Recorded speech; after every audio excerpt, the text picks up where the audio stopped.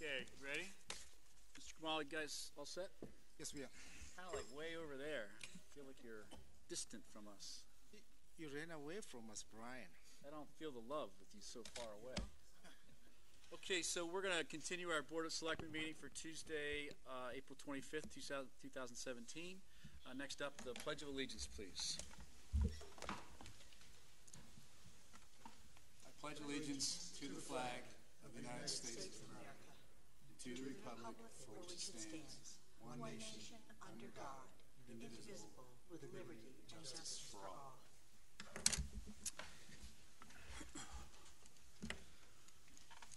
So we're going to go off script on a couple of items here this evening as we begin our meeting. Uh, Are there microphones in the audience? Can- Are there microphones in the room, or is it just to the television? Okay, so can you guys hear us back there? I feel like you're like way in the back too. Uh, I'm sorry about that. So we'll speak as loud as we can, but we get tired. so if you can't hear us, you may have to move forward a little bit. I, I apologize for it being set up so far back. Uh, we're getting used to this new venue here, and uh, we can tweak that next time. So, uh, first off, um, unfortunately, uh, Hopkinton lost a great citizen uh, this past weekend. Thomas McIntyre uh, passed away after an illness, and uh, two of our members aren't here right now because we're uh, over at the, the wake, um, and then we'll be attending the funeral tomorrow. But uh, Tom, um, if there was ever Mr. Hopkinton, he was Mr. Hopkinton. Uh, and his family is a Hopkinton family through and through. Uh, he did it all. There was never a newspaper guy there, there was never a camera person there. Uh, he uh, did so many things for Hopkinton. He put the bells up at the cemeteries, at the fire stations. He put the rock at Wood, Pond, and Winter Streets uh, with the really cool sort of New England nomenclature of where you're going in those country little roads out west there. Uh, he just did so much for the community. Um, it's, it's, it's hard to imagine that he's not with us anymore. And uh, I wanted to take a moment and acknowledge him. And I know a couple of my colleagues would like to do as well. Uh, I'll start with Mr. Tedstone. Thank you, Mr. Chair. Um, So, yeah, Tom McIntyre really was Hopkinton, and um, he's the Hopkinton that I aspire it to, to, to stay. He did more work behind the scenes selflessly that anybody knows about, me included. I was very fortunate to have him as a, a, a great friend for my entire adult life. Uh, he was an employer for me. He was a teammate, and a lot of these monuments and things that he's done, uh, I was very fortunate to be on the short list of people that he would ask to come and uh, and, and help him with. Um, it's hard for me to talk about it. I've been at his wake tonight since two o'clock, and he's uh, he, he was like a dad to me. He was a best friend to me, and uh, he's the one that got me on the going on the fire department. He's the one that uh, turned me from a teenager to a nice guy. Um, there just there's not enough things I can say about him, and uh, you know I, I could go on for the entire meeting, but I won't. Um, but he's going to be missed more than than people know. we could never fill the void that he's going to leave in town, and um, one of the things I got to go in and see him on Thursday uh, before he passed when he was still coherent, and he told me how proud he was of me that I got to, uh, you know, be voted in as selectman, and that he um, was looking forward to seeing me at town meeting this year, and uh, it's going to be a hard town meeting this year, um, you know, I love him and I'll miss him, and he's a big loss for the town of Hopkins. Thanks. That's all I got. John. Um, there's a Yiddish term for for a man like him, a mensch. Uh, a guy that's just selfless, a, um, a mentor, uh, just a great example for, for you know for, for, for a man that, that just was such a great example for so many generations. It's uh, it, it's it's something that, that I hope I can live up to. I, I I'm always trying to live up to my shoes that my father filled, and it's just so great that there are people out here that um, that uh, have have such an effect on so many lives that, that you want to try and continue to fill their shoes, and I hope that uh, that more people, uh, just like uh, Tommy. That's all. Thank you. Mrs. Wright. Yeah, Mr. Hurst stole my line when he said Mr. Hopkinton, because I was going to use that. I think everybody probably thinks of uh, Tom McIntyre in those terms. He, um, that man had the most generous, giving personality, um, the most humble nature, uh, and the most winning smile. It was full of love and joy and mischief and laughter and um, and life. And uh, you know, I, I guess I'll just close by saying that from what I, the way I knew Tom McIntyre, I would say that the way he lived his entire life um, exemplified his love for the town of Hopkinton. So with that, I would ask that we all observe a moment of silence in honor of Tom McIntyre.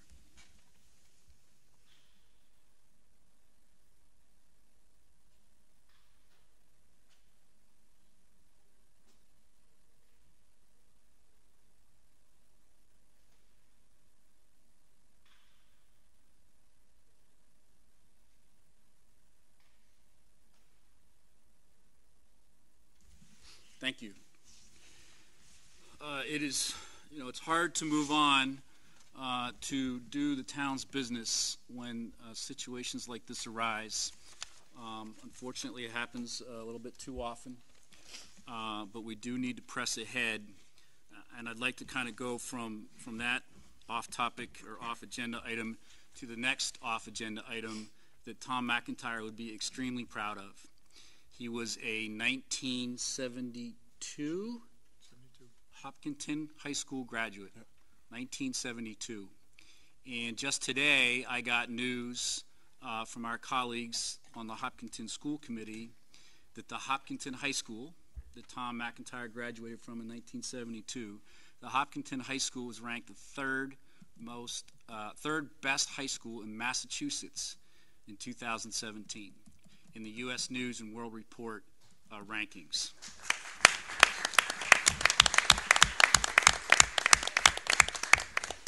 I- I think it's a great tribute to the graduates of Hopkinton High School, including Tom McIntyre.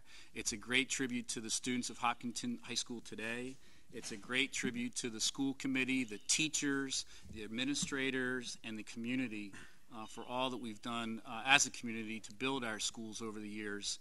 And I think to receive news like that on a tough day uh, when we're putting, uh, you know, we're taking a, a great friend uh, to the church tomorrow, uh, I think is uh, very, very telling. So, congratulations, Hopkinton, on that award, and uh, I'm sure we'll be hearing more about that in the coming days and weeks.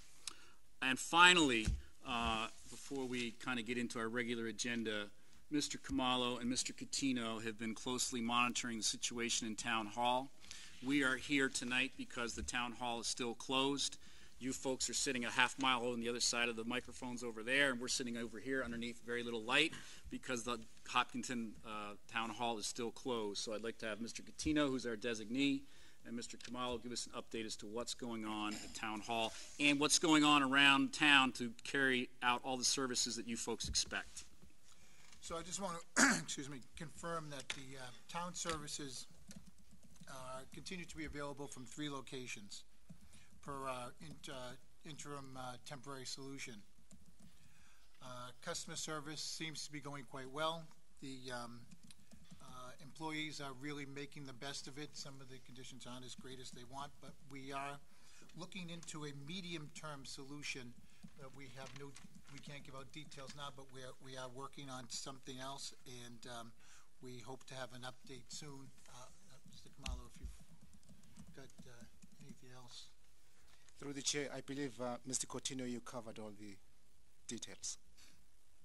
So I've had a chance to go to the fire station and sign um, the warrant documents, uh, initial every page of the 40-some copies, whatever it was. So I was only there for about two and a half hours, uh, initialing the papers.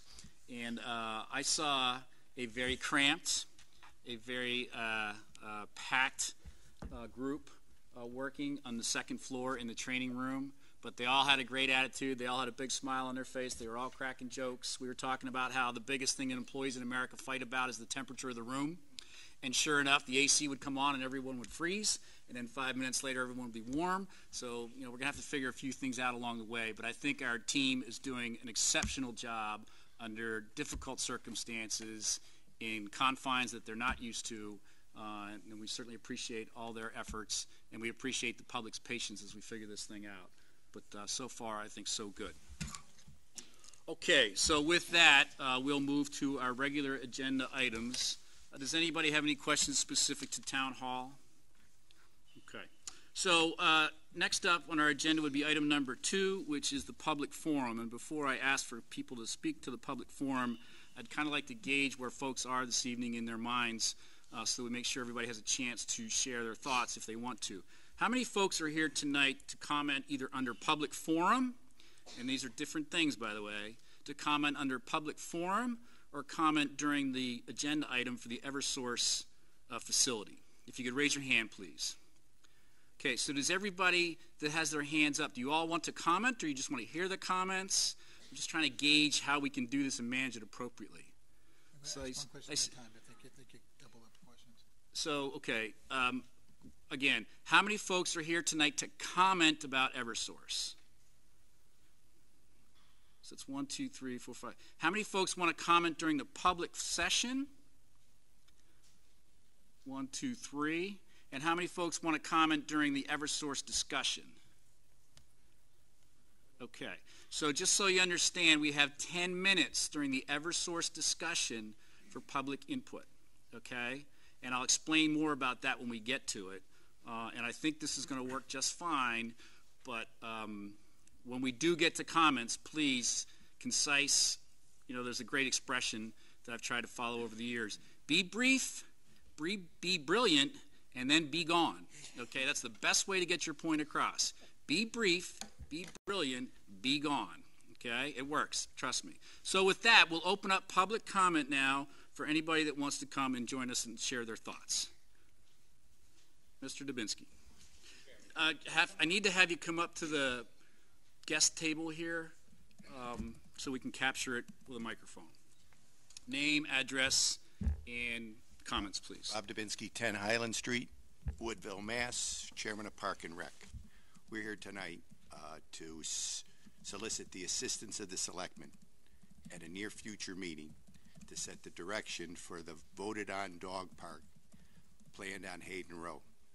We have suspended our subcommittee meetings uh, concerning the dog park until we get some clear direction that Hayden Row is the property that the selectmen would like us to continue to pursue. We've applied for a $250,000 grant, which is in jeopardy unless we have a, a quick direction to go ahead and help develop that dog park, build that dog park between now and uh, the end of the summer. Okay? Anything else? That's all I have. Mr. Khumalo for the dog park, a future agenda item very soon after town meeting, uh, specific to where we are and what we would expect going forward. So noted. Okay? You good? Thank you. Thank you. Next, please, for public comment. Yes, ma'am.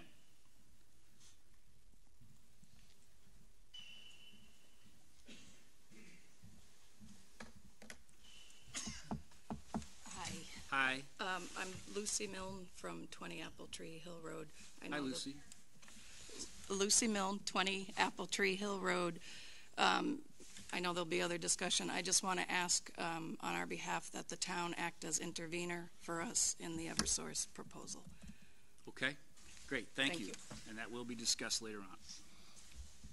Anybody else during the public session forum?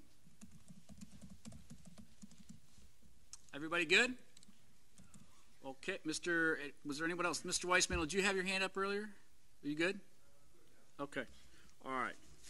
So that's item number two. Item number three, consent agenda. We have minutes from 328 and 412. We have a special temporary alcohol license uh, for the HTPA, H, HPTA uh, for a concert event fundraiser to be held on May 5th at the Hopkinton Center for the Arts. We have parade permits. Lic- the board will consider a parade permits. Um, this is for Thursday, June 8th through Sunday, June 11th. This is also for the HPTA and Fiesta shows to do a carnival fundraiser from Thursday, June 8th from 6 well, 6 to 10 p.m. Friday 6 to 10:30, Saturday June 10th 1 to 10:30 p.m. and Sunday June 11th 1 to 9 p.m. Um, we've got some supporting documentation and some questions maybe there. Uh, there's a parade permit for the Ashland Lions Club for the Ashland Lions Triathlon Bicycle Course to be held on Sunday, June 11th. And then finally, we have from Stephanie Whalen on behalf of the 14th annual Sharon Timlin Road Race. Uh, the 5K race will be held on Saturday, June 17th, 2017. And that is also a parade permit, I believe. I don't see the term. Is that under? A parade permit, yes. Also, we have resignations. Diane Doucette from the Historical Commission and Jeffrey Barnes from the Upper Charles Trails Committee. And that will be it for the consent agenda. So, in our normal course of action, anybody want to break any of those items out? Mrs. Wright. Sorry to be crank, Mr. Chairman, but I have questions on every one of them except for the minutes. Okay, I'll be quick. that solves our need to break anything else out because we've already broke them all out. All right, I'll make a motion to, uh, move the minutes. so you approve the minutes? Motion to approve the minutes? Is Second. there a second? Second. Second, Mr. Tedstone, thank you. Any discussion on the minutes? All those in favor? Aye. Aye. Any opposed? Thank you. Item number two under the consent agenda is the special temporary alcohol license. The Board of Selectmen will consider approving a special temporary alcohol license from Tara Sanda on behalf of the HPTA for a concert event fundraiser to be held on May 5th at the Hopkinton Center for the Arts. Tara, would you mind joining us? I think we're going to have a couple questions here. Mrs. Wright. Um, well, just reading, reading the permitting team, uh, remarks, there was question about getting the permit for the food from the Board of Health. Uh, and I just kinda wanted confirmation that this had been okayed with both the police and the fire. According to the minutes I had, those were possibly still pending. Okay. Um, anything else, Mrs. Wright? Uh, that's enough for that one. Okay, let's take them in reverse order. I believe I saw one of the chiefs here this evening. The police chief is here. Are you good with this alcohol request for HPTA at this time?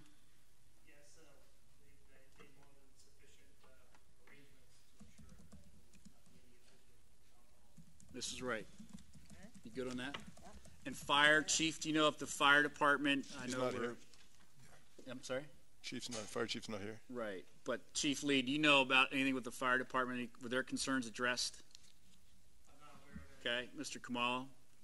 I- I'm not aware of any outstanding concerns with the fire department, unless if the applicants do. No, we were not contacted. Okay, Mrs. Wright?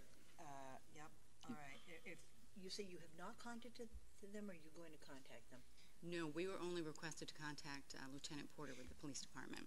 Well, um, Chief Slaman was invited to a meeting that I had with the police department over vacation, and he was unable to attend um, because he was sick, but he did not send on any questions. Um, so we got the impression that he was all set. Back to Mr. Khumalo. Feel good? Again, as I said, I am not aware of any concerns expressed by the fire chief Slaman. Okay. And I will um, say that we have agreed to pay to have an officer on detail that night. Okay. Uh, I guess the last was, I do assume there is food, and where do you stand with getting a permit from the Board of Health for We that? do have food, and we will be putting in for a permit. It's all from um, Not Your Average Joe's, The Alamo, so they're all Board of Health certified um, restaurants. So you'll be going through with the Board of Health permitting Yeah. the Mhm. Yep. process for that? Okay. All right, just checking on those? Nope, items that you're were good. pointed out by the permitting team. Anyone else on this item particular to the special temporary alcohol license? Okay. You good, Mr. Tedstone? good. Mr. Khumalo, you want to bring anything else to our attention at this time? I have nothing further to raise. Okay, the chair will entertain a motion to approve the special temporary alcohol license on behalf of the HPTA for a concert fundraiser to be held on May 5th at the Hopkinton Center for the Arts, uh, permitting staff requested additional information, but that's covered, so that's not in the motion. So uh, the chair will entertain that motion. So moved. Second. Any further discussion? All those in favor? Aye. Any opposed? Okay. How are we doing back there? Can you guys hear us a little bit? So here's what I'm going to suggest we do. Everybody, we're going to take a two-minute break, and if you guys could all help us, everybody join us, and let's pull all these chairs about 10 feet forward. Okay? Gotta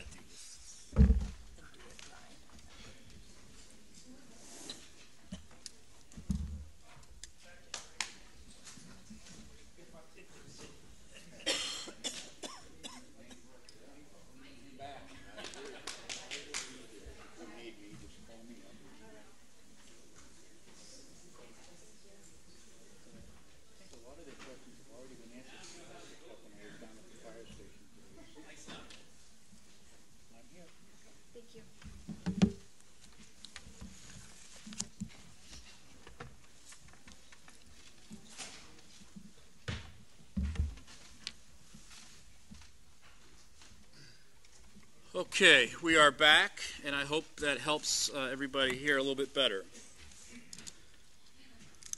So next up, next up is item three on the consent agenda. This is for a parade permit.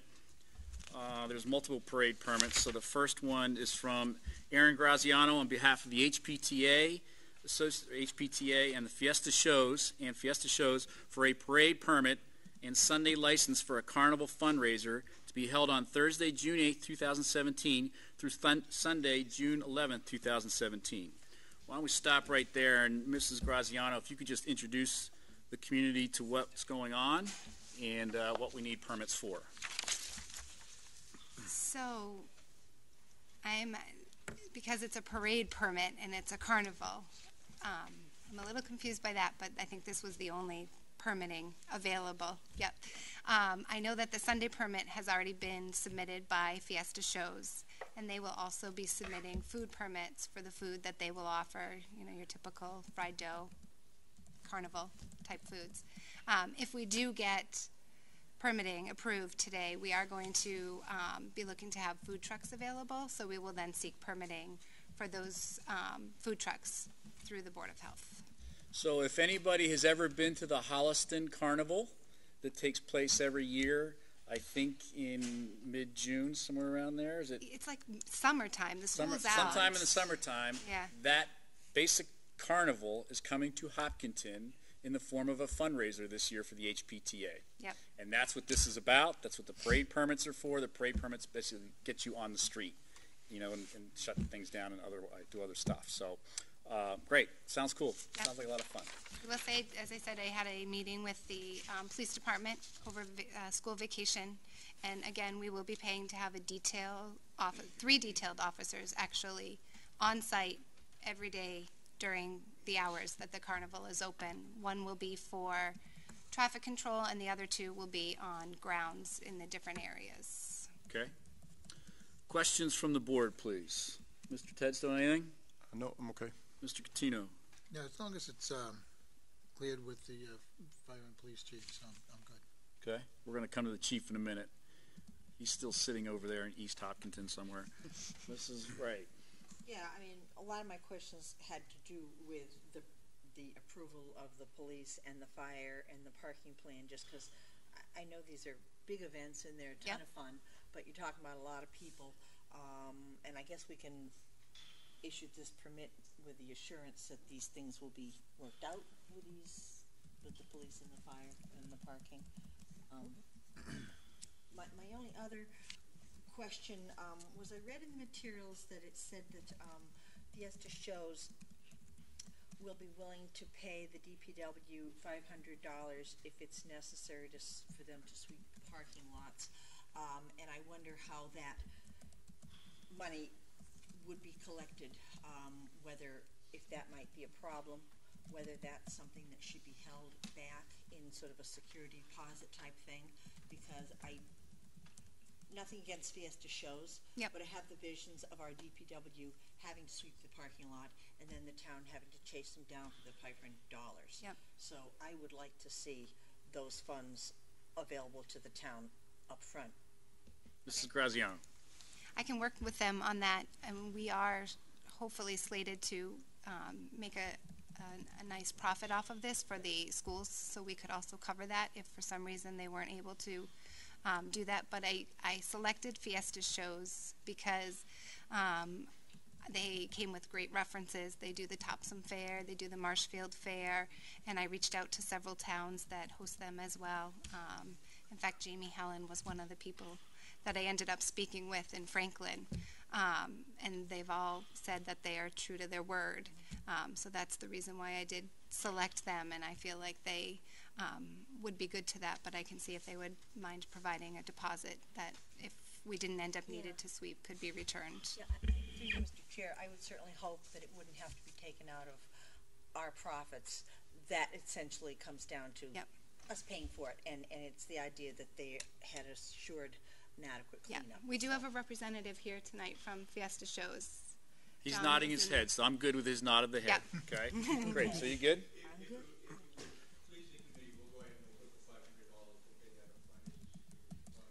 How about 600?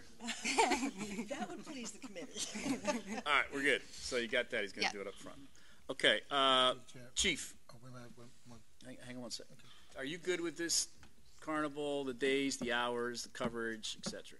Absolutely, we have enough, uh, we feel sufficient coverage with the detail officers, and obviously, uh, getting all the uh, carnival workers, uh, CORI checked, uh, on school property, being around kids, we just gotta ensure that we're, we're covered on that end, and, uh, we're working towards that. This is Graziano. Everybody's CORI. I have been promised the social security numbers four weeks out. They said they pick their crew about four weeks out. So once the crew is confirmed, they'll provide us also social security numbers. Officer Phil asked that. That was the first question out of his mouth when we met way back in September, and they did not even hesitate to say yes, they'd provide those.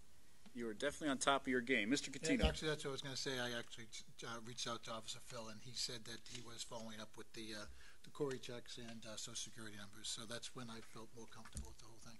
Okay. Anything else? Mr. Kamal, you good? I'm good. Great. Uh, all set? The chair will entertain a motion to approve the parade permit. Is the parade permit separate from the Sunday license, Mrs. Lazarus? I don't know. Yes. Okay, so we're going to do the parade permit first. Yep. And then the Sunday license second. Okay, so the chair will entertain a motion to approve the parade permit for the Carniv- Carnival fundraiser to be held on Thursday, June 8th through Sunday, June 11th, 2017. So moved. Second. Any further discussion? All those in favor? Aye. Aye. Any opposed? It's unanimous. Item two, the chair will entertain a motion to approve the Sunday license for a carnival fundraiser to be held on Sunday, June 11th, 2017. So moved again. Second. Any further discussion? All those in favor? Aye. So unanimous and so approved. So you're all set on those permits. Great. You guys good? We're Good. Very good. Excellent. Thank you. Thank you so much. Thank you very much for your time. Thank you. It's going to be a great event for Hopkinton. Yeah, I can't wait. Next up on the parade permits um, is, is is Stephen Mitchell here from the Ashland Lions Club by chance? Okay, uh, we've done this one in the past. Uh, the Ashland Lions Club has asked for a parade permit for the Ashland Tri- Lions Triathlon uh, to be held on Sunday, June 11th, 2017.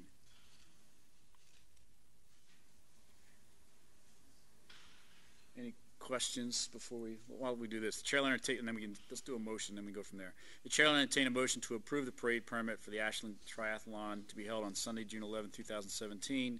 The course runs from Hopkinton, starting on Ash, through Holliston, to the Holliston border at Hayden Row, to East Main Street, to Clinton Street, and the Ashland border. So moved, Mr. Chairman. Second. We have a motion and a second for the parade permit. Any questions? Yes. Mrs. Wright? As you know, I seem to be on a litter rant lately. Uh, and we had talked earlier about changing our parade application to make sure we included information on being responsible for cleanup and the responsible person. The new application hasn't caught up with the old, so I guess that wasn't on this one, and my understanding is this group has said, oh, it's a bike race, so there's gonna be no litter, which sounds great, but, um, you know, trust but verify. Um, I, I would like to confirm, I, I tried to reach Mr. Mitchell today by phone and, and was unsuccessful. Um, I would like to confirm, A, that he is the individual to be contacted on the day of the race, that there's a problem, and B, that these organizers will ride the route afterwards to make sure, because never say never. Mrs. Lazarus, can you take that on and make sure that the organizers know we want that route picked up afterwards? Yes, and Maria did email us as we were starting the meeting that Mr. Mitchell is the one to contact during the day of the event. and that they will be checking the route, sweeping the route after, Yes. sweeping, not really, but checking. Okay, good? I'm good at Mr. Coutinho, you good? Yeah, I'm good. So we have a motion and a second on the table. Any other discussion? All those in favor? Aye. Any opposed? So Lane, if you could just communicate the pickup part to the applicant. And finally, excuse me, on the uh, parade permit front anyway, uh, Stephanie Whalen on behalf of the 14th Annual Sharon Timlin Road Race uh, to cure ALS. It's a 5K race to be held on Saturday, June 17th, rain or shine at 8:30 a.m. Uh, It's an awesome race. Chair will entertain a motion to approve the parade permit for the Saturday, June 17th Sharon Timlin Road Race. A 5K. pleasure. Uh, Move the, que- uh, no, gosh. Mr. Coutinho's warming up for town meeting. Warm- Moving the question. Second. Okay, we have a motion on the table by Mr. Coutinho and a second by Mr. Tedstone. Comments, questions on the Stephanie Whalen request? Mrs. Wright. I have one comment, and this really isn't, is not about the Sharon Timlin, but for our group, back to the issue of our parade permits not being up to date. Not only is the litter control not, I guess there are groups out there that are using very old permits, but to top it off, when I looked at the permit for the Sharon Timlin, it does not, this, the application they were using didn't even include the question, are there any road closures?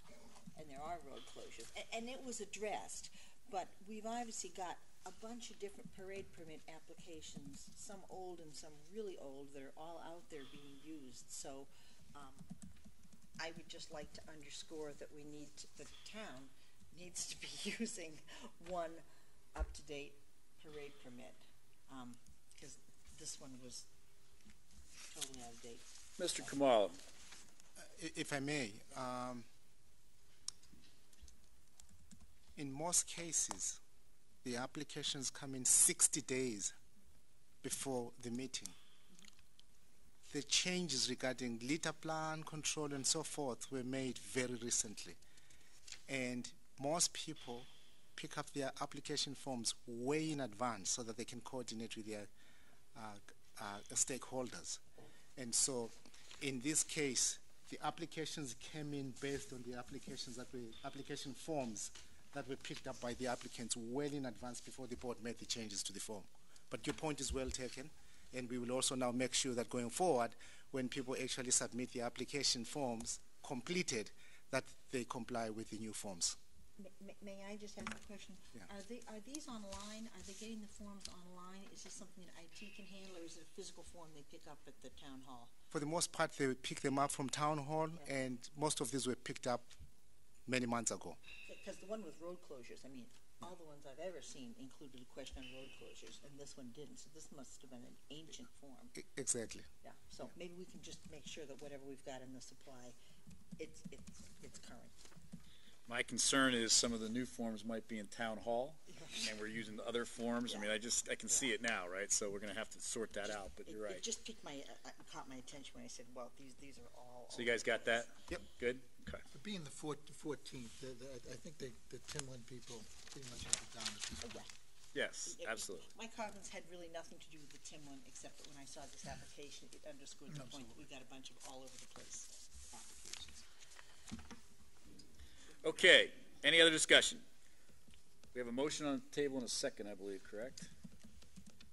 Awkward motion, but, uh, Yeah, we moved the question. perfectly fine. All those in favor? Aye. Aye. Any opposed? It's unanimous and so carries. Y'all set, Stephanie. We'll see you then, or sooner. Uh, okay, next up in the consent agenda, we had some resignations. Unfortunately, two good folks um, from various volunteer committees, Diane Doucette from the Historical Commission and Jeff Barnes from the Upper Charles Trails Committee. Mrs. Wright.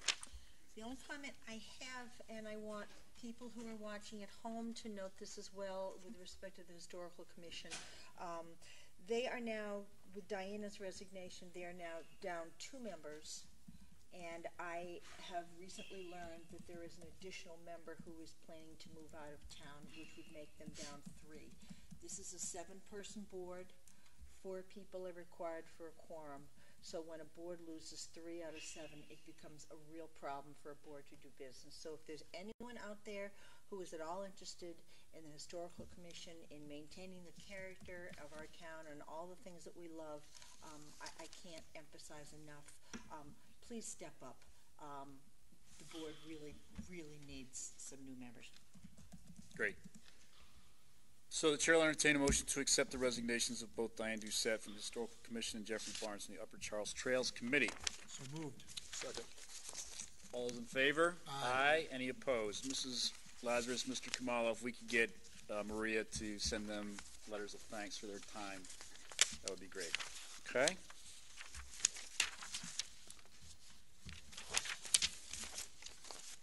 Okay, so um, we have a public hearing scheduled for 7:30, and the public hearing is for a street acceptance.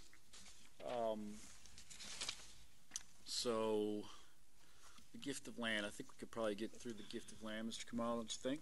We got a few minutes. Yeah, I think so. Okay. So the Board of Selectmen will, cons- item number four on the agenda, the Board of Selectmen will consider executing a deed conveying three parcels of open space to the town totaling 9.47 acres pursuant to a vote under Article 44 of the 2016 Annual Town Meeting. The parcels were created by Connolly Hill Estate subdivision plan and are located off College Street and Bowker Road. So this is an administrative follow-on, if you will, to an action taken by town meeting last May. The chair will entertain a motion to execute the deed conveying the three parcels of, of open space land to the town totaling 9.47 acres. So moved, Mr. Chairman. Second. So we have a motion and a second to execute the deed. Is that a motion in order, Mr. Khumalo? Yes, it is. Okay. Uh, any comments, questions on the motion? Hearing none, all those in favor? Aye. Aye. Any opposed? It's unanimous and so carries. Okay? Um, so at seven thirty is the public hearing. We're a few minutes early. At eight o'clock is the Eversource discussion. I don't think we can get that done in two minutes. Um, Main Street Corridor Project. I don't see Dave. Uh, uses, use of tasers and law enforcement policy. That should be a quick one. Uh, annual town meeting, can't do that. Uh, okay, so liaison reports. Uh, Mrs. Wright, anything to report from your various liaison responsibilities?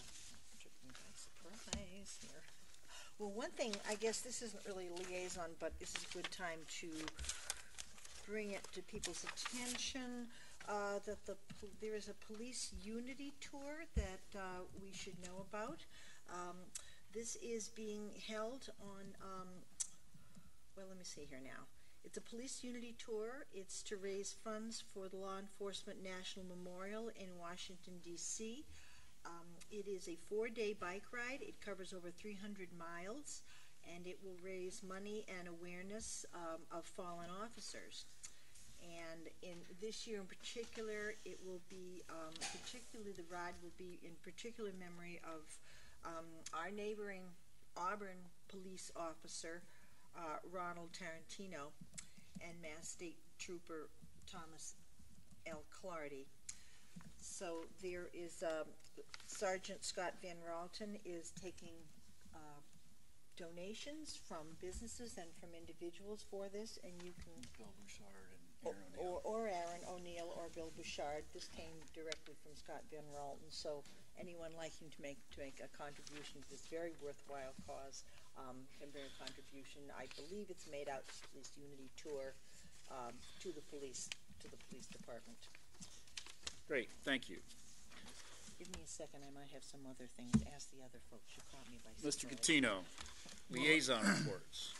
Yeah, um, last week at the uh, Upper Charles Trails Committee meeting, um, we were looking into, um, uh, attachments to, um, the Ashland, uh, trail system. And also there, the, um, Upper Charles Trails Committee is, is, wants to come and meet with us at some point to try and establish an overall trails committee. Because right now, whenever there's any issues with the trails, people tend to go to the Upper Charles Trails Committee because it's really the only formal committee that we have. We have trails clubs and everything else. But um, in order to have maintenance and such for the rest of the trails, there really isn't uh, anything other than some private clubs. And so at some point, we'd like to have an agenda item to, uh, to look into that. There's, they, they have a, uh, a draft report coming out. And then the Marathon Fund meeting that was supposed to be for tomorrow, we moved to uh, next uh, Wednesday. Okay. Um, all right. I don't have anything to report. The MWRTA attended the meeting recently, and uh, we put our preliminary budget together for next year. There's going to be a slight increase in the appropriation to Hopkinton. The services coming into Hopkinton have increased dramatically in the last year, uh, and I think they'll only continue to improve. Our ridership is improving, uh, so I think it still is a very good return on investment for the community. But uh, that is all coming out of the MWRTA at this time. Um, you know, just one other thought, I guess, because I got a, an email recently about board liaison assignments, and I've probably said this five or six times in the years I've served as chair.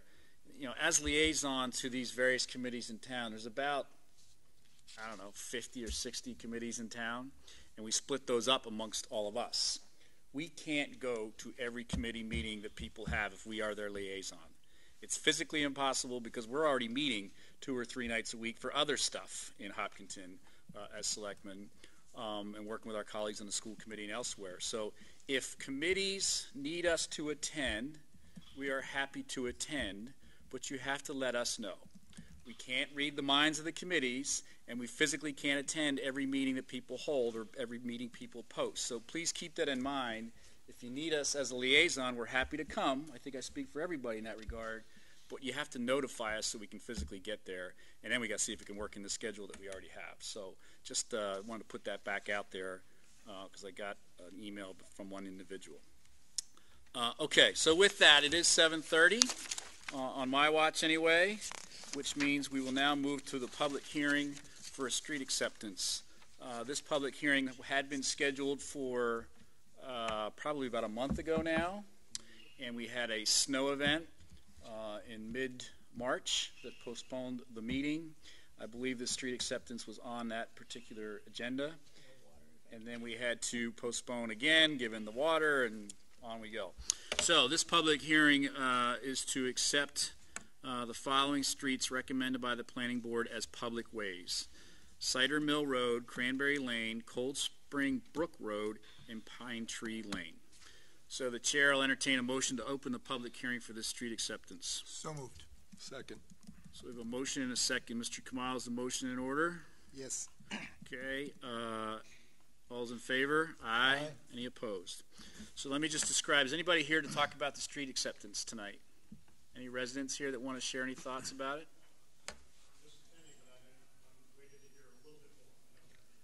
Okay, so if we do a good job, you're not going to come up, right? gotcha. All right, there's a little pressure for us now.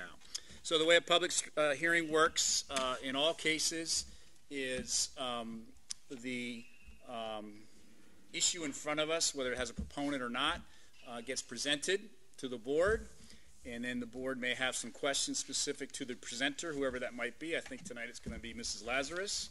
And then uh, after we go through our first round of questions or have some dialogue, we then come to the audience. We go to abutters first, and then we go to the general public second, and uh, see if anybody has any comments. You don't have to have comments, but that's the order that we follow. And then once we get all the public input, because at a public hearing, this is a public meeting. At a public hearing, inside a public meeting, that's when the audience has rights to speak. At a public meeting, you get to watch what goes on, but you don't necessarily have rights to speak unless the chair asks you to speak, which is what we're going to do for Eversource, by the way, so don't worry. Uh, but I just want to make that point clear. So then, at the end of the public hearing, when everyone's done speaking and we're done hearing, we close the public hearing and then we deliberate again and maybe we make a decision tonight, maybe we don't. I suspect we will, but that's typically how a public hearing flows uh, in Hopkinton and around the state for that matter. Okay, so with that, Mrs. Lazarus, do you want to bring us up to speed and make the presentation on these public ways? These four streets were approved on subdivisions uh, by the planning board and constructed in the late 70s and uh, early to mid 1980s. Um, and it was the intention of the planning board at the time that these would become public ways, so they were designed to become public ways. However, it was the policy of the Board of Selectmen at the time and the town that they did not want to accept public ways, and so they remained private.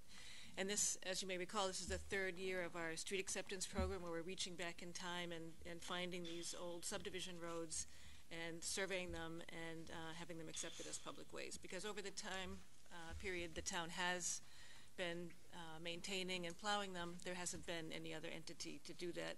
There are no homeowners associations or developers involved any longer. Um, but the town uh, as you know, shouldn't be spending uh, its funds on private ways, and so there's been an effort to get these accepted, uh, have them on the street acceptance list so the town can receive Chapter 90 money for them. So the proposal is to close out the street acceptance program by accepting these last four roads, and at that point, we will have taken care of all of those old subdivision roads that the town was maintaining and plowing over the years. Okay. Uh, They're being accepted in as, as an as-is condition. There will not be any improvements to them. Okay. Questions for Mrs. Lazarus specific to the streets in front of us? Mr. Coutinho? Yeah, I know we're accepting them as is, but uh, are there any issues with the road services or the drainage? Because some of these roads that we picked up ended up being projects. Um, And then probably this is why these are the last four. Yeah, I think in the comments, the DPW did comment there, some of them have cracked pavement and so forth, but no serious issues, and they will be added to the town's pavement management plan and programs for maintenance. Good. Mr. Tedstone? Nope, this used to be on my old plow route in the late eighties, so yes, I know that the town's been plowing them since the eighties, because these, I used to plow them. I'm sure you didn't rip up any of those berms. Um, they were perfect. Good man. Mrs. Wright? Yeah, I mean, you know, I'm looking at the issues, cracked, cracked, cracked and settled, cracked. And the ages are 75, 80, 85, 85. These are all 35, 40, 40 year old roads. I can't imagine any 40 year old that isn't cracked. So, Road or person? Person driving on the road. So, you know, I, I, I think it's, it's obvious we need to just take these and get them, get them under the pavement management program. I have no, no objection. Okay. Mr. Sestari, public hearing specific to street acceptance, item numbers five. You good? No questions. Thank you, Mr. Chair. Okay. Everybody good? I don't have any questions or comments at this time. So with that initial uh, dialogue with the board, uh, we'll go to the public hearing portion of the public hearing. Are there any abutters to any of these roads here this evening that would like to speak on the issue? Okay. Are there any residents of the town of Hopkinton here this evening that would like to speak on the issue of the street acceptance of these four roads? Mr. Weismantel, to the visitor's microphone, please. If you could introduce yourself to those that don't know you're at 145 Ash Street. Ken Weissman, 145 Ash Street, speaking as chairman of the planning board. The planning board recommends that we accept these at town meeting and would like you to give a favorable recommendation. Great, thank you. Any other residents of the town of Hopkinton here to speak on the street acceptance? Yes, sir. I'm actually here for another. I'm sorry, sir. I'm going to have to have you come to the microphone. Are, are you speaking on the street acceptance? Yes. Okay, right here, please. I'm sorry.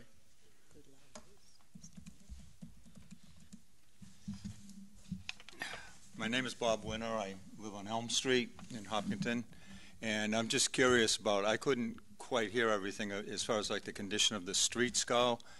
But I'm curious as to what the town's responsibility is. Once we accept these roads, obviously they're our responsibility.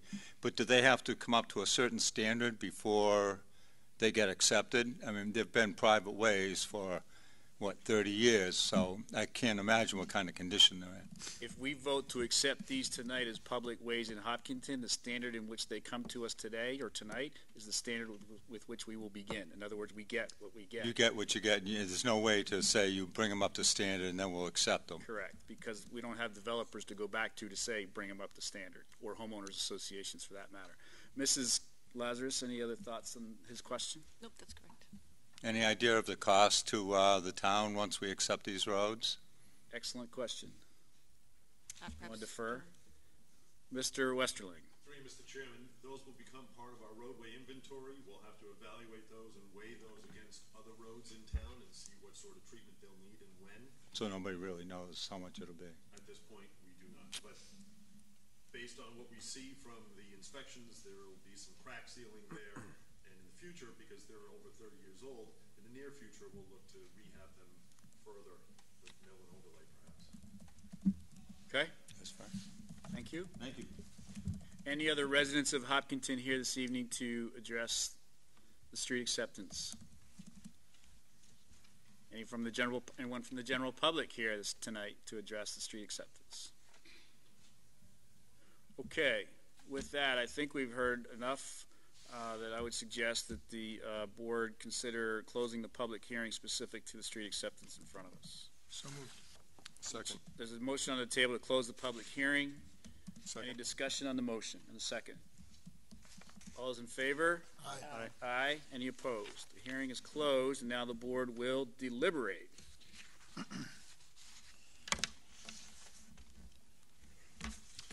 Chair will entertain a motion to approve the public ways um, as part of the street acceptance process in Hopkinton, uh, specific to Cider Mill Road, Cranberry Lane, Cold Spring Brook Road, and Pine, Pine Tree Lane. So moved. Mr. Chair, if I may, Mr. Khumalo.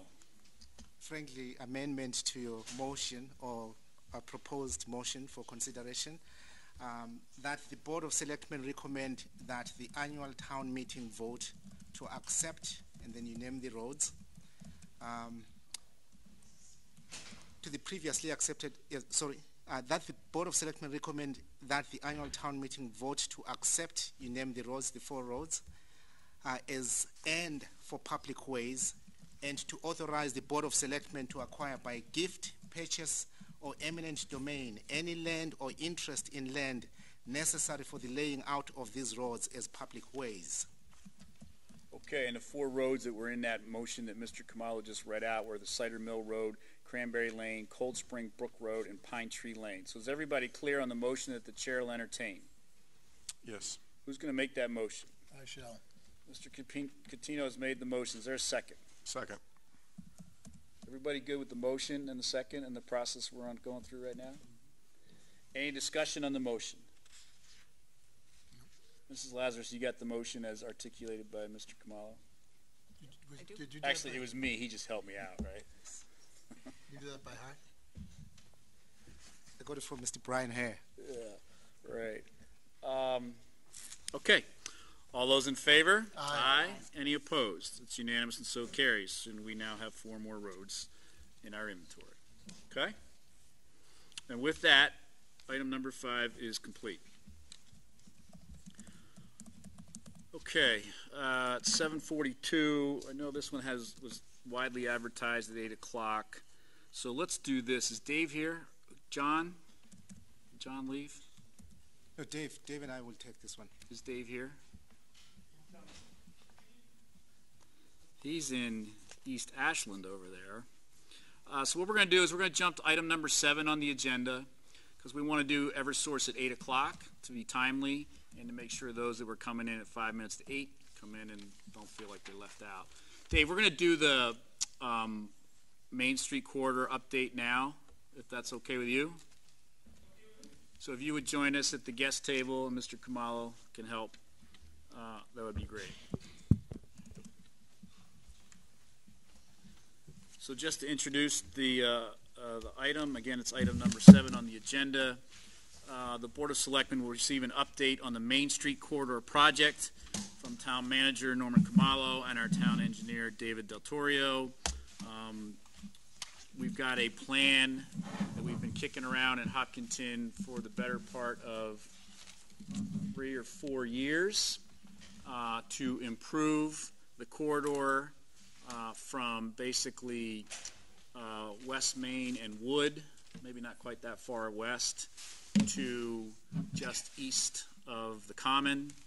Um, and Dave Daltorio has been working very closely with the Mass Department of Transportation, our State Representative Carolyn Dykema, our State Senator Karen Spilka, and the Town Manager's Office, as well as our engineers, to put together uh, a project that we believe will improve traffic flow, improve and you know enhance pedestrian safety, uh, maintain parking so that we can continue to facilitate uh, the economic uh, drivers in downtown Hopkinton without burdening residents. So that's the plan, that's the goal, uh, and we're going to get an update this evening as to where we are. Okay. As I try to get this, uh, So we have a little technical online? difficulty here. Why don't we talk first while we're figuring that out, where we are sort of verbally with the um, uh, state in the process? Yes, um, through the chair. In, in summary, I think our message is threefold. Um, we want to share with the board uh, specific information on the, the process, uh, the schedule for the project, and the most recent changes that have been made to the plan based on input uh, provided by different stakeholders in town as well as uh, our engineering team. team sorry. Uh, in, in terms of process, I think the good thing to report is as recent as two weeks ago, Mass DOT confirmed that the Main Street Corridor project is still in the TIP program. In other words, this remains a state-funded project for the most part. Um, we have also been in uh, consultation with different stakeholders in town. We have visited with the planning board, received its input.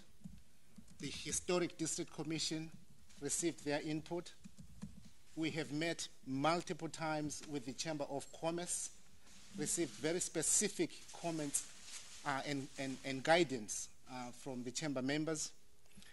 Uh, in addition, we have also met with uh, Mass DOT several times uh, to receive their guidance as we finalize the 25% design plan.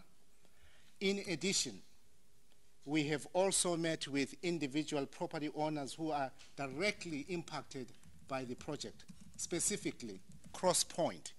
Uh, and we did report publicly to the board as well as to the community the outcome of our conversations uh, with Crosspoint. Uh, in, in, in, in, in summary, our conversations with Crosspoint allowed the realignment of the intersection to proceed uh, in the best manner possible uh, as the land configuration allows. Uh, in terms of process, I think the key message now is the town is ready to finalize its 25% design plan. As you know, we already submitted the 25% design plan to Mass DOT, received their comments, and we also, based on conversations with uh, different stakeholders, have made specific re uh, revisions to the plan. Uh, and in addition, uh, we have also, um, since the last time we met with the board, incorporated into the plan some of these uh, changes that are, are necessitated by the input we received specifically from different town boards. We are working with our consultants as well as Mass DOT uh, to strengthen the public input process. And here's how we're doing it. Number one, we're working with the chamber uh, to make sure that they partner with the town in the public consultation process. Number two, we're trying to work towards scheduling a public meeting here in town before the end of May.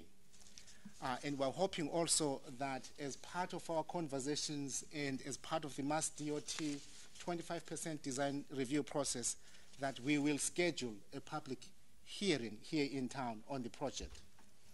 Uh, in addition, we have also been in consultation with the utility companies to address specifically the undergrounding uh, aspects or elements of the project. Uh, and in summary form, Mr. Chair, this is where we are in terms of the schedule. This is where we are in terms of the process.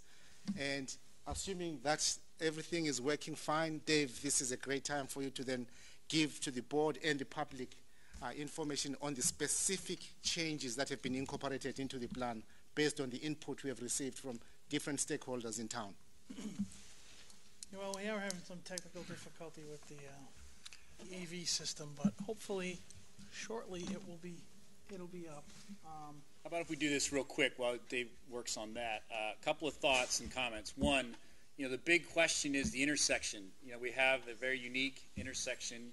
You're not sure if you're going straight. You're not sure if you're going left, going from the north, south side into the north side of town. Um, and Crosspoint has agreed to Mr. Khumalo's uh, point. Crosspoint has agreed without a taking necessary and I highlight those words at this time, without a taking necessary at this time, to help us straighten the intersection. I think that's a great thing for Hopkinton. Um, you know, at special town meeting, we talked about this, and we talked about the need to sometimes to throw the, high, uh, the fastball high and inside when you're playing baseball. We don't have to do that. I think that's a great thing, and that's a great testament to Crosspoint and their commitment to Hopkinton. So I just want to publicly thank them uh, for working with us to try and sort out this intersection. Uh, secondly, uh, to, to, sort of reemphasize what Mr. Khumalo said, as long as we stay um, in front of the state, as long as we work with the state and kind of negotiate with them, but follow the design parameters that the state is interested in, the state is going to pay for the lion's share of this work. So Hopkinton's going to get a beautiful corridor, and you know all of us residents of Massachusetts take, take care of it instead of just the town of Hopkinton. So I think that's a, a good, a positive step for Hopkinton. And with that positive news, we've got a new graphic on the screen here that Dave can walk us through. So, Dave, we've only got a few more minutes. This is an update. I don't want to get into a debate tonight about how many square feet we're losing in parking or how many times the lane changes and so on and so forth. We just want to show everybody what we're working on, okay? But okay. I, I re- really can't, and we don't have the time to re-engineer this thing tonight. Um, that should be something that's done offline with the town engineer, the Mass DOT, and any residents that want to give input, you can. But this isn't the time or the place tonight. Okay. Um, based on the time, uh, I will give a, a basic kind of update of the plan. You know, the major components. Um, you know, undergrounding of uh, utilities has been incorporated. We have a separated bike lane now from uh, the Wood Street down to Cedar Grove. Um, the bike lane separates to both sides of the road from Main Street to Ash Street or, or to Hayden Row. The, the as you touched on, the 85 135 intersection has been uh, realigned and incorporated into the plan. Uh, the, the next steps, as, as uh, town manager had, uh, has already discussed, is, is a few more meetings. Um, without getting into parking, you know, we have the parking lot for the police station going in. Um, it's being bid currently.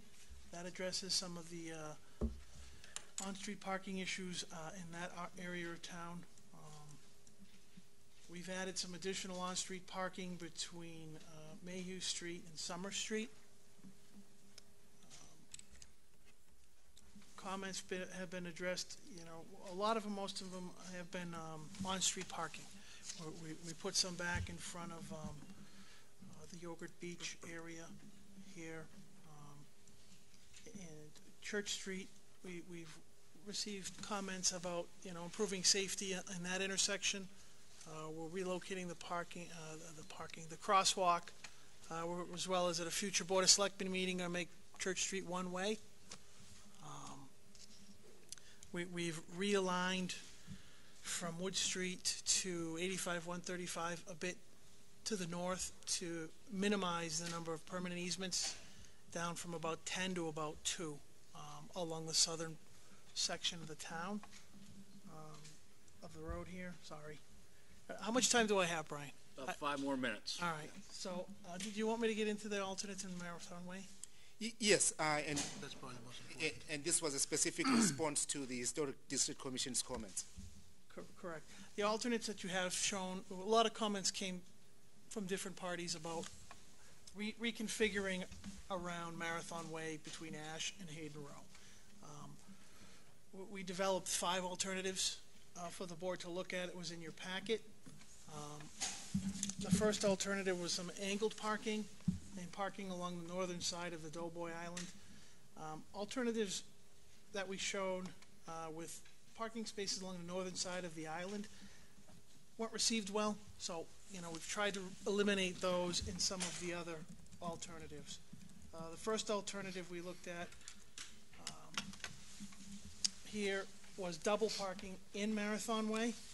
Um, You know, you, you increase the parking a little bit through that little corridor, uh, by about, um, seven spaces through this area. It, it, it worked out well. The only decline, uh, negative is there's no parking along the northern side of Main Street here. Um, uh, we looked at another alternative, uh, to address. Um, Alternative two. Uh, alternative two was parking on northern side of Main Street and in Marathon Way. That was a, a decrease in one parking space. Uh, alternative three, you know, was kind of a max parking approach. There was parking on the northern side of Main Street in the Doughboy Island as well as in Marathon Way. This kind of minimized the green space in the Doughboy Island. Um, and then a fourth alternative, um, was based on some suggestions from the, the Historical Commission, uh, Historical District Commission, um, was closing off Marathon Way and adding parking on north and south side of, um, Main Street. Uh, this actually added, uh, about five parking spaces to what's currently there. It, it provides additional green space, um, continuous sidewalk, uh, some improvements to Ash Street. So, um, of those five alternatives, the fifth one being, you know, the angled parking, sixth one actually being what's on the plans, and we received some positive feedback on the, uh, on a couple of them, including, including this one closing off Marathon Way. And again, overall, parking has been a big, big concern. Um, right now, we're looking at about existing about ninety-eight. Uh, and, and the plan we're showing is showing about, you know, between eighty-eight and ninety-five spaces. So, um, we've really brought down the original estimate of spaces being lost in, the, you know, the twenties and twenty-fives down to single digits now, based on additional parking in Walcott Street. Uh, there's a couple there. We've, we've, um, added in some on Grove Street, the approach. There's about four spaces there that fit now, uh, with some additional green space. The police station parking lot was an additional six spots in a, in a very tight area. Um, the is coming on board, the St. John's Church agreement. Um, and again, some additional parking beyond the existing spots now, uh, between Mayhew Street and, and Summer Street. So we've really kind of brought the on-street parking back kind of in line where it is now. Um, to touch on a, you know, to restripe right now what's on the street to current standards uh, and, and current safety uh, requirements, we, we'd lose close to 17 spots right now if we restriped uh, to current safety standards where you have offsets from curb cuts like driveways and crosswalks and, you know, you have a standard 20-foot length. Um, so what's actually being proposed would, would be a lot more than, um, you know, what, what might be restriped out there currently, um, on the street. Okay, so before we get a couple of comments from my colleagues, what's the path forward now? The, the schedule right now is, uh, it's a resubmission to MassDOT with, with a design. Um, Twenty-five percent design, and, and our consultants are, are ready to do that with some, some simple input from board, uh, on what project we kind of move forward with along the, uh, Marathon Way. Okay. Um, So we have to make a Town- decision on that Marathon Way change, potential change at some point in the near future. Correct. What else? Uh, But the town is going to uh, have probably two or three more public meetings, uh, butter meetings, as well as a town-wide public hearing within, within a month, I hope. Um, then MassDOT will have the, the plan. They will sca- schedule a public hearing probably sometime in uh, August, September, um, where they actually come into Hopkinton and, and have their own town-wide public hearing. Okay. Uh, there's, then there'll be a seventy-five percent design submission and a hundred percent design submission. So the town still has some ability to make some more changes to the projects. At seventy-five and hundred percent, you, you, you don't want to get into geometric changes and, and lane changes, but it's more construction detail oriented. Uh, those happen rather quickly. Uh, The project would go to town meeting next year. Um, It would be ready for, you know, final estimates, bid documents will be ready, um, and MassDOT would bid it out uh, August of nine, eighteen. Next, next August, September, October timeframe. Uh, It would be two construction seasons, probably the uh, 2019 and 2020. So, Okay. real quick. So over the next three or four years, if all goes well, we could see this evolve into something concrete, literally and figuratively. Yeah, ne- next town meeting, the town would, would be able to be voting on, on the project, you know, from a, you know, a borrowing standpoint. Right, right now, the, the estimate, um, still falls well within the, the TIP for all the state-funded pro, uh, eligible projects and, and based on, you know, existing funding town has in place, you know, right now the ask is, you know, it's a fourteen million dollar project, so, uh, about nine of it's covered with the, the, the grant and we have some other funding in place already for, um, for some of the town costs. Okay. So we'll know next town meeting what the actual ask is going to be, but it's, it's nowhere in line with the original project we were talking about, you know, three, four years ago, about eight, eight, nine million dollars or anything like that. Great. Anything else? Mr. Khumalo, anything to add? Yeah, uh, part of our consultation process now will involve sending letters uh, to properties that are impacted by the right of way. Uh, specifically, we'll be having conversations with them in terms of uh, uh, uh, gaining access onto their property through easements. Okay. Anything else? Big project. Uh, I, I, I think the input from different stakeholders has been very uh, helpful in refining the project going forward, uh, and we look forward to uh, the public meetings uh, in the near future. Okay. Mrs. Lazarus, anything to add to this? Okay. Mr. Sestari? Um, I don't have any questions on this. Um, I like to see that it's continuing to move forward. This has been uh, an extremely long project, but I'm sure that you know that, Dave, better than any of us. It's been around since I've been here, seven years for me so far. Yeah, yeah. So, um, you know, it's good that we're, we're keeping some forward, forward progress on this. Um, you know, I, I like the fact that you came up with these different options, uh, for the, for the area around the common. I understand we'll be talking about that in more detail at another time. Um, but, uh, I, I'd be interested in hearing more about the feedback that you're getting as the meetings progress with the public. as well. Mrs. Wright? Well, I have a lot to say, and I'm sorry that we're now up against the clock, because all the diagrams that I saw involve Marathon Way removing a large chunk of the common grass apron, which is historic district protected property. And I mentioned a long time ago in passing that you can't take a piece of the common, which is a district property protected under Mass General Law, Chapter forty C. It's been removed. The So- marath, the monuments are up against parking spaces. There's a Dave, large Can you bring up the fourth option, item please? removed. No, So it's in- gone. No, in this case right here, the common is extended.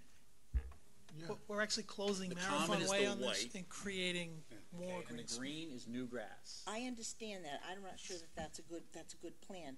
But I do not believe that this has been thoroughly vetted with the Historic District Commission because to change any historic district property, which is a forty-year protected property under Mass General Law, would, it would involve, at the very least, a public hearing process.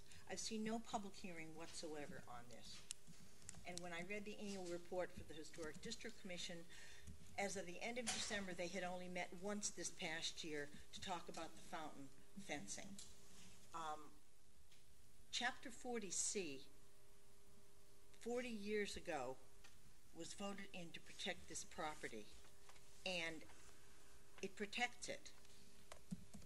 I don't know what kind of des- designs have come forth that that ignored a protected property. Uh, okay, so let's do this. We are up against the clock, okay? Your point is well taken.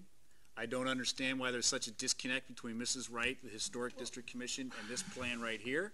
So we have some work to do. Yep. Mr. Khumalo, I'm asking you to please get with the Historic District Commission, get with Mrs. Wright, get with Dave, and let's make sure we all get on the same page. Mr. Chairman? Yes. I have one more observation. I went out there today and I, and I counted parking places.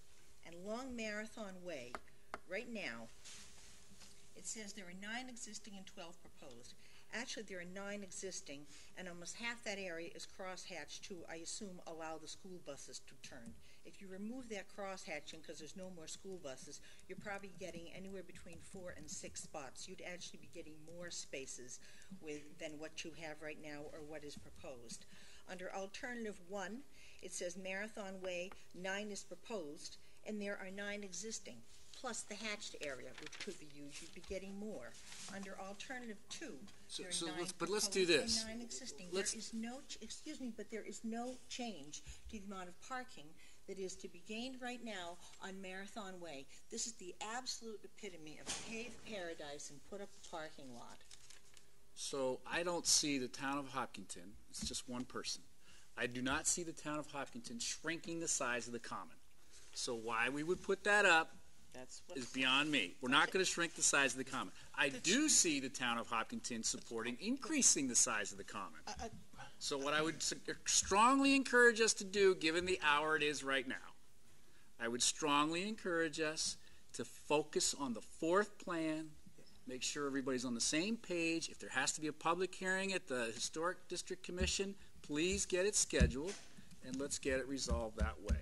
Cutting into the common is never going to fly.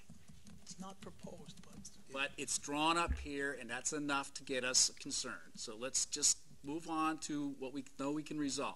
This isn't your issue, Dave. I know, I'm sorry. It's, this is the engineers, and I get how they work. I'm one of them. Okay? So engineers are not always connected with emotions. Okay? So this one, we're not going to cut the common. We're going to go back and focus on item number four. Okay? Sure. Thank you. Mr. Coutinho.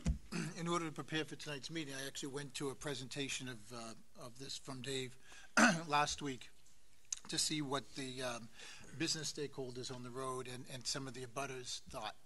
And um, it actually went over pretty well. Um, Mr. Khumalo was there also when they were showing this, uh, showing these, these options. And actually, the fourth one was um, um, people just liked hearing that they were actually increasing the common but uh, I'm sure that it still needs to be uh, vetted a little bit more. But um, it actually um, went over quite well at the uh, at that presentation last week. Anything else? That's it. Mr. Tedstone. No, I'd like to see a little bit, maybe less balls in the air and just kind of figure out where we're gonna go and, and, and have something more concrete than fifteen different plans. You know, like when we went to that, um, that planning board meeting the other day where there was three plans up for review, I'd like to kind of have it a little bit more concrete, um, and know what we're looking at and know what we're gonna vote on before, uh, before I start jumping at people. Okay. Mr. Khumalo, any thoughts? No additional comments at this point. Mrs. Wright. I want to add just one more thing. When I went out there today and I counted parking spaces around the common and across the street by the cemetery and some of the on-street parking on Ash Street, and with, depending on whether you count the diagonal parking that is into the center school driveway or not, there is between seventy-seven and eighty-eight spaces in the immediate common vicinity. I counted those cars. Over fifty percent of the cars displayed a center school staff parking permit. And as I have said many times, Center School is going away. So, you're talking anywhere between seventy-seven and eighty-eight existing parking spaces as it is configured now, without doing any of this, without touching the common that is existing, that will be freed up. And with whatever we do with Center School, you could do a parking lot back or whatever, but that's a lot of parking.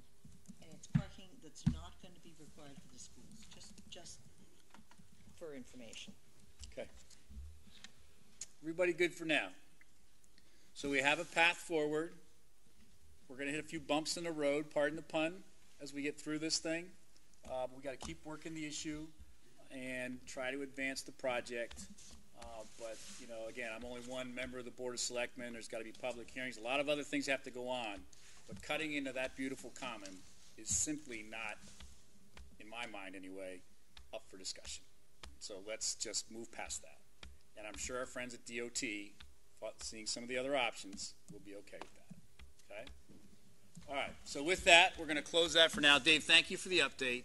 Okay, Um, thank you. Keep working it. It's going to be a great project uh, when we get to it. Uh, So now we're going to go back to item number, six, closing item number seven for now.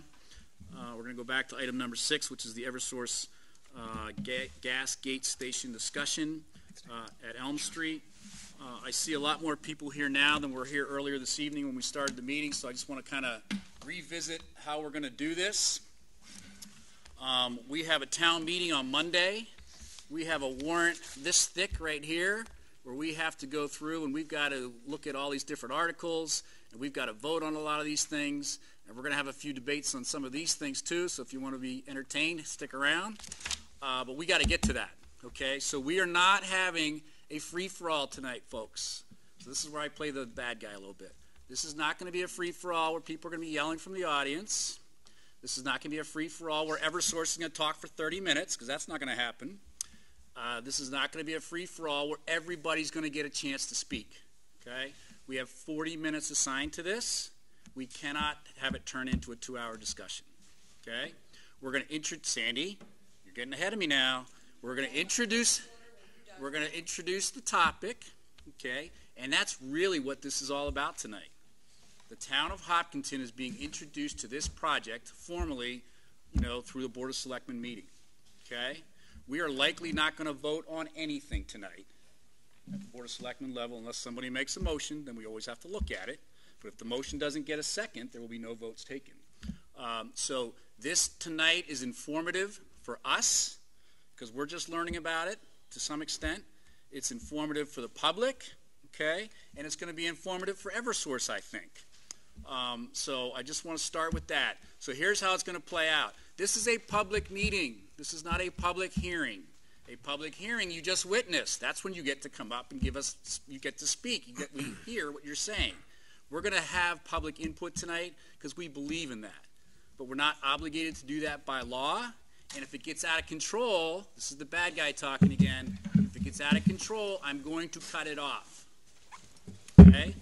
Does everybody understand the rules? Does everybody agree to play fair? Please raise your hand if you agree to play fair. Okay? We're all agreeing to play fair. So when somebody gets out of control, then we'll all look at that person and say you're not playing fair. So with that, given her stature in the community, Mrs. Altamura, how can I help you? Uh, just point of order, you're giving NSTAR a chance to present, and I know this isn't a full hearing, and there'll hopefully be other opportunities for us to speak. Will, uh, we be allotted the same amount of time? Exactly the same amount of time. Thank you. Okay? All right, so with that, uh, Joanne, welcome. Nice to see you. Uh, we have an Eversource representative here who will introduce herself in a minute.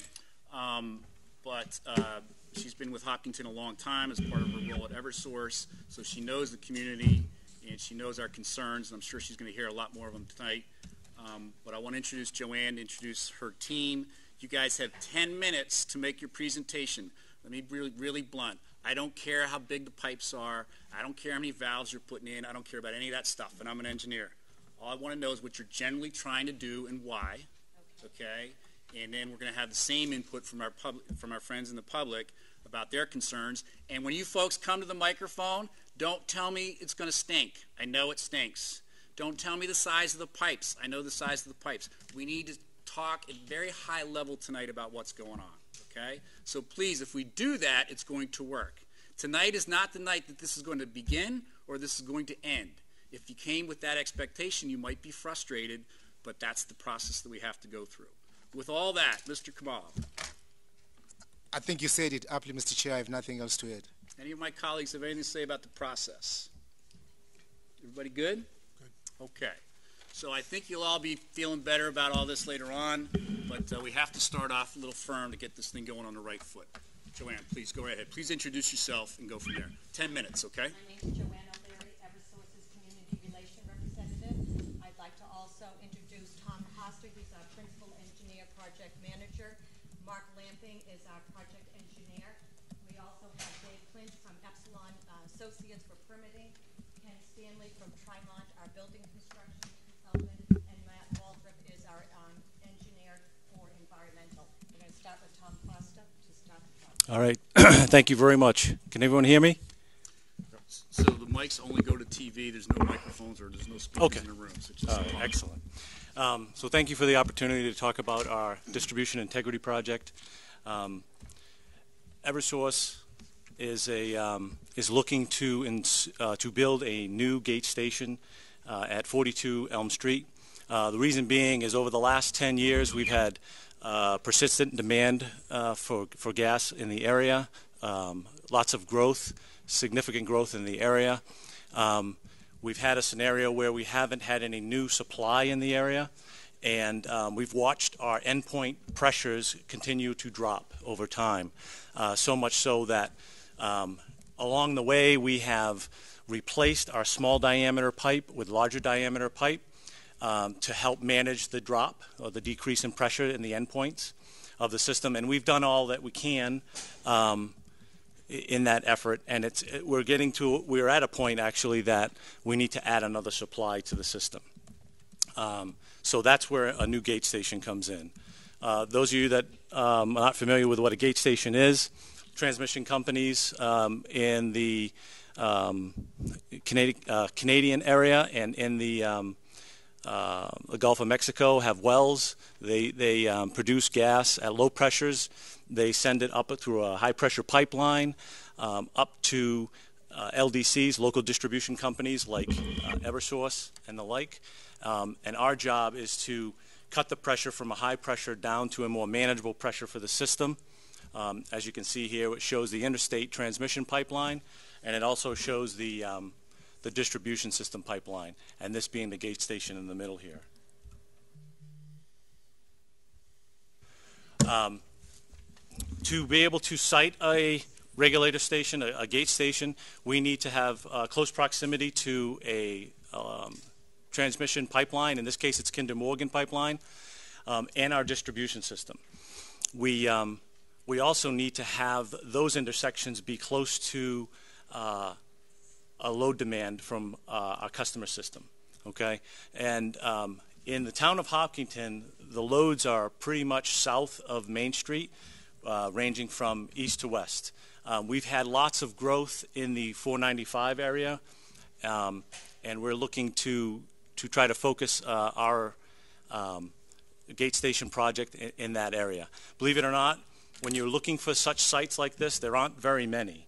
Um, we've um, we're focusing on 42 Elm Street, but we have looked at other alternatives. We've looked at 19 Elm Street across the street that had lots of um, uh, clearing to do in that in that uh, piece of property.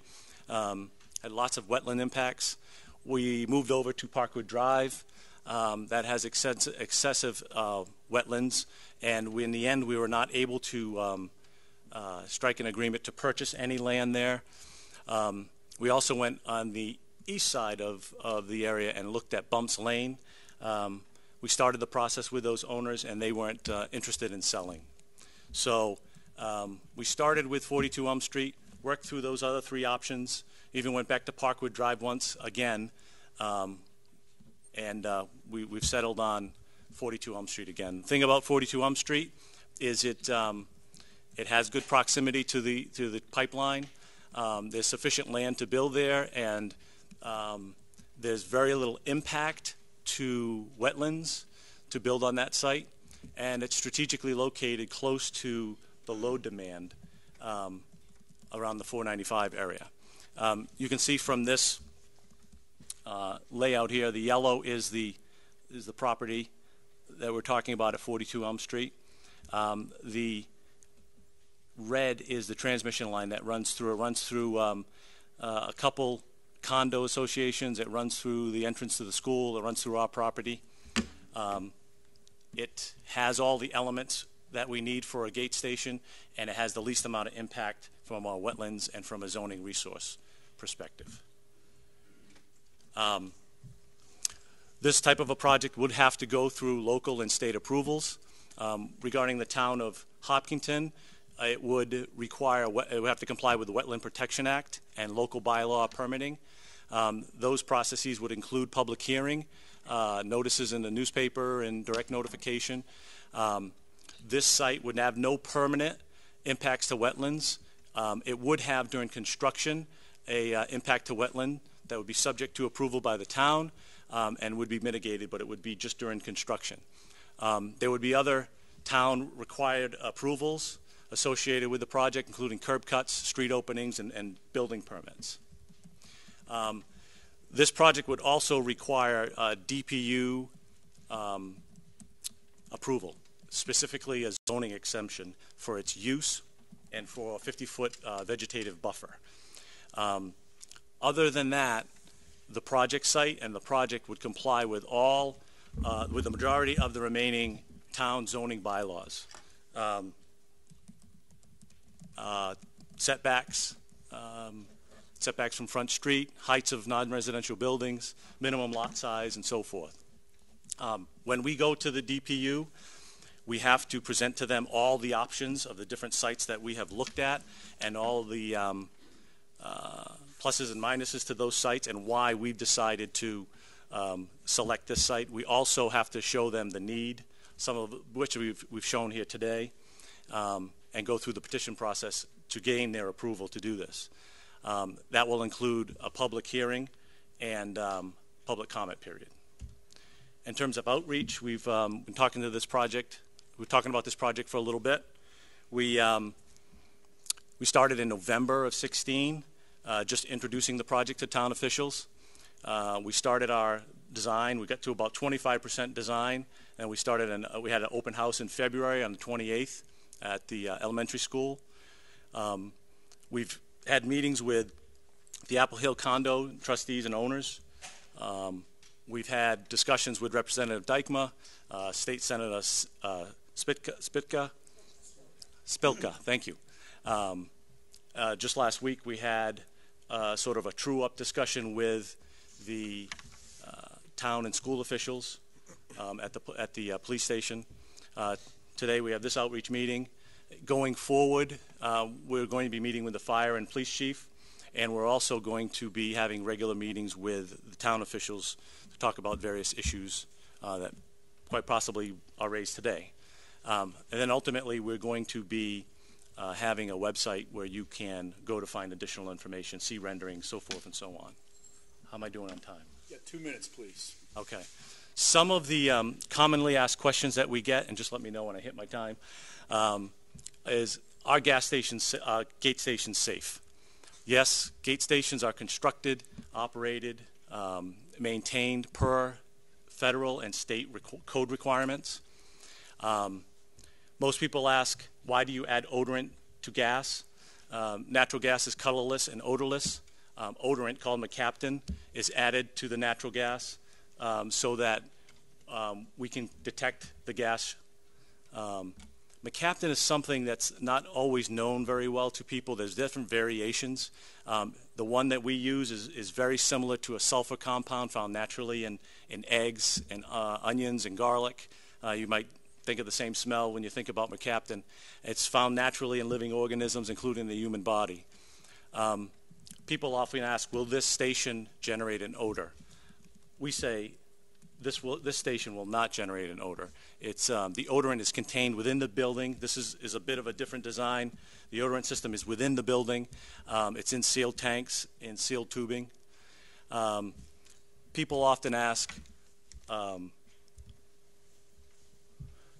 is natural gas released or vented at the site. Okay, there will be a small amount of natural gas released on an annual basis to do annual maintenance. Um, this is a very, excuse me, very small amount. Um, since natural gas is lighter than air, and we have operating procedures that allow us to safely vent um, to the atmosphere with no impact to uh, the local area. Um, people often ask, what happens if there's an unscheduled release of natural gas? Should something like that occur, uh, the gate station detection system will automatically detect natural gas and alarm back to our SCADA system. It's a 24-hour operation. Numerous people work there 24 hours a day, um, reviewing all our stations. Um, they can shut down the station remotely, as can the transmission company shut down their feed to us. Um, and the last question I'll leave with is um, most we've had some people ask was Parkwood Drive was the Parkwood Drive site um, reconsidered? And um, yes, it was. We we have um, contacted the original owners of Parkwood Drive, and we couldn't come to an agreement. Um, we've been contacted by a third-party developer who, who, wanted to do some type of land swapping, and they weren't um, um, they weren't really they didn't have a, a serious schedule and a predetermined uh, you know offer of what they wanted to do with their project. Um, most recently, we've heard that the property has changed hands, so we've made uh, another um, overture to the new owners. We have not uh, heard anything from them yet. Um, and I'm, I'm sorry, I, I, um, I did want to get this one last comment in. People often ask, why is it okay to site a station 450 feet from an elementary school? Um, we operate um, over 50 gate stations throughout our system. Many of them are in the heart of cities and towns, right next to uh, schools and hospitals and universities and, and, and developments. Um, we're very proud of our safety record, and um, we believe that this is, is, a, is a great location for a gate station. So I, I want to just end there since it seems like I'm up to our time. Does that cover what you want to say in broad terms? Are you? In broad terms, yeah. Man, you good?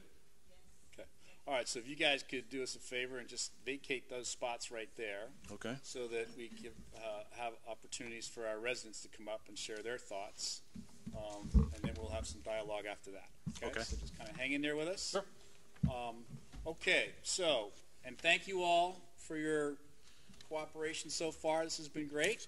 Let's keep it going in this manner. So please raise your hand if you would like to address the, the board specific to the issue. Just raise your hand for right so I get a feel for who wants to come up. Not just yet, but who's going to come up. Okay. So we have we have the chair of the planning board. We have another member of the planning board. We have other residents, obviously. We have Elm Street residents. Okay, great. So why don't we start with the chair of the planning board? Two minutes, please. When you come up, the faster you move, the more you get to talk. Yeah, that's a great idea by Mrs. Wright. If you are inclined to speak, if you want to come over and hang out right behind Mrs. Lazarus, that would be great so we're not wasting time waiting for people to come through the audience, okay? We're going to get to as many people as we can. Please be brief, be, be brief, be brilliant, and be gone. Mr. Weismantel. Ken Weismantel, 145 Ash Street, speaking as chairman of the planning board. If the gas gate smells or is noisy, it doesn't belong in the residential neighborhood. Alternate locations should be cons- explored. I would recommend that they look at their Wilson Street site and perhaps running the low pressure gas along the high pressure gas transmission corridor that they already have. That would get you the pipe where it intersects many of our streets and therefore feed your distribution system. I would also recommend that the town intervenes in this if it does go before the DPU. Thank you very much. So you have a recommendation to run pipes along the Wilson Street station in some fashion. We won't get into the details of that, and also to act as an intervener, correct? Correct. Okay, thank you. Who's next? Mr. Durso, member of the planning board. Two minutes or less, please. Frank Durso, member of the planning board. Speaking as a citizen, um, I agree with Mr. Weismantel 100% on this.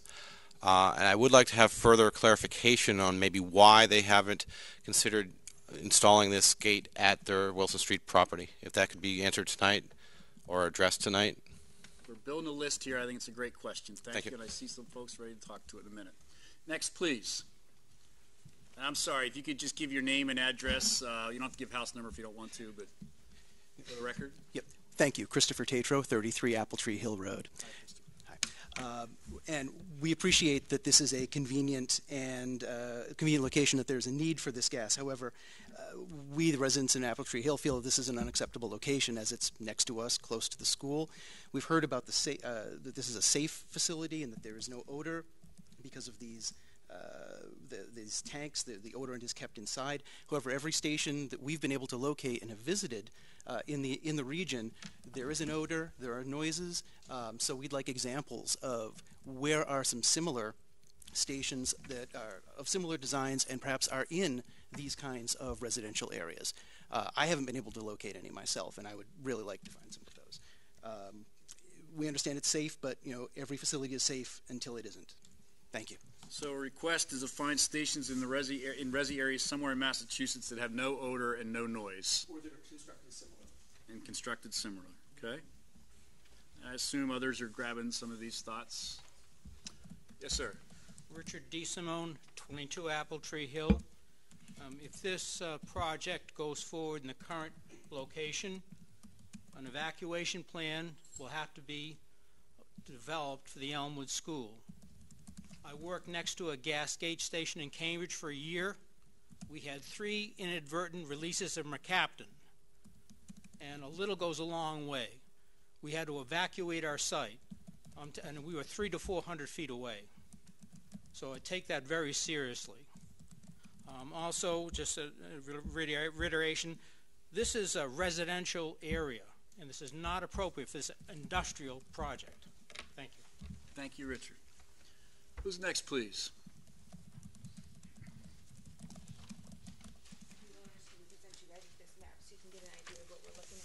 Great.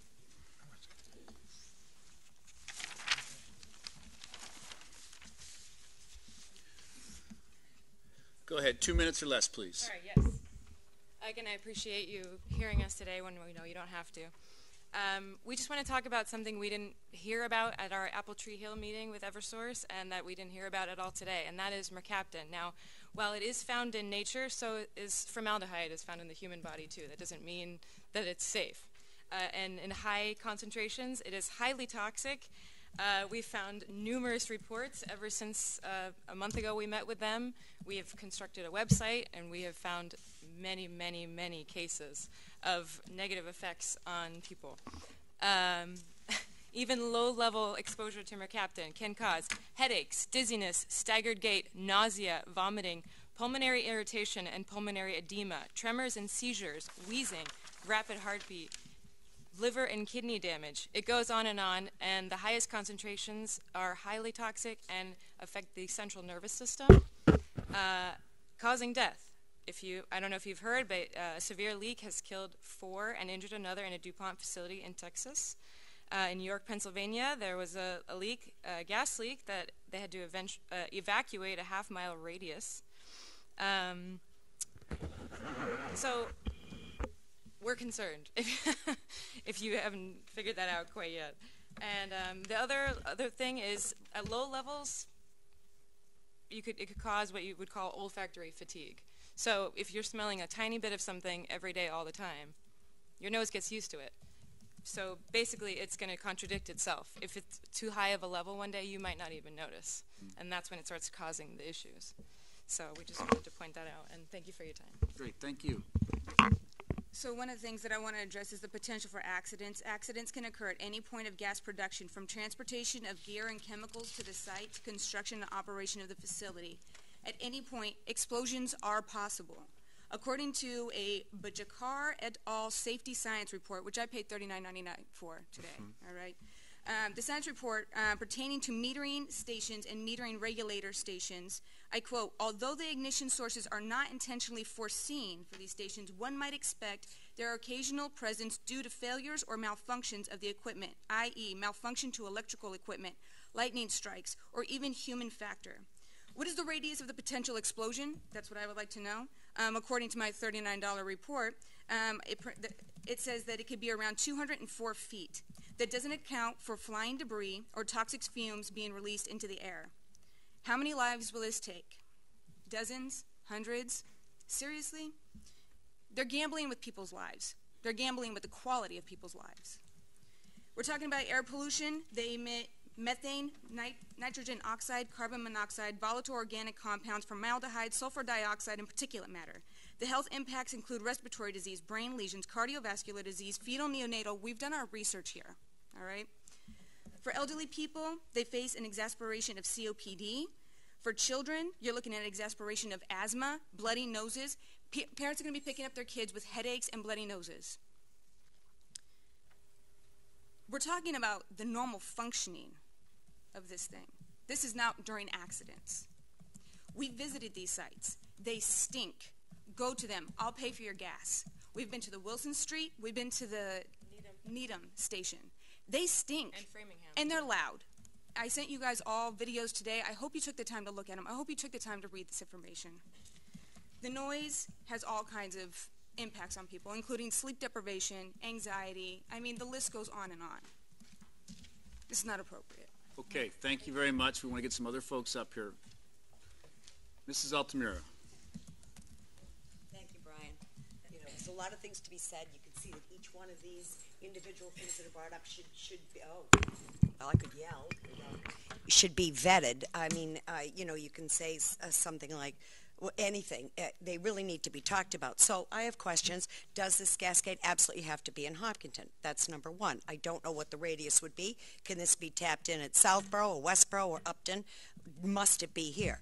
Um, there is over 20,000 gas leaks a year. So obviously, this thing is not foolproof. And um, uh, let's see, how often do you do a burn off? Now, the, the gentleman said once a year. Uh, okay, could that be upped? How long is the burn off?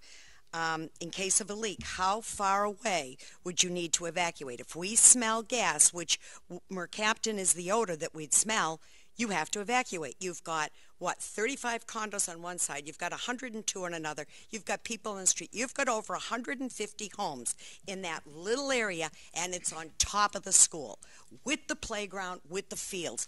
Anybody who has kids going to Hopkinton, eventually their kids are going to be spending a couple of years in Elmwood. Now, somebody in town told me if there was an actual explosion, there was a problem with the pipes, they said you'd see the flames in Boston you got a school. Now, the regular day to day operations, um, the noise this produces um, is going to very much affect the residents. This thing is going to be like 50, 100 feet off of people's bedrooms. This should never be sited in a resident. And this kind of a, a building should never, ever, ever be in anything but an industrial site or an extremely rural site that's got the land around it. Uh, homes in the area, especially apple tree condos, will be greatly uh, devaluated. I mean, the town gets their money from taxes. How are you going to sell your, your condo when you've got this thing next door? The, your, your real estate will crash. Um, let's see. Oh, the, there, I also saw that they were going to actually now store the Mercaptan on site. So there's going to be some sort of a storage unit or a well or whatever. That has to be shipped in on our streets. There's a chance for an accident there. Um, so, and then um, one of the questions is, um, let's see, how how far is an evacuation? Half a mile? A mile? Does it get the Golden Ponds? Does it get the school? Does it get 150 condos? And what does that look like? What's the traffic look like? How do you evacuate that? And you can't ignore, if you've got a school, you can't ignore a spill. So if you've got 20,000 gas leaks a year, you've got a gentleman said that he was by one of these plants and they had at least three. You've got to get everybody out of there. You can't take a chance that it's just a little spill. You've got to get those kids out of there. And I wouldn't want to be on a board that approved this and we had a disaster and kids were killed. I would not want to be held responsible for that.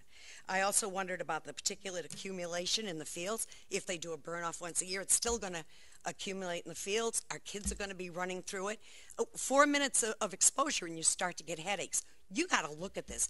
This was all, uh, you know, sunshine and rainbows. That's not really what this site is. As we dug into it, it got scarier and scarier and scarier, and they're starting to have problems around the country. So I think we have to be very careful with this. Thank you. Sandy, thank you. So we are a minute over on the uh, citizen input, but we're going to come back to Eversource for the same amount of time. So just hang in there with us. We're going to keep going, but you'll get the same amount of time because we all agreed to be fair and even. Tom, please.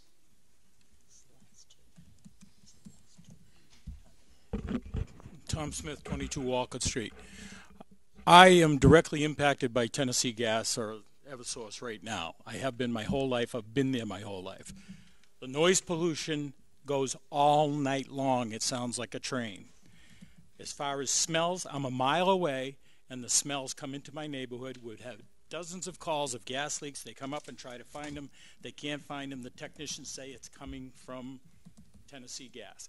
So the fume problem exists. It's still there. The noise problem is going to be a bigger problem. Now there's going to be over 500 houses or 400 houses going right next to it, so the complaints coming to the people in town is going to increase. The other question is why are they moving it away from that facility? There's, you've got everything there now. The problem already exists there now. Why would you want to put it someplace else? Is it to take some of the smells away because there's going to be 500 new houses right next to it? Uh, that's what I want to know. There's got to be a reason why you can't do it on the site up there. Um, they had the opportunity to buy Weston Nurseries at one time, and they should have taken it. They would have had all the space in the world to do all the expansion. I'm sorry they never did it because it's costing us a fortune. But the noise is a definite problem, and the smell is a definite problem, and they burn off more than once a year. The, the flame is going all the time down there throughout the winter. Every time there's a excessive pressure, they're burning it off, which I kind of like the flame. I can't smell anything, but everybody else in my family can. My brother can smell it, and he only lives a half a mile away on Kruger Road. So I just want to make everybody aware there is a noise pollution problem and there's an air pollution problem. Okay, thank you, Tom. Mrs. Lafreniere.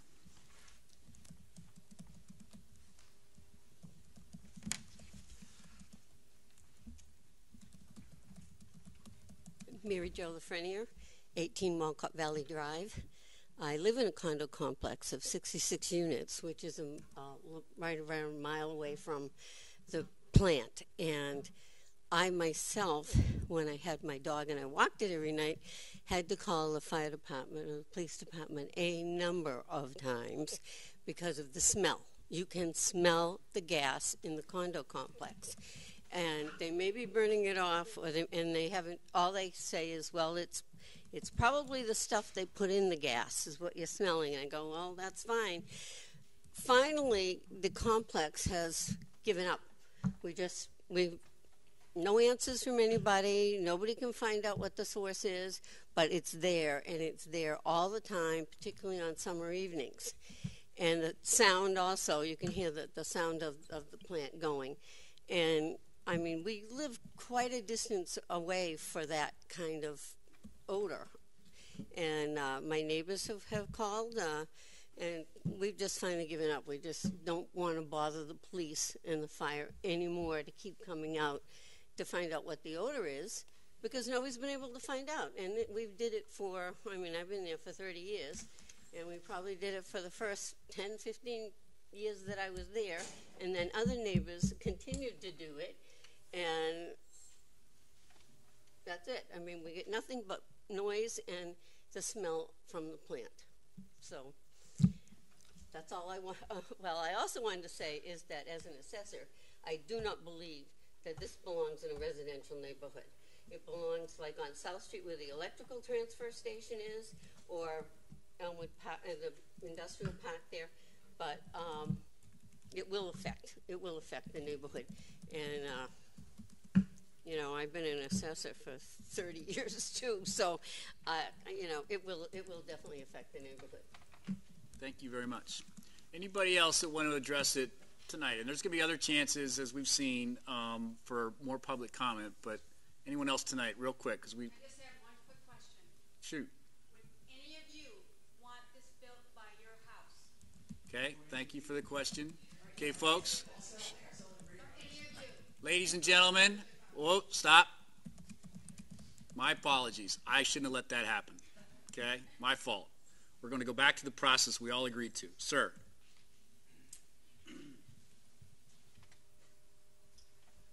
My name is Michael DeWolf. I reside at 16 Apple Tree Hill. You know, this is really just unbelievable. I mean, for the residents that are, you know, on that street, there's some beautiful, beautiful homes. If you had a half a million dollar home, would you, after putting your life's work into that home, want this to go next to your property? That lot is two hundred and fifty-three feet wide. That chain link fence is hundred by hundred. The fire, fire department may require more. How are they gonna get around that building? If there is a spill, if there is a fire, all those ingredients have to be taken up out of the soil, retrieved. Um, these chemicals, a lot of them come from other countries. You ever walk in, watch any documentations? What they do in other, some of these other countries, they burn electronics, and the kids are, you know, have defects. Um, the school system, the school. I mean, should we put in a special makeup air system so the kids' little brains won't get destroyed when this chemical gets released into the air? What happens when a school bus gets hit by a chemical truck? The traffic on that road does 50 miles an hour with dual tractor trailers going through there. Harvey's trucks, 50, 60 sometimes in a three hour period in the morning. How many times are the deliveries coming in? Are they in 55 gallon drums? What, you know, there's a lot of unknowns here. There's a lot of hazards. Okay, It's appalling if, we, if this gets passed. Thank you. thank you. Okay, uh, Mr. Shepard. I'm keeping track of the time, don't worry. Thank you, Mike. Uh, Mike 11 Hill Street. I'll, I'll make it short. The, the way the process works, as I understand it, these folks will come to you folks looking for a letter of recommendation for the Department of Public Utilities. And their ideally scenario for them is that the selectmen will vote and say, yeah, this is a great idea. All I'm asking is for you guys to do your job here. You know it's not a great idea. I'm asking for you to put your heads together, have Norman and Elaine draft a letter that the DPU just can't ignore. And, and I have kids going to school. I live on Hill Street. I'm never going to smell any of this. But the whole idea of it just pisses me off. We as a town already have the, the site up at the top of the hill that Tommy was speaking of. Why do we need another site? I don't care if it costs them more money to run more pipe, more place. They're just going to charge the users more money to do it. But this is not the right place for it. Thank you. Okay, thank you. Okay, um, so we are now, Mrs. Kramer, I'm sorry. I'm gonna, we're coming back to you, Joanne, don't worry. It's all about being fair here. Mrs. Kramer. Uh, Thank you. Muriel Kramer, 39 North Street. Um, I should never follow Mike Shepard because that was perfect. Um, But uh, I just want to make the point that um, I appreciate that these people are professionals and they're going to intend to and going to do a professional job. But in order to maximize safety, they should never be in a, in a residential neighborhood, and they don't have to be. So if you're interested in safety, and I believe you are, you need to move it someplace away from people and school kids. Um, I also appreciate that they were looking out for the peepers and the, the salamanders. I love that. Um, but I'm more worried about the second and third graders in that school. Thank you, Mrs. Kramer. Okay. Has everybody had a chance to speak that wanted to say something? All right, seeing no more takers at this time. Yes, Margot.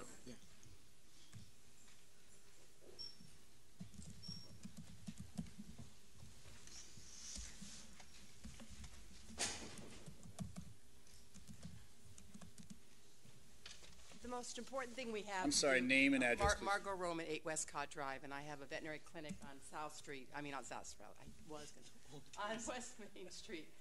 Um, I, you know, health is our most important thing that we have. Anything that puts our health at risk, we really need to pay attention to it. And whether it be our, our animals are showing symptoms or ourselves are seeing showing symptoms, the amount of methane and, you know, natural gas, we had an explosion in our town. We lost two young children in our town many years ago, not very many years ago. Natural gas is not a safe thing. It's not. And you know, so if we if we use things that are safer and healthier for our environment and healthier for us, it's not really healthier for our environment. It really isn't. I mean, all the fracking that's used to produce the, the, the natural gas is not healthy for the water tables around the country and all these. Thank goodness we're not allowing it in our state. But it's not a healthy, healthy choice. And if we can find ways of conserving energy, uh, ways of using solar, ways of doing ways, things that will keep our families healthier and our planet healthier, that's what we should try to do. But to put children and people at risk by putting something like that in our town, it's bad enough that we have that, that tendency. If that thing goes, we're all dead in this town. It'll blow us off the map. And they've been saying that for years. And we've let it come here, and why should we get it even more closer to other people's homes? You know, I don't have natural gas in my house, and I would never have it in my house. I think it's unsafe. Thank you, Margaret. Okay, so with that, let's try and move to the next step in this process. So we are running over 12 minutes, okay, on the input side from citizens. So we'll come back to you guys here in a few minutes. Uh, and I do, I still am watching the clock for the overall meeting agenda tonight too. Mr. Khumalo, uh, so you've heard the Eversource input and you've heard a lot of concerns from our residents. But what is the fundamental question before the Board of Selectmen not necessarily for tonight, but for the next few weeks, and our colleagues on other boards and committees in town uh, as we move this process forward or as we look at this process being presented to us. I, I think let me start off by um, thanking the the residents for the emails that you've submitted to the office, uh, for the information that you've shared with us, uh, as well as uh, Eversource for coming forth last week to meet with uh, town officials. Um, the fundamental questions, I think, for the board are as follows. Uh, number one, there has to be an understanding uh, between the town and Eversource in terms of the process to be followed. Eversource has the option to file directly at DPU. Um, source, also simultaneously has the opportunity to engage the town substantively on this topic. Um, secondly, the next fundamental question is that tonight there are questions that have been posed, uh, there is information that has been put forth. Uh, it is important that um, the selectmen make sure that uh, ensure that uh, Eversource responds in some manner to the questions that have been posed. Uh, and then thirdly, uh, should Eversource decide to engage the local boards, I think it's important that uh, we make sure that um, there are enough resources in town to review the information that is being put forth. I can tell you I have worked in several communities. These are not the typical projects that planning boards conservation commissioners, selectmen review routinely. Uh, and therefore, clearly, we do not have the capacity uh, internally uh, uh to review the information that is being put forth and some of the information uh, that the, the public has, put for, has provided to the board. Uh, and then finally, should, should, should, should Eversource decide to, to file directly at DPU uh, I think the selectmen will need to address in the near in the nearest future um, the question and the request by some of the speakers tonight uh, uh, as to whether the town will intervene in the process. So for me, those are the four fundamental questions. Um, okay. Yeah. Uh, specific to the intervener question, uh, and thank you for whoever raised it, uh, that would be a legal action on behalf of the town. Is that correct?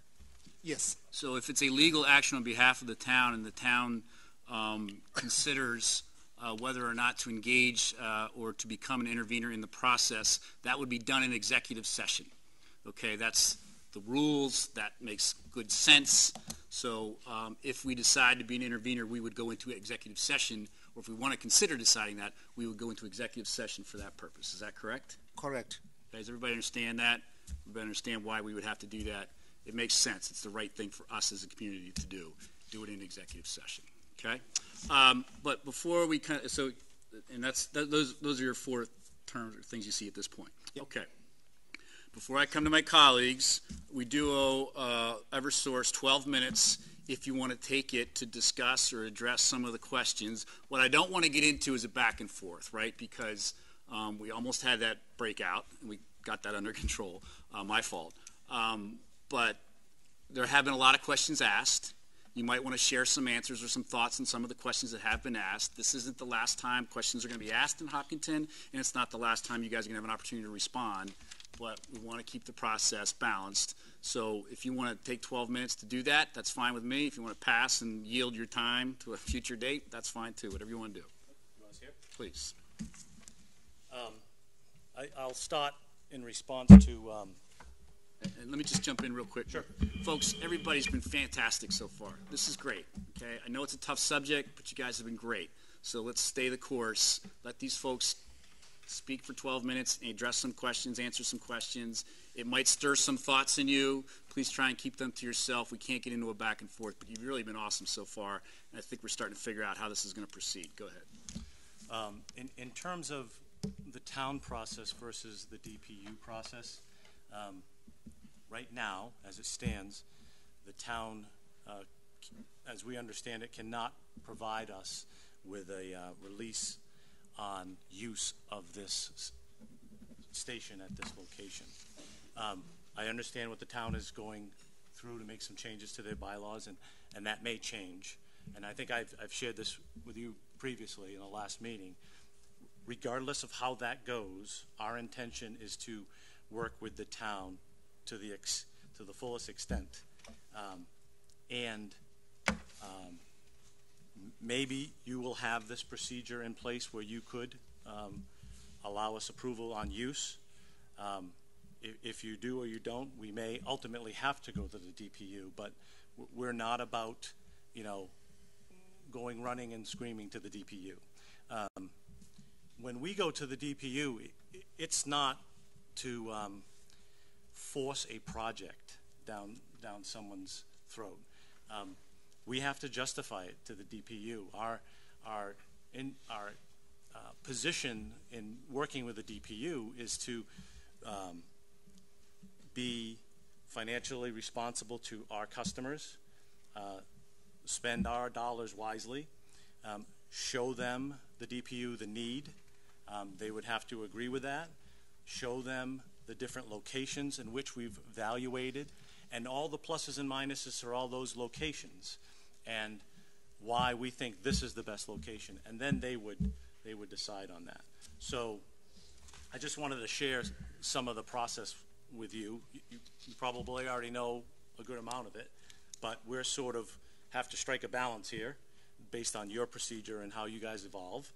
But I think, regardless of how it happens, we can end up um, in good places along the way.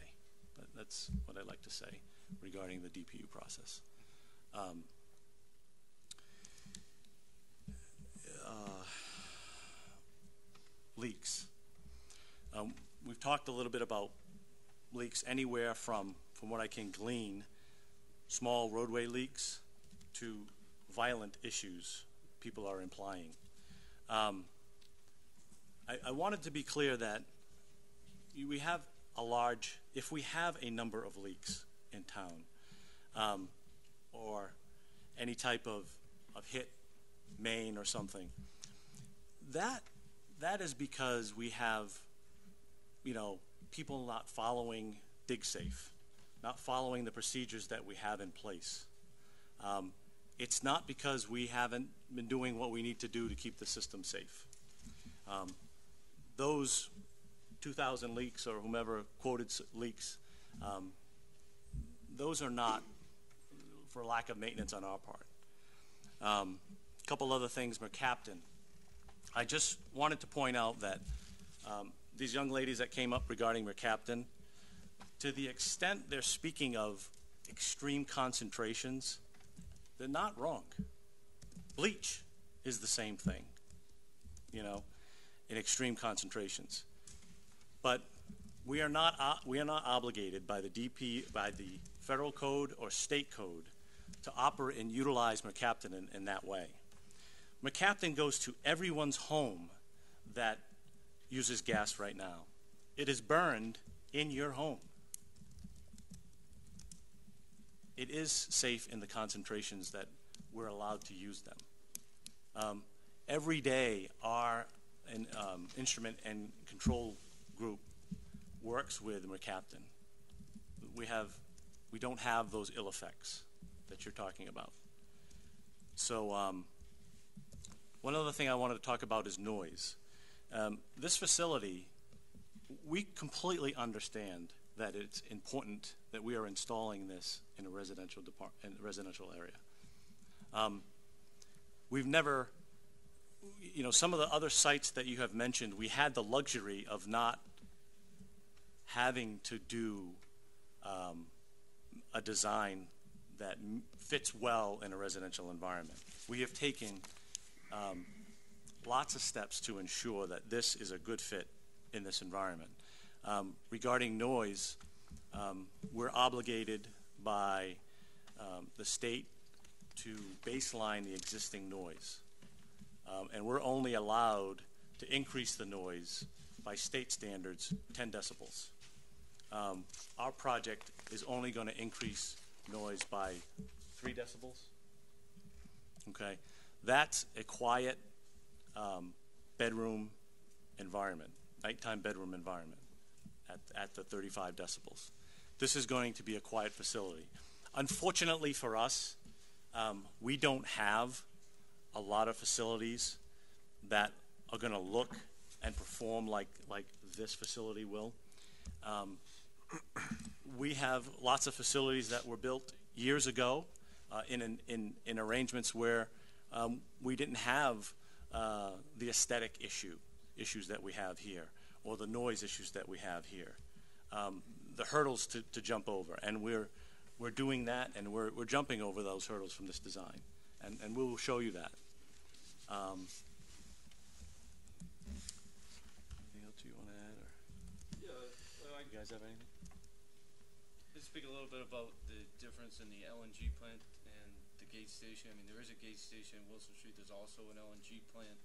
Um, there is burn off at the LNG plant, but that's significantly different than this station. This station is simply metering and regulating the gas.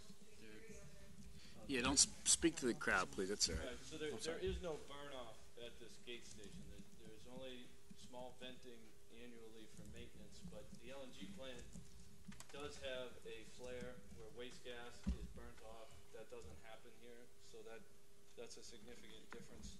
Um, I think another question was asked is how often is, is the Mercaptan delivered? It, it's delivered annually. Um, Um,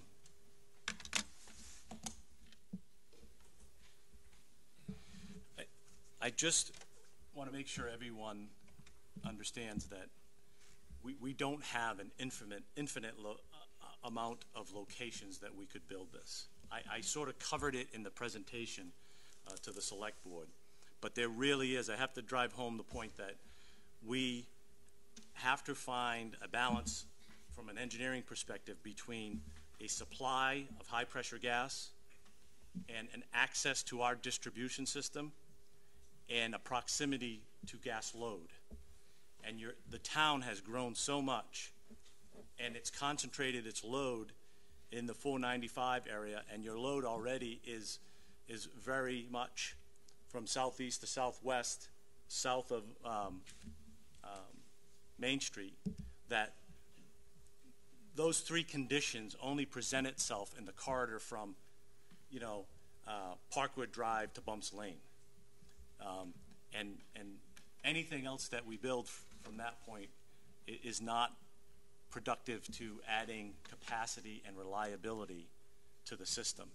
Um, right now, and I don't know much more time I have, but um,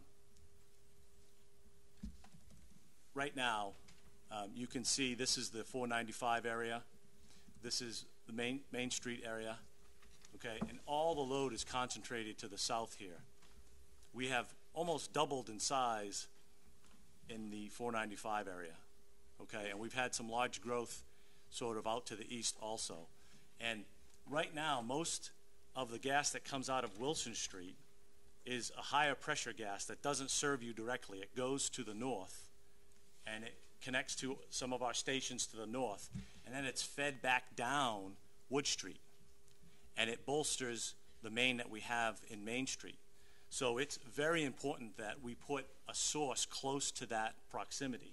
All the growth is in that area, all the capacities coming down from the south in that area. And this is really something that would create a backbone between the project location on Elm Street and our location in um, Wilson Street. We'd have a backbone from those locations down through uh, Legacy Farms, down across Main Street, over to Elm Street. And this would make the towns, the way in which we serve the town, from an outside source coming in to having a source inside the town pushing out. And um, it's much better to be at the beginning of the, the supply than it is the end. Um, we're constantly always fighting that everything here is the end. And we're constantly losing pressures at the extremes of our system. And um, it's, it's just going to continue. We're at the point where we need to add supply to this growing area. Anything else? You're pretty much right on time, so thank you very much. You're welcome. Okay, so we've had equal time with both groups, if you will, to share some thoughts, ideas, concerns, obviously. Uh, we've got some input from the town manager specific to sort of what's in front of us. Um, while I'm a mechanical engineer by degree and I'm in the energy business, I know nothing about gas transmission in any way, shape, or form. I am not qualified to speak to the technical merits of a project like this. I do think I am qualified to speak as a resident in, Hop- in Hopkinton and a taxpayer. And uh, I, for one, am shaking my head, even though I'm an engineer and I get all that stuff. Uh, I just don't see why we have to put this in a residential area in any way, shape, or form. And, you know, we, there's always a solution to every problem in the world. It takes forever sometimes to find solutions. Uh, but we got to keep looking for a solution, in my view, on this project.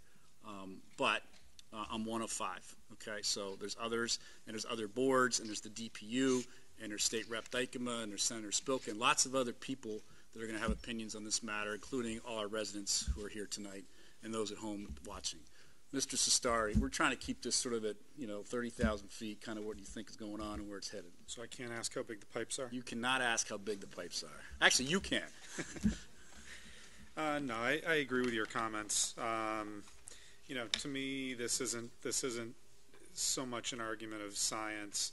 Uh, you know, I think about people who live in areas and, and, and our schools in particular, not necessarily in Hopkinton, but areas of high tension wires and things like that.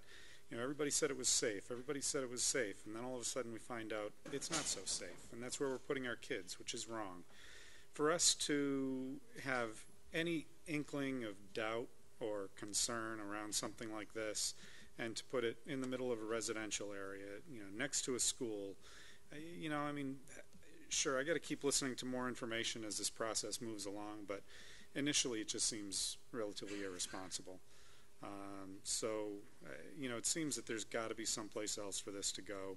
Um, I'm already not thrilled with everything that's going on on the other side of town. Um, but if you were going to do this over there, at least that would be a little bit more palatable since the operation is already going on. Um, so again, you know, I mean, we have to we have to keep listening to the information as it comes in to make our judgment. But off the bat, I'm not really impressed with this proposition. Mr. Tedstone. So I agree with uh, with what Todd says.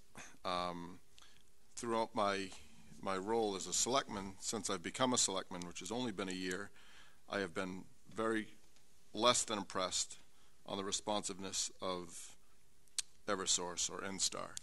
Um, whether it be the poles, whether it be any anything that, that we generally speak to you guys at, at or, and uh, Eversource, it's been a pass the buck game. Uh, we speak to you about the, the double poles. It's Verizon. We speak to Verizon. It's Eversource. It's just you guys just play the game. I'm not sure 100% if, uh, and I don't know if you guys are 100% sure if you guys own 42 Elm Street uh, and all the property. So you're sure of that? Okay. Um, and it's um, to me, with the, with the audience kind of was ready to jump down your throat and say, Would you live there?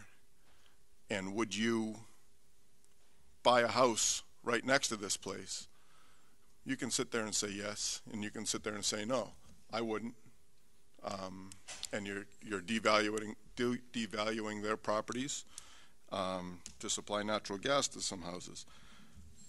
I don't like it at all at the surface, um, and I'm not closed-minded where I'm where I'm saying I'm not going to uh, read up on it more and, and do some more research and.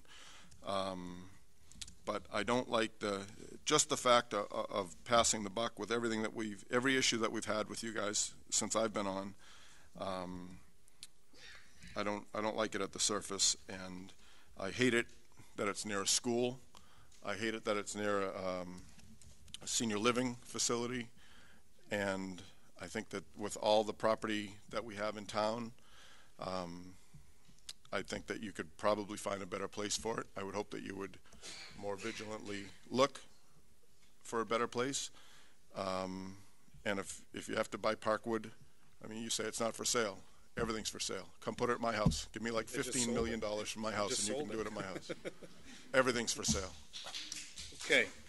Anything else, Brent? That's all. Thank you. Mrs. Wright. Um, yeah, I agree with everything that's been said. Um, and I respect you gentlemen from Eversource, and I, and I feel for you. I know you're doing your job. You're representing your company. This is probably a crummy assignment to have to come before us tonight. Um, so, you know, I, I, understand the position you're in. But I, I just have to say that um, I also have to take some issue with the evaluative procedure that you have explained to us that you go to DPW with. Whereas I understand it, you have to show them several different alternative sites and then make your case as to why um, the, the pluses and minuses of each alternative and why this one is the best. And from the way it was described with the, I think there were two other sites, both of which either were not available or had some major flaw in them, um, it hardly seems to be an equitable um, or a fair analysis to take a couple sites that have absolutely no potential and then throw out this one and say, well, so therefore, this is the only thing that's available. I, I would expect that you would find some other sites that actually really are available or workable to make your comparison with. Um, taking a couple sites that have no potential and then comparing it to this one and saying to the DPU, well, obviously this is what it's got to be, um, just just doesn't seem to be um, a, an equitable um, way of doing your analysis.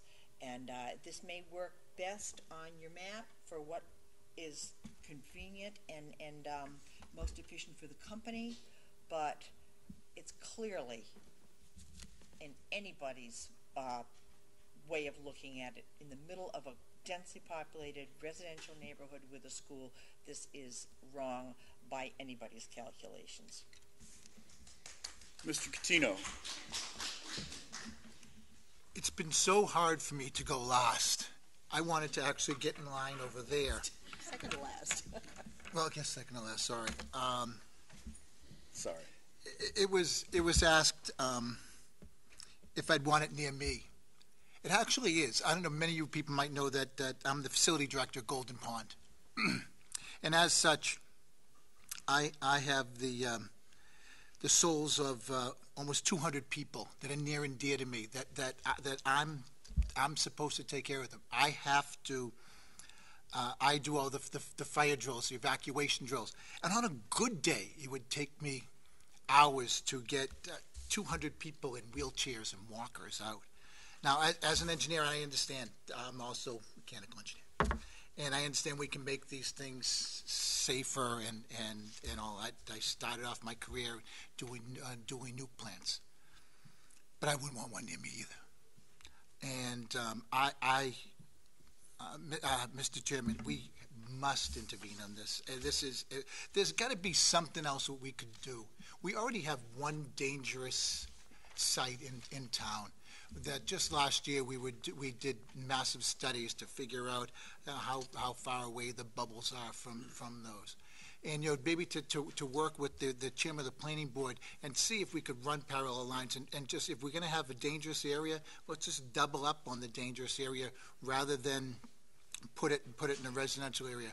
Or if, if, if this is to help other towns nearby us, then put it in the other towns. Spread, spread the danger then. But if, you know, to put it, you know, look at this. This is, this is a pretty good map, thanks. It just, um, but really, you know, I have two hundred people right there that I have to take care of. Uh, uh, that's, that's, that's all I have to say, Mr. Chairman. I, it- it's, they- don't make me go last next time. Now I will.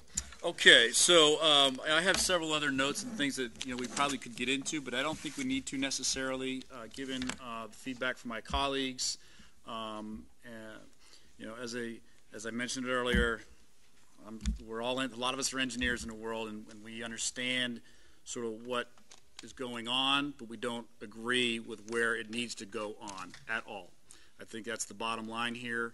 Um, what I would suggest we do uh, as a community, uh, at least uh, to start, Mr. Khumalo, is the community's representatives get with town counsel, and we have a meeting with town counsel uh, to discuss the options that the town of Hopkinton can look into uh, specific to this issue. Do you see any reason why we cannot do that? In- fact, through you, Mr. Chair, I, I was going to ask if Jamie Kokos is in the. Uh, she's the individual who's been uh, coordinating with uh, the town manager's office on behalf of most of the residents. Um, so my charge is, if Jamie can identify um, the community representatives, we will contact them. We'll collect their input, collect their questions, and then we'll consult town counsel in terms of how we we, we, we could address some of their concerns. So- but I think also uh, it, it, it um, it's important that we respond to the questions that were asked today in some form or fashion. Yeah, so we, we have a record of the questions that were asked by the residents. Uh, Joanne and her team have, sure has a record of those questions as well. And Joanne, can you kind of take the lead in responding to those formally at some point in the near future? Again, we'll um, create a website for those frequently asked questions, and we'll have answers. And this is really, uh, ag- again, you know, a- an information meeting. Um, You know, we had heard and, you know, certainly had taken many of the past concerns that we've heard to um, change some of what we've already first proposed. So we are listening, and we do hear you loud and clear, but we also have the need to uh, make sure that there's gas capacity here in Hopkinton where we have the need. Um, But also um, for the communication piece, so we'll have the website. And also, um, should we go to the Department of Public Utilities, uh, the DP, DPU, as it's known, actually holds a public hearing.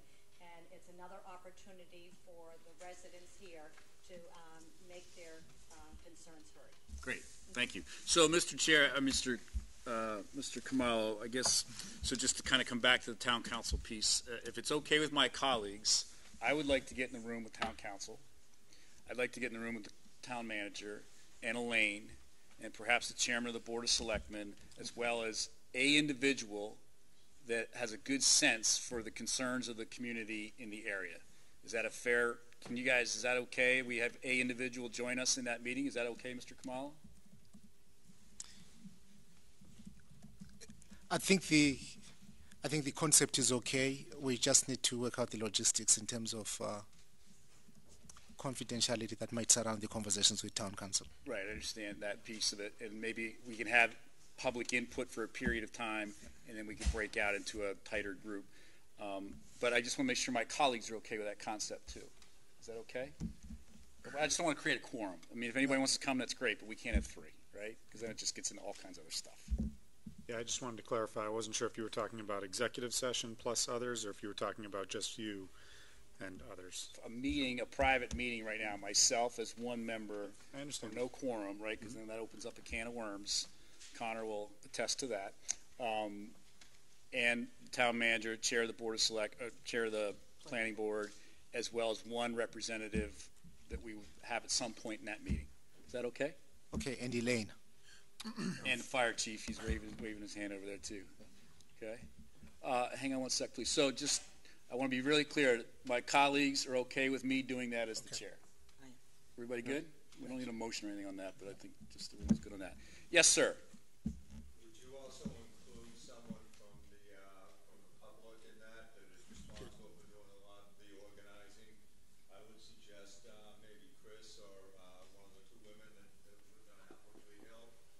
So I believe that would be Jamie. Is the, I'll let you guys figure that out through the town manager. But there would be one individual, if it's okay, one individual that would sort of represent the concerns and be the voice of the public, to your point, that Mr. Khumalo would work with to set up the meeting. Mrs. Birchman. I think it's an excellent point that the superintendent be part of that.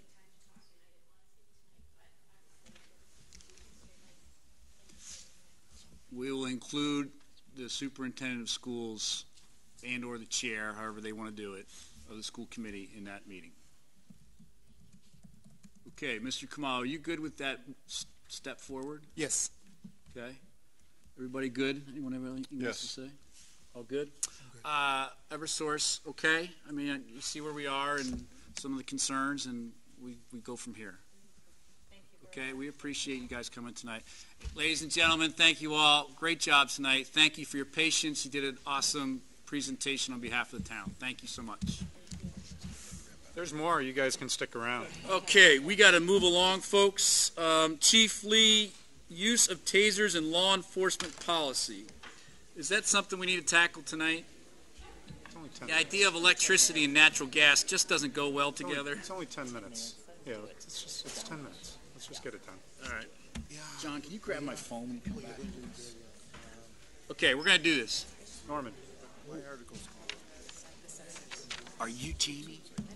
Okay, Jamie Briner. Nice to see you. Okay, so Jamie, you or your wife get with Norman because you guys, one of you guys is going to do this with me with the town counsel. Okay?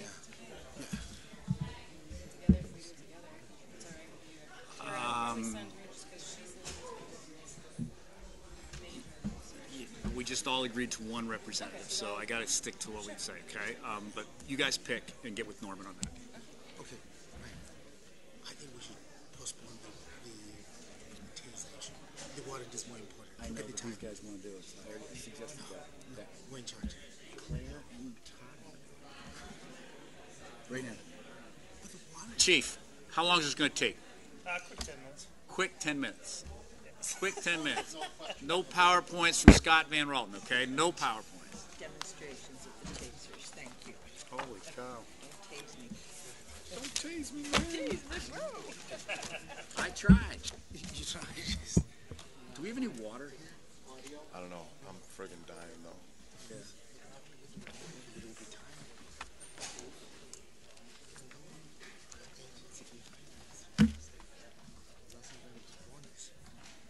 At the time, we had to get for the warrant.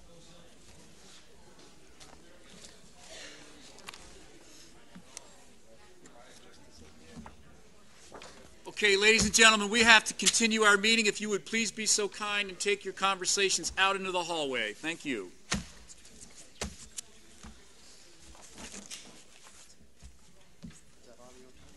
Thank you.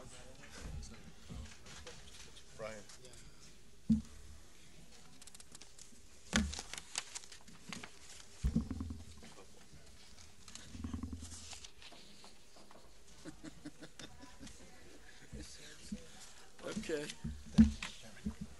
All right. So, uh, next on our agenda. This, look at this. Uh, we're a little behind schedule here, and I apologize. It's item number eight, use of tasers and law enforcement policy. Chief, uh, if you could walk us through a very tight, brief, and brilliant presentation, that would be great. Okay, uh, as you're aware, one of my uh, goals was to uh, look at uh, less lethal weapons, specifically a uh, taser. Um, I've used them in uh, my previous employment. I'm a big proponent for it. Uh, bottom line, you know, they can they can save lives. They can reduce injuries to officers and suspects. And uh, just a quick PowerPoint to go over what we're we're looking to do. Under 10 minutes. I'd like to uh, Thank you. present Sergeant Van Rolton. Welcome, Sergeant. Our taser expert. Lieutenant, welcome. Good to see you guys. Good evening, Board. Um, As the chief said, um, we're looking at getting tasers. Um, This is the device that we're looking to get. Um, It's a self-contained unit. It uh, contains one cartridge. Um, You'll see there's a safety switch on it, Um, and it is uh, downloadable after every use. And we can follow up on use of force of it. The way it works, real briefly, is two probes come out of the unit. Uh, when those two probes make contact uh, with the body, an electrical uh, charge is emitted from the device for five seconds, incapacitating the subject um, to a point where uh, all their muscles will lock up and uh, they're unable to continue their aggressive behavior. Um, if for some reason we miss, um, we can take that same unit and do what they call a dry stun, which is walking directly up to the person and, and putting it into the leg or the arm, um, and you get the same effect. You just don't get the spread. The way it's easiest way to describe it is if those two prongs are spread far apart, you get a much better um, electrical connection, which locks up the body. So when you have your two probes together on the drive stun, it's not as um, effective, but it still can, uh, causes a pain compliance on the subject. Um, this is just a real short video to show you to show you um, how the taser affects the, the human. Um, this individual is going to try and um, uh, grab a baton uh, while being tased and assault another um, officer. Did he volunteer to do this? Yes.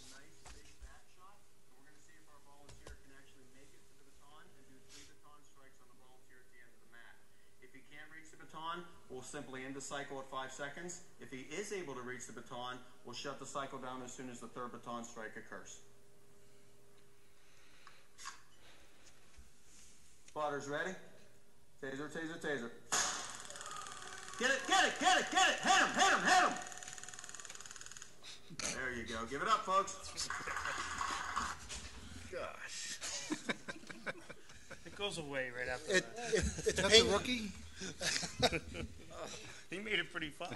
Um, so one thing I do want to express is our current options. Um, currently, we have a baton. Everyone carries a baton. Obviously, we have a firearm, and uh, all of us carry OC spray. Uh, a few years ago, uh, we did get that um, weapon on the top there. It's uh, a DefTech 40 millimeter. It's an impact launcher. Um, it's similar to like beanbag rounds of, of that sort, except it's a 40 millimeter round um, that comes out. These are the effects. This is that DefTech um, weapon that we talked about. We have one currently.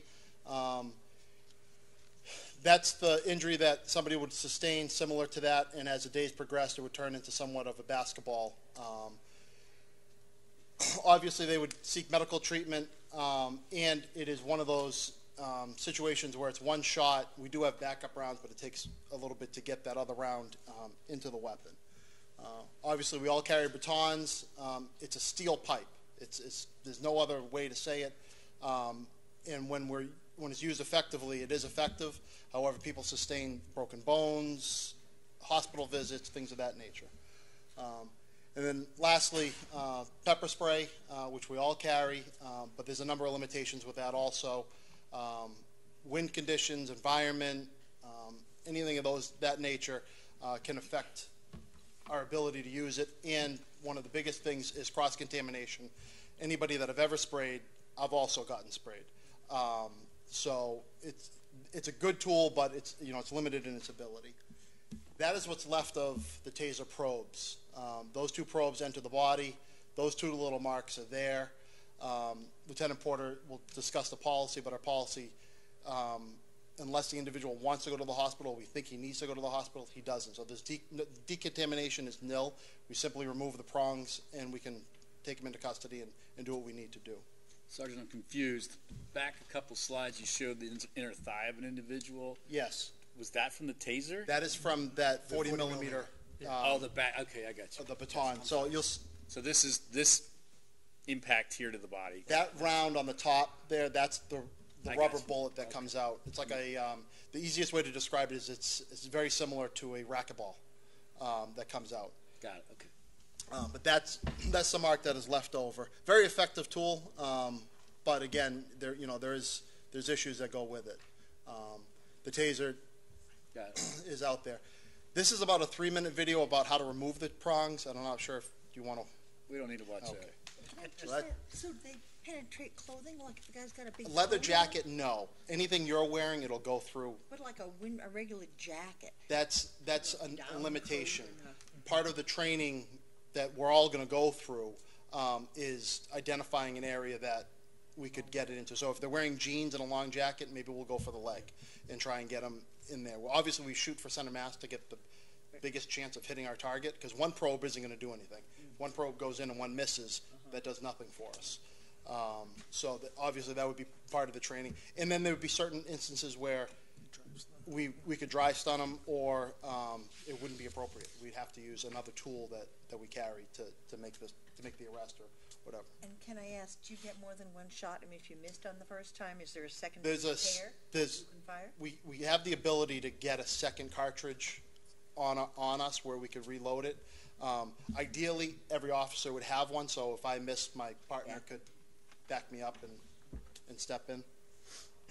Um, just a, a brief history. Um, in 2015, 230 departments in the state had them. Um, Mass State Police? Mass State Police re- recently, within the last year, uh, purchased around 400 of them. Um, every town around us has them, and we've called at least this year alone on three separate in- incidents for a neighboring town to back us up with a taser because we didn't have it. Um, if you'll see, 2000, uh, I think, believe that number of 1,000, 1102 is of last year. Um, statewide, that's all that, that was deployed. And out of that, 15 agencies account for 50% of the use of it. Those are the Fall Rivers, New Bedfords, Brockton, Holyoke, Holyoke Lowell. Um, it's, it's those communities that account for a number of, of those you know, places like Woonsocket. Um, one of the inc- incidents that we we have a, are, is, is on the rise is our psychological incidents. Um, these are people that have mental issues going on at the current time, not acting rationally, um, and it is a very effective tool in dealing with these individuals.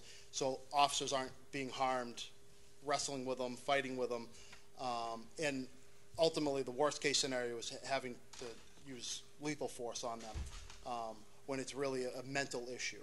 Um, I don't think anybody has any problem taking care of a really bad guy that's trying to kill us, but if it's just somebody that we've dealt with, and you'll see the numbers here, I mean, from 2013 to today, um, we're going on these at least once a week, if not twice a week. Um, and, it's, some of these instances are, are really escalating in, into major incidents. I mean, Price Chopper is one. We had another individual with an axe that was coming at officers. Um, so th- there's incidences like that. How about the risk of heart attack? Um, so most of the fatal issues revolving around tasers come from excited delirium and um, overdoses on heroin, cocaine, things of that nature. Um, It's, it's a combination of someone being highly intoxicated and have it in a, in a, in a, in a, in a state of mind where they're just, their heart is going a mile a Is minute. that part of the training then? So if you recognize somebody's clearly on some form of substance, maybe the taser is not the best if way we to go? if we can. Um, it, this is not the solution, right? This is, this doesn't solve our problems. It just gives us another tool in our belt to go to. Um, so when it's appropriate to use it, there, like I said, there are instances where it's not appropriate, um, and that's all part of the training. And here you'll see that um, our plan is to certify two officers as instructors. Um, each officer will receive eight hours of training initially, and then every year, uh, four hours of, of updated training. Um, Lieutenant Porter will go over the, the policy um, as to how that how that'll take place. So just, so the heart attack, the risk of heart attack, so I was thinking about like defibrillators and things like that, but it's a viable thought, and it's something that I, I had thought about as well. My brother's a, a police officer, he's also an instructor for the tasers. Uh, one of the best days of my life was I saw the video of him getting tased. Um, so, um, but when you think about the heart attack, I, I brought that, that up to him as well. Um, if you don't have a taser, you don't have to worry about a heart attack because you're going to shoot him. So I don't mind running a risk of, you know, maybe a 5% risk of him having a heart attack and, and 95% chance of him potentially staying alive versus, um, versus, uh, you know, an acute uh, case of lead poisoning that, that, uh, that, that, you know, eliminates the heart attack. So uh, I get, I get the heart attack, I get the, the, uh, the other medical conditions that it may exacerbate, but, um, what would, I think the, putting tasers in your hands, in your educated hands, is another tool to, to, uh, make it so we don't have to use lethal force if we don't need to. And, uh, and I know lethal force has its place, but, uh, if you can avoid it, I know that you guys all would like to avoid it. So, um, so I'm good with the, I mean, continue with your, with your, uh, program, but, uh, I have your back on the, on the tasers. Yeah, Lieutenant, Lieutenant Board will quickly go over uh, policy, and that's uh, run through the uh, state EOPS. Uh, before we could even come to the board to be able to present uh, our desire to get them, we have to go through an exhaustive system through um, the EOP system uh, with the State Department and, and negotiate with them what our policy is going to be. So we have to come up with a policy on tasers and taser use, as well as our use of force and the use of force reporting. All three of those have to go to the state, and the state works with us to make sure that they meet industry standards, they meet accreditation standards, and they make, they meet all uh, requirements that the state, uh, in their laws. Um, uh, Sergeant Manuel says here, uh, eight hours, um, that's the minimum. Our policy actually, actually requires sixteen hours of training for instructors. We went above and beyond, as well as, as some of the other, uh, policies uh, our, in our current one now. As far as heart attack, it's in our policy, um, known people with heart, um, heart palpitations or known people with heart problems or pacemakers and such as a or pregnant ladies. There's a list of people that are contraindicated that we will not use it against our policy prohibited from using against. Um, the policy is, is good in the fact that it has now set up um, checks and balances. So whenever it's used or whenever any type of force is used, report. Uh, we have a new use of force reporting system that gets filled out. That uh, lieutenants will then um, go over, make sure it meets all our standards. Gets forwarded to the chief for the chief to review, as well as we have to send in once a year. We have to send in um, reports to the state, and the state reviews all our use of force and any type, any incident that we used to make sure that we are compliant with our policy and that we are following the guidelines set forth. About the members of the police union? There's probably uh, 100% buy-in from uh, every officer on the police department. It's something that uh, they'll feel safe with. It's there with the, you know, it's a it's a standard issue nowadays when it comes to uh, safety. And in light of what go, uh, recent times and officer-involved shootings, I happened to experience an officer-involved shooting where a life was taken, uh, which turned out to be justified. But if a taser was on scene, uh, easily could have been uh, averted. And you know that officer still suffers from this day that, that was involved in that. And obviously, uh, a suspect lost his life, and the family lost it. So it, What's the, what's the price of these? um, we have uh, we're working with Taser. Sergeant Van Rolton has been able to uh, get them down to a pretty good price, but we're looking at several different options. One of the options is to uh, have a five-year lease period, where it costs us this year if we were able to do it uh, this year uh, with some extra monies. But it's a five thousand dollar price, and then eight thousand for the remaining four years a year, and that also includes the training, replacement car- cartridges, and Per things of that unit or for, for them all. We're looking at, we're looking at twenty-two right now. okay. So each, each officer would get their own. Yes. Um, And, and there's, a- but there's also other options where you pay up front for, for, uh, all of them, and I think that was thirty, thirty. I think uh, the upfront cost was. Free around- refills too, on the cartridges? You, you do, well, part of the recertification Harry's, is, is get doing. online. Yeah, um, so the, the upfront cost, I think, was right around twenty-eight thousand dollars. Um, but it, it took, it took us the five years, and then at the end of the five years, we would get replacements. The warranties on these are for five years. So if anything goes wrong within the five years, we just send them back, they send us a new one. About the same as a cruiser, huh? No, a little less. Less. But if Anything you think- else? But if you think of the cost of an officer rolling on the ground and trying to hit someone with a baton or take them down or just, you know, hurting their back and being out for a year, the fact that, uh, you know, I mean, these tasers, they put people No, down. I, I mean, right I away. agree. This seems like, this seems like a no-brainer, and, um, you know, to the point of heart conditions and all that, I mean, it's great to, it's great to try to avoid use on special people and all that, but can't imagine you're gonna, you know, say, police freeze, do you have any cardiac conditions? You know, so- Don't break the law, you don't need them. Do- Have you guys, do you, have you presented everything you wanted to present? Yes. Do you have a question for us? Do you have a request of us? Uh, my request would be, uh, v- uh, that they get the, uh, uh, permission from the board to start, uh, moving, uh, getting, uh, I've been meeting with the finance director. Uh, there might be a way that we could do it, uh, sooner rather than later. And, uh, because it is on a, a state bid process, uh, there was talk ha- having to go to town, uh, meeting for a lease being more than five years, but if it's on a state contract and if it's a pure lease, we, we might be able to start this year. We're just looking for some uh, uh, authority to go ahead and start the process of uh, purchasing the tasers. Mr. Khumalo, is it typical for the Board of Selectmen to get involved and make a decision on, on, on potential um, weapons to be carried by officers in a public session? Yes and no. Now he sounds like an attorney. Yeah, yes and no. Uh, I, I think, I think what you, perhaps Chief, the request is that the board authorize the chief to continue to pursue tasers, uh, with the understanding that uh, when a policy is put forth, that that policy will be presented for formal adoption by the board. Okay, Mrs. Wright. Question for Sergeant Belton Ralton on the lease.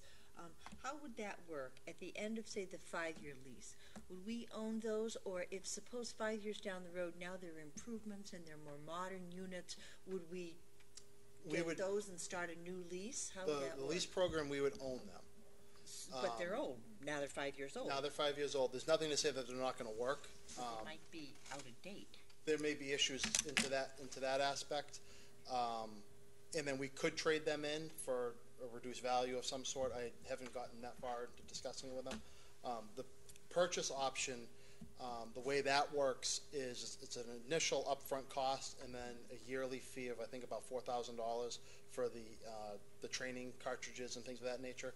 At the end of that five years, we give them all back and they send us all brand new ones and we continue that for five years. So at the end of ten years, then we'd be back trying to figure out how we're gonna move forward. Two options. Thank you. Mr. Coutinho. Mi- Mine's uh, more than the than the five thousand or eight thousand dollars. Training, training, training, because that's the the one thing when it comes to to any you know, any any new uh, uh, piece of equipment or, or weapon or anything else. Training, training, training. If we can just please make sure that people you know when it can be used, when it shouldn't be used, and then exactly how to use it to be because it's that to me that's the most important thing. The cost is is small compared to uh, some of the others for the safety of safety of the of the of the perp and the safety of our officers. Um, just want to make sure that, that we absolutely make sure that uh, they, if anybody's any bit in doubt, to get more and more training. Absolutely. Okay, so the, Mr. Khumalo, I think, has a suggested motion in front of the board uh, that we may want to consider. Um, so while you're thinking about whether you want to make that motion or not, you know, I personally, um, I'm not a, I'm not a use of force guy. Uh, we live in a beautiful, wonderful town that's got the third best high school in America, according to Massachusetts, according to U.S. News and World Report today. Uh, so, and we've got the fourth safest community in America, or some incredible uh, statistic there. Uh, I, I don't like the use of force. I assume that if we have tasers, that if they are used, there's a protocol to investigate why they are used, just like there would be a protocol to investigate if there was a gun used. Or a baton, I assume, is it, I mean, Any- all, all use of force, whether it's putting hands on someone, using capstun, anything like that, fully will gets all follow the same process of an internal investigation. Okay. All right. So, um, that was my biggest thing is I, I don't like it, but I get it. So, does anybody want to make a motion? Yeah, I'd like to make a motion to allow the police chief to do whatever he has to do to get the, um, to get the tasers in our hands, trained and on the streets as soon as possible. with the understanding that the final policy will come before the board for final formal approval. And didn't we, wouldn't, didn't we make this one of the police chief's goals? Wasn't that part of his goals? Was- Investigates. Okay. So this is a step beyond that, which is Yep, fine. yep. So does your motion include that it comes back to us for the final formal policy on the use of the tasers? Is that what you were suggesting? Correct, because by by law, the board has to adopt the policy. Okay. So is that in your motion? Um, I don't know if that is in my motion. I think that I don't need to micromanage what these guys are, I mean, this is, this is what these, these guys are looking at, and this is what they do for a living, and far be it from me, a guy that sits up here for, you know, four hours twice a month, to question what these guys have done for years and, and years. So let me defer to the chief. Do you think that it's something that we need to, Well, I certainly understand what Mr. Khumalo is saying, that, you know, the board would get final approval over the, uh, uh, the policy. But the fact of the matter is, we, we had to take a step, step of creating a policy, which pretty much mirrors the state. So that's already been approved by the state, and then it, the policy is available, and it can be, uh, approved at the next meeting, or, all right, if you're good with it, I'm good with it. yeah. So how about, let's try this a little bit.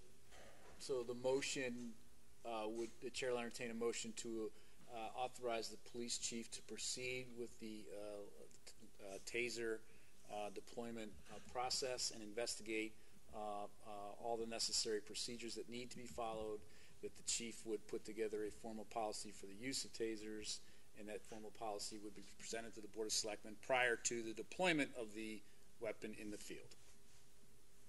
Good with everybody here? So, does anybody want to make Then that motion? I'll- I'll, I'll make the motion, yeah. Okay, so we have And a I'll- motion from Mr. Ted the motion. Stone and a second from Mr. Khumalo. Mr., I'm sorry, Mr. Coutinho, it's still early here, got a long way to go. Uh, Mr. Khumalo, are you okay with that motion? That motion reads fine. Chief, are you okay with that motion? Absolutely. Gentlemen? See you Good? next meeting. Okay, any discussion on the motion? Can you repeat it? No. Mrs. Lazarus might be able to repeat it, but not till tomorrow morning at some point. After she goes to the recording. Jay, when you're Okay, done, can I talk any to other you for a second? questions, comments on the motion before us? All those in favor? Aye. Aye. Any opposed? It's unanimous and so carries. Thank you. We'll see you soon about the policy, Okay, right? thank you very much. Uh, okay, next up, uh, annual town meeting.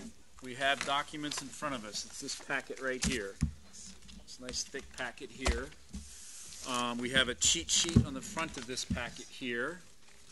Um, and I'm gonna ask Mr. Khumalo to help us look at this cheat sheet, or maybe it's Mrs. Lazarus. Um, but this is gonna be sort of our guide for the evening. And, um, They're all initial. just so you know, uh, why isn't this one initial? I initialed them all. um, and I didn't get any help either, by the way. I was going to ask somebody. They were so busy over there. Okay, Mr. Khumalo, Mrs. Lazarus, what is this sheet here? I, I mean, I think, but I want you. Yeah. I know what it is, but tell us. Yes, um, we've shared with the board two handouts tonight. The first sheet uh, to Mr. Hayes' question uh, directs the board to uh, the required recommendations by law and also the discretionary recommendations by the board. Okay, so the bottom line is, we have to approve, we have to have a vote prior to town meeting on that first section. Okay? We have to have a vote on that second item, Article One, because it's sponsored by the town manager, who is not a resident of Hopkinton. Okay? We may want to make recommendations starting in the third section, going into the fourth section, okay? We don't have to. It's likely that we won't be called upon for our recommendation or what our vote was during town meeting. This has always been an area of entertainment at times when we try to say, well, we want to tell you how we voted, and the town moderator says, we're not interested in how you voted. Those are those kinds of articles, right? Yes. So the first section is most important, and then we go from there. Um, but I want to have Mr. Tedstone join us when we get into this. Um, do we have any members of the audience here for any other reason other than town meeting articles tonight? I want to make sure I'm not forgetting anybody. Mrs. Kelly, did you have something you wanted to?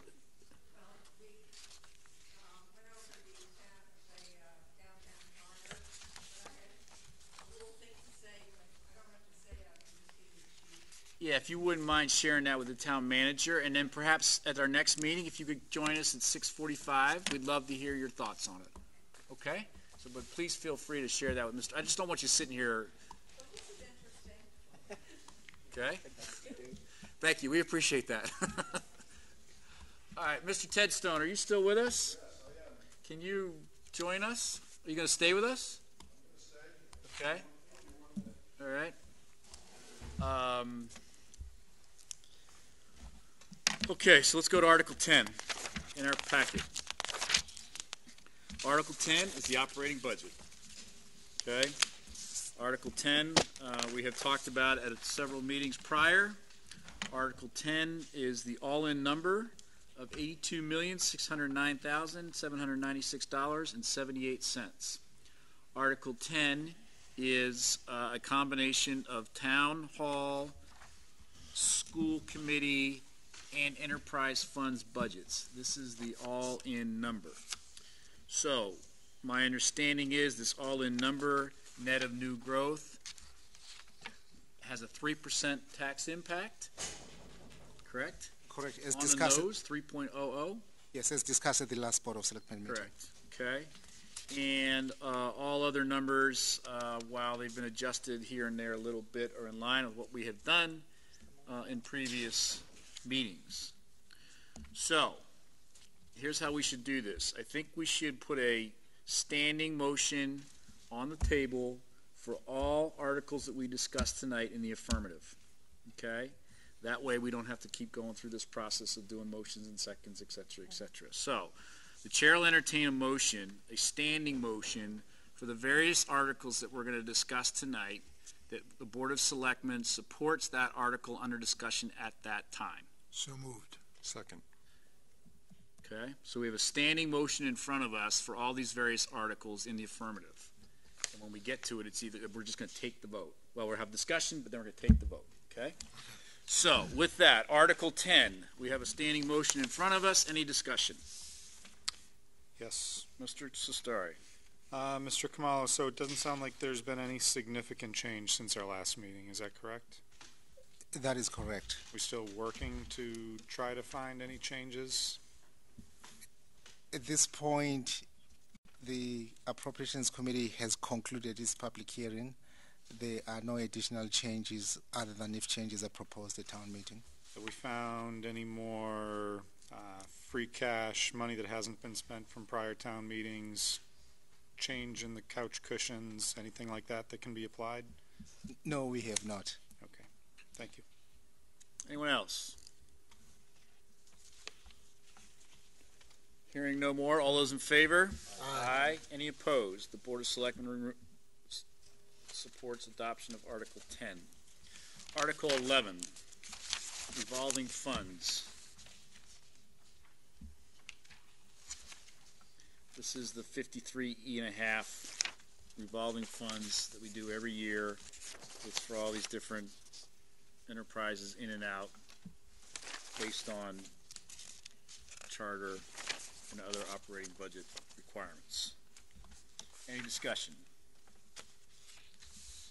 And Mr. Khumalo, as I call for any discussion, that includes you and Mrs. Lazarus as well. If you guys have something you want to get out there, jump right in. Okay, Article 11. All those in favor? Mr. Sorry, Chair, just, Mr. just, Khumalo. yeah, there's a correction, there's a typo, um, um, on page eleven. Under the, in fact, it's under the column fund, and the last row should read Youth and Family Services Department. Yeah.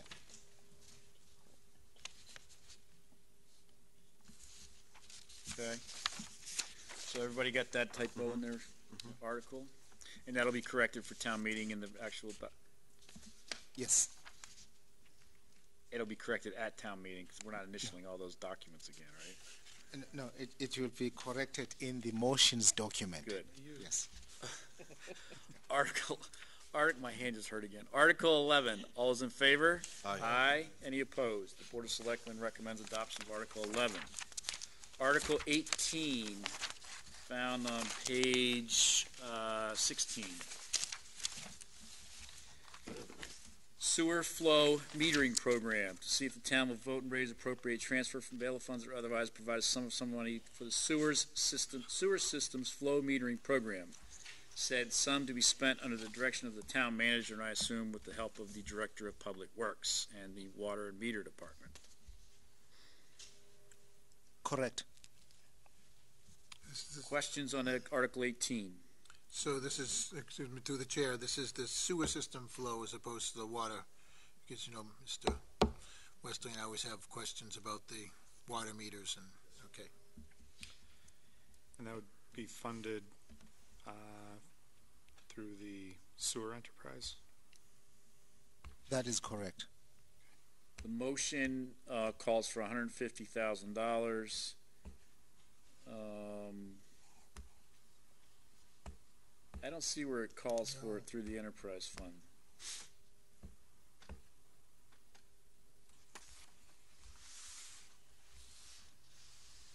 We will fix the motion. And the person meeting such person authorized township Mass no, Okay, so there's not, I think it has to specify it's the enterprise fund, correct? Correct. If, if it doesn't, Mr. Ken Weismantel will mention that at town meeting. He lives at 145 Ash Street, in case you're wondering. Um, Article 18 uh, is going to be corrected in the motions document, correct? Correct. Okay, so we're voting on not the motion per se, we're voting on the support for the article. That's the standing motion. Everybody okay with that? A little nuance there, but all those in favor? Aye. Aye. Any opposed? Article 18, the Board of Selectmen approves or supports the article, um, but we want to make sure that that's fixed at town meeting. Article 22 is on page 20. Repurposing of appropriated funds from annual town meeting 2016 to see if the town will vote to amend the appropriation vote taken in Article 23 of the 2016 annual town meeting, so to allow $50,000, which is unspent money, for the conversion of water treatment at wells 4 and 5 to potassium hydroxide. So we've got some cash from last year that we could spend this year if we approve this. Any questions? Um, What was it, I'm sorry, I'm unclear. What was it approved for, and what are we trying to spend it on? Mr. Westerling. Through the chair, we were looking at a biological filtration of the water, Mhm. changes in DEP regulations and the changes in our approach. We have determined that uh, the use of KOH would be a better treatment for that water, which has a high level of iron manganese, which we're trying to bring down. So it's still directed to the same end game, the end purpose. Okay, thank you. Anything else? All those in Mr. favor? Chair, sorry. The motion will also be ad- uh, revised to reflect that uh, uh, the funding source will be the um, water enterprise. One other quick question. Um, Is the, uh, I guess, the, the lifespan of this as a solution the same as the original? Through the chair, it's probably a better lifespan, and it's a chemical that's used in other. Okay, Compatible with our treatment options. okay, thank you. Okay. All those in favor? Aye. Any opposed? Article 22, the Board of Selectmen recommends adoption. Article 23 on page 21, Fruit Street Blending Facility Construction. We move the town, well, this, that's the motion, to see if the town will vote and raise and appropriate transfer from available funds, otherwise provide some monies for engineering designs, bid documents, construction services, and associated costs related to the construction of the Fruit Street Blending Facility, said some to be spent on the direction of the town manager. Somewhere in here, I'm assuming this is going to say we're going to go out and borrow the money, and we're going to pay through it for uh, the Water Enterprise Fund. the Water Enterprise Fund and a debt service against that fund, correct? Correct. Okay, so that's the article for the blending facility. Any discussion? Why does it seem like this is on here every year? Mr. Westerling. Yeah. Two years ago, we appropriated the hundred thousand dollars for the, the design of this. Okay. This is the construction. All right. Any other questions? All those in favor? Aye. Aye. Any opposed? Coming out of that enterprise fund, so. Article twenty-six is on page twenty-two. The DPW salt shed, running into page twenty-three, to see if the town will vote and raise appropriate transfer available funds, otherwise blah, blah, blah. Bid documents, construction services, associated costs related to design and construction of the DPW salt shed, said sum to be spent under the direction of the town manager. Is this the removal of the uh, boulder field, subsurface boulder field, or is this the actual shed? So this is part of the shed construction, but it's specific to what was left underground. So we've talked about this one before in this current cycle. So is there more that's gonna be, this says design and construction. This is in addition to what's already been approved or Okay, appropriated. so by the time we get done with this, that'll be it? We'll have it done? Any other questions, thoughts? What's the initial amount on the salt shed? What was the first number approved by town meeting? The chair, was some fourteen point one million dollars, that was for the entire site, DPW garage and the salt shed. So the salt shed, the actual shed, we've already appropriated for.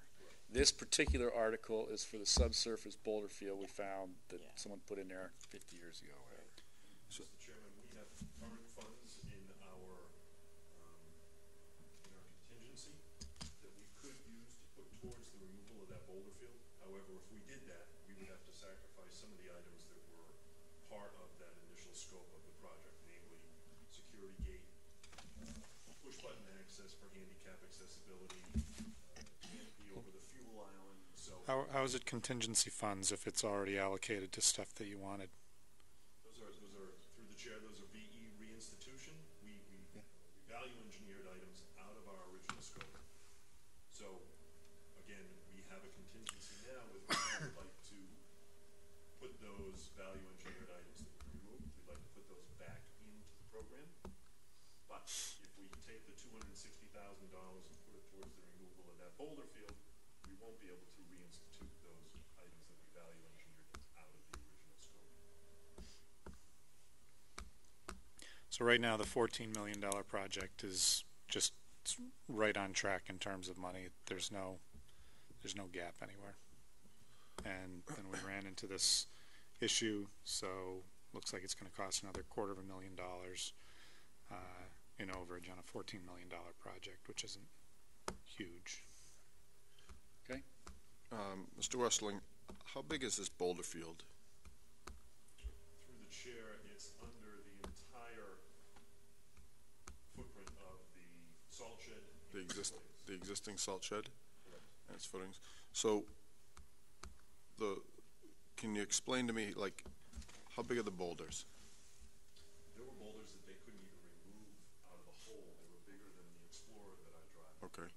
So, to, to alleviate this issue, are, are you gonna take these boulders out? Are you gonna drill them and shoot them? Are you gonna hammer them? I'm trying to figure out where two hundred and sixty thousand dollars is gonna go to get rid of some, some rocks, where, It was, uh, have the actual volume of rocks, but it was the entire footprint. So that is approximately yeah, it's a big shed. Yeah, 130 feet Yeah. long, and it went down to native soil. So it Okay. was eight to nine feet deep. Yeah. We had to remove all that material. The rocks were hammered. into smaller 130,000 pieces. cubic feet. Yeah. We we had to pay to. so that's done. That is done. Okay. Okay. Thank you. The reason, through the chair, a little bit more information, the reason that we didn't discover these during our, uh, our probing and Yep. our septic was under the existing Right. structures. Yep. So we didn't discover those. And the rest of the site, we have over six hundred drill holes that are filled with slurry. Yep. That we just, we tried in this site, in this location, it just wouldn't go because of the number and the compact nature of all those holes. Yep, I get all this, and that's, um, initially, that was my question initially, was wh- when you guys do your test borings, how do you miss this? But when it's completely under an existing shed, you're not gonna, you're not gonna dig under a shed, so I get it, so. So I'm that's good. already been done, and we've been invoiced for it, and the invoice is totaled exactly two sixty, or within a couple thousand? Within a couple of thousand. Okay, thank you. Mr. Khumalo?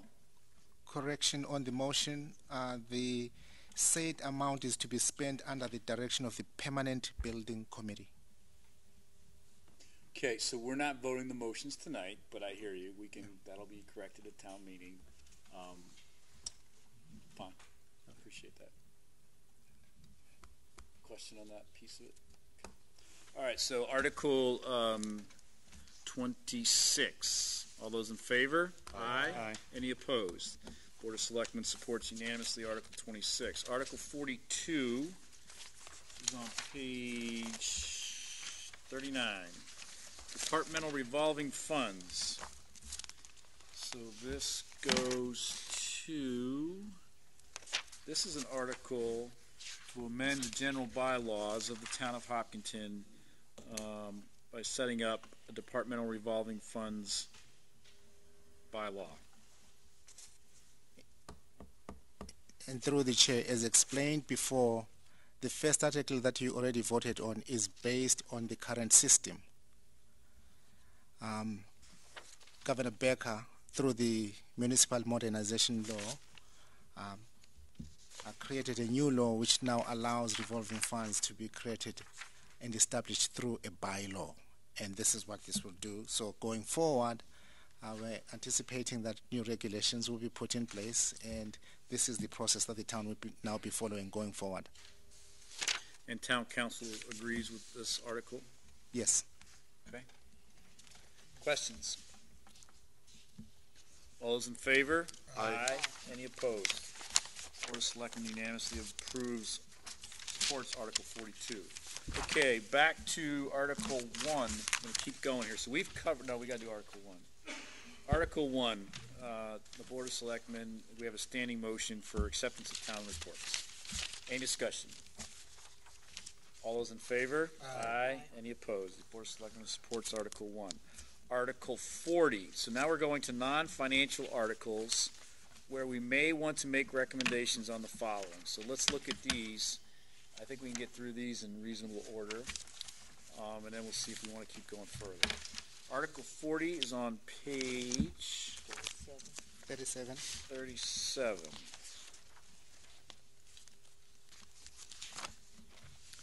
Public consumption of THC. THC.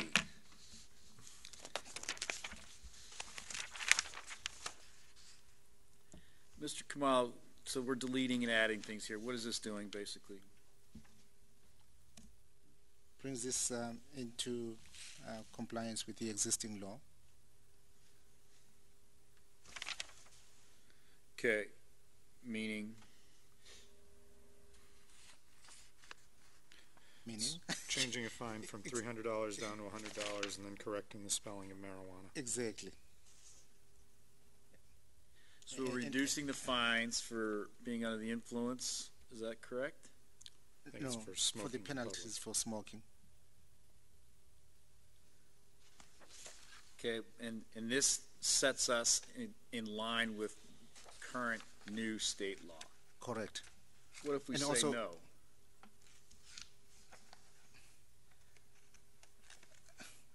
The, I think what we have heard from town counsel is that uh, uh, local laws cannot uh, exceed the limits or parameters that are set by state law. So if, if the town maintains the three hundred dollar fine, then that exceeds what the state law has set as the. But only if you're fine. smoking marijuana instead of marijuana. Okay. All right. So we're getting in line with state law, like it or not. All those in favor? Aye. Any opposed? Eh, Okay. Article forty-one. Relax, man. Chill, dude. Minutes of public bodies. Um, this was discussed at the EHOP uh, forum last night a little bit, and uh, it's trying to get a little bit more focus and organization around the submission of minutes for meetings from all our various websites. I believe the town clerk has looked at this, I believe town manager has looked at this and others. And I think there's general consensus from the staff that we should proceed. Is that fair to say? Yes, and the, the, the proposal takes into consideration the comment that we received from the board regarding the, um, the length of time that boards that are not supported by staff would reasonably require to get minutes done. Okay. Mr. Deegan, you support the article? Absolutely, I think this is a, a great step in the right direction for more transparency in government. Thank you. Everybody else? So what's it basically saying? Get the minutes in? Get the minutes in, but you got forty-five days, was it? I think all in all, you have 50 days. 40 plus 10. Yeah, As 40 opposed to plus 10. now, plus when we say get them in, Get them in, and we don't give them a time limit, and they don't get in. and they don't get in at all? Mrs. Wright? I, have just one comment, and I think it's a good idea that we put this in writing to really emphasize to town boards that we need to get it done. Um, and I think the changes that were made that are more sympathetic to volunteer boards, um, are good and in order. But once we get this in, um, I really think we need to, I don't know how we do it, go about communicating with all our town boards that this is a new requirement because I did start just for the fun of it looking around on the town website at the different town boards, and there's a real range of minutes, um, right down to the school committee, which has no minutes, and they're over half of our budget, and there is a blank page, and as far as I'm concerned, that that's not acceptable. I don't know how those minutes are obtained, but they should be up there. I, I, I have not looked at the website specific to what you're uh, uh, saying there. Uh, my sense is whether it's there or somewhere else, I'd, I'd put a, a cold Bud Light on those minutes for the school committee are out there somewhere. You just got to, we're just going to the right, got to go to the right place. Well, if that's the case, then it should get communicated with the IT department to make sure that they're in a prominent place for the Okay. public to see, and on the page that includes minutes, that's where one would expect to find them. Okay, fair enough. So, um, can we take that as a sort of item to look into tomorrow, next couple days? Just have Maria check with, um, uh, her colleagues over at the school department, just find out where those minutes sit. I don't, I don't wanna get into all of this Yes. tonight, but just, we need to figure out where they are. Y- Yeah, the, the school committee minutes, I'm sure, because I've looked at them recently, they, they are on the school, s- school district website. Yeah. On the school district website. Can we have our IT guy create a link between the town website and the school committee website or school district to make sure that they're there? Okay. That's the way to handle technology-wise. Great, okay. Article forty-one, all those in favor? Aye. Aye. Any opposed? Article forty-three is on page Page 46. Seven. Posting of warrant.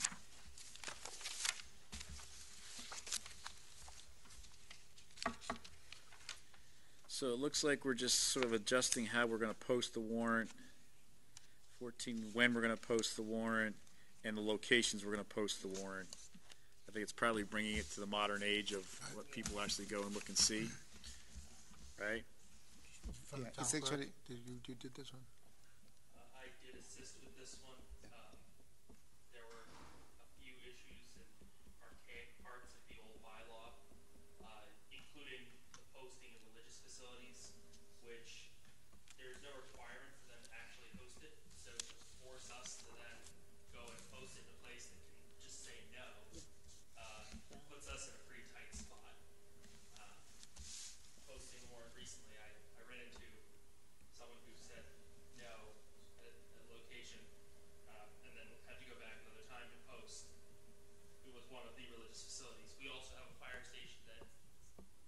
normal standards is not accessible to the public.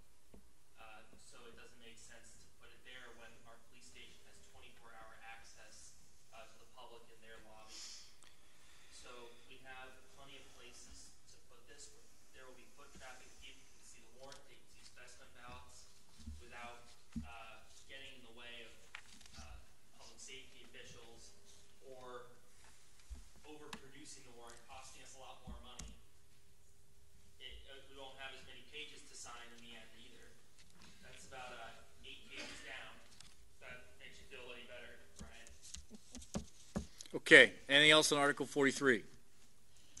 All those in favor? Aye. Aye, any opposed? Article forty-five.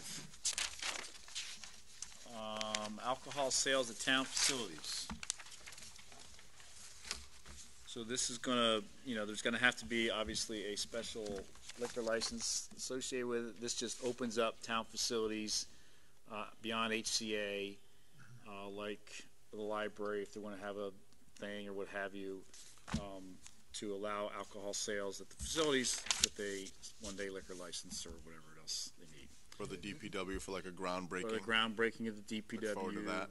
This doesn't say we're gonna have Sitting on the beer in the fridge on the DPW facility, you know, every day. I mean, that's not what this is. Salt.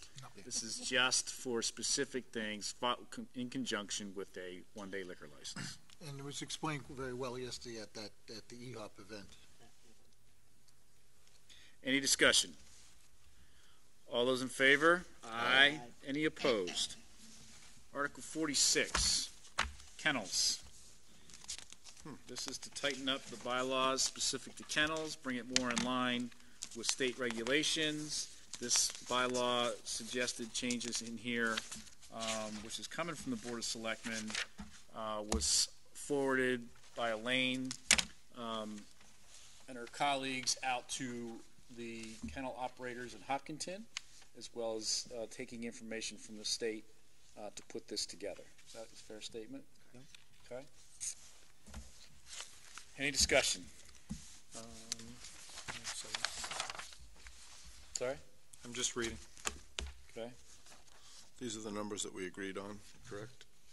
This 50, 200, 300? Those are max, I believe. Y- Yes. Yep. Um, Am I missing it in the humane treatment? Does it mention allowing the animals out of their cages? The definition?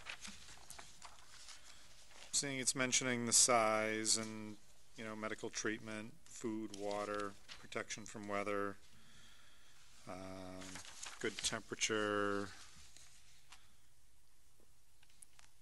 no torturing or suffering or cruelty.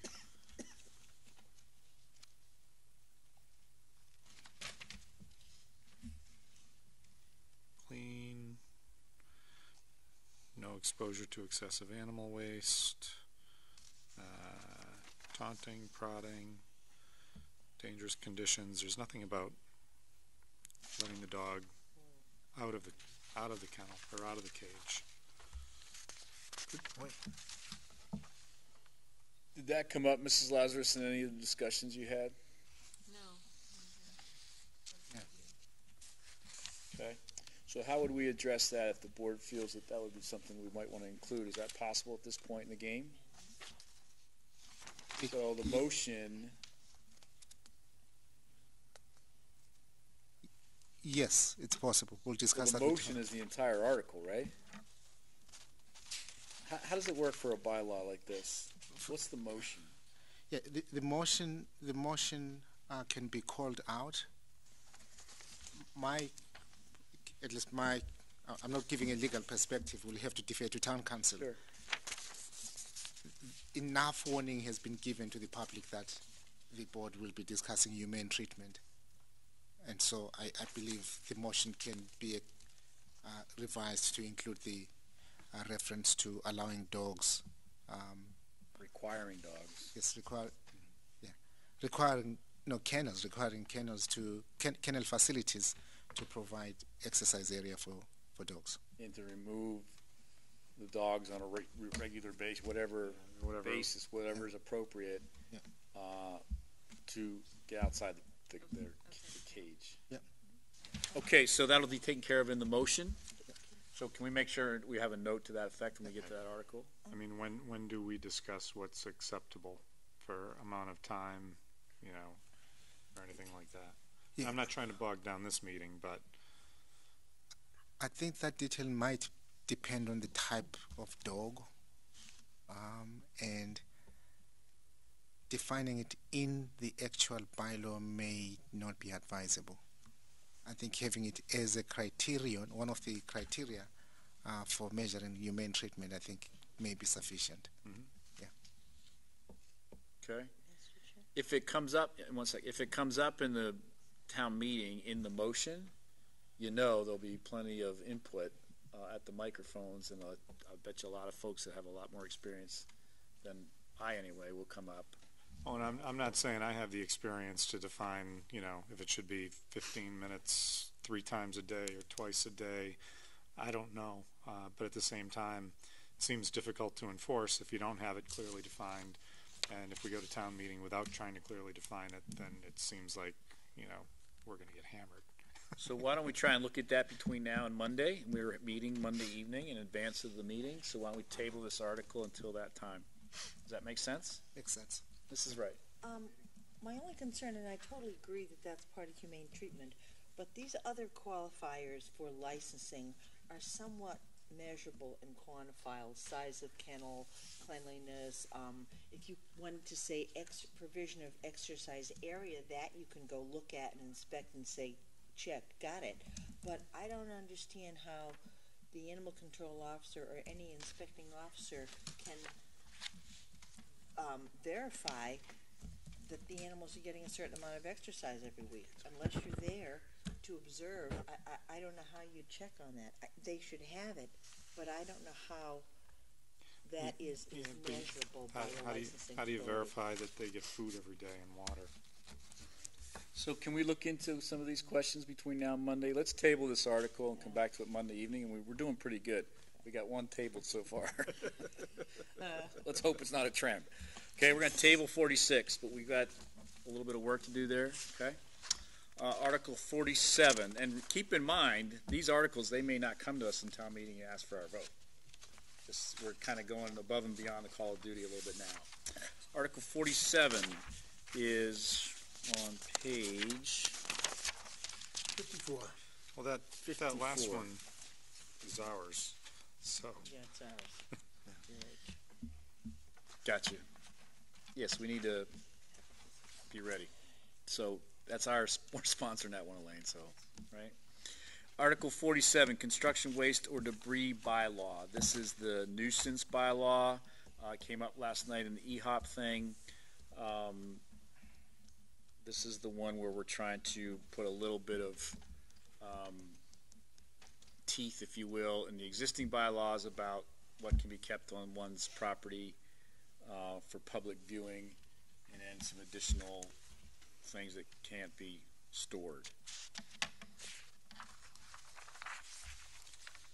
We went through this a couple weeks back. I know that Mrs. Wright worked with others to try and fine Is this the one that we had and then we rescinded and now we're trying to put back?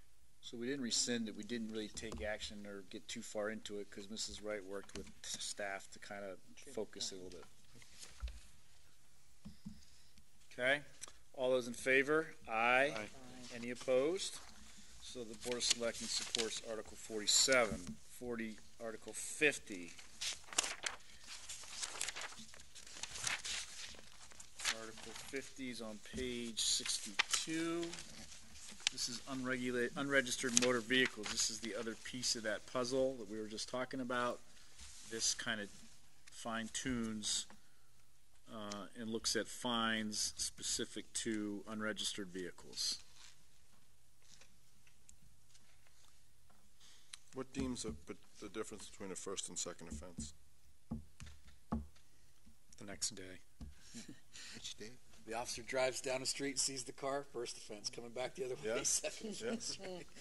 Yeah. I would assume, you know, there's got to be some judgment with our professional It is a team. Well, I just, I asked, I only asked because it says first offense is twenty-five dollars with each day being a separate offense, There you go. so. there you So go. then the next day is the second offense. Okay.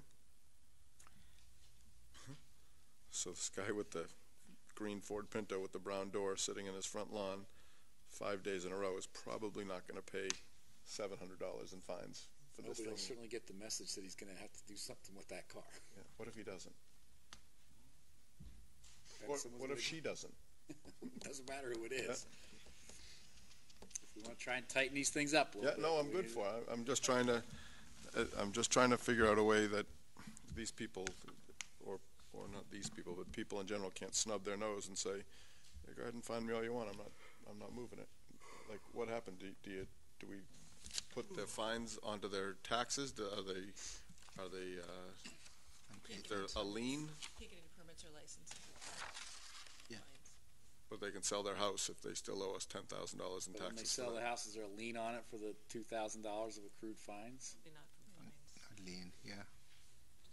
taxes. Okay, I don't mean to make waves, I was just curious. Okay, Article fifty, all those in favor? Aye. Any opposed? Board of Selectmen supports Article fifty. As an executive board, you may want to take positions on the following. Article two. How are we doing for time, Can I folks? just ask a question? Mr. Hmm. I Cestari. see a bunch of these that are under this section that we're the sponsor of, that, I know I missed a meeting back in April, so they might have been discussed then, but I don't ever remember discussing them. Mr. Khumalo.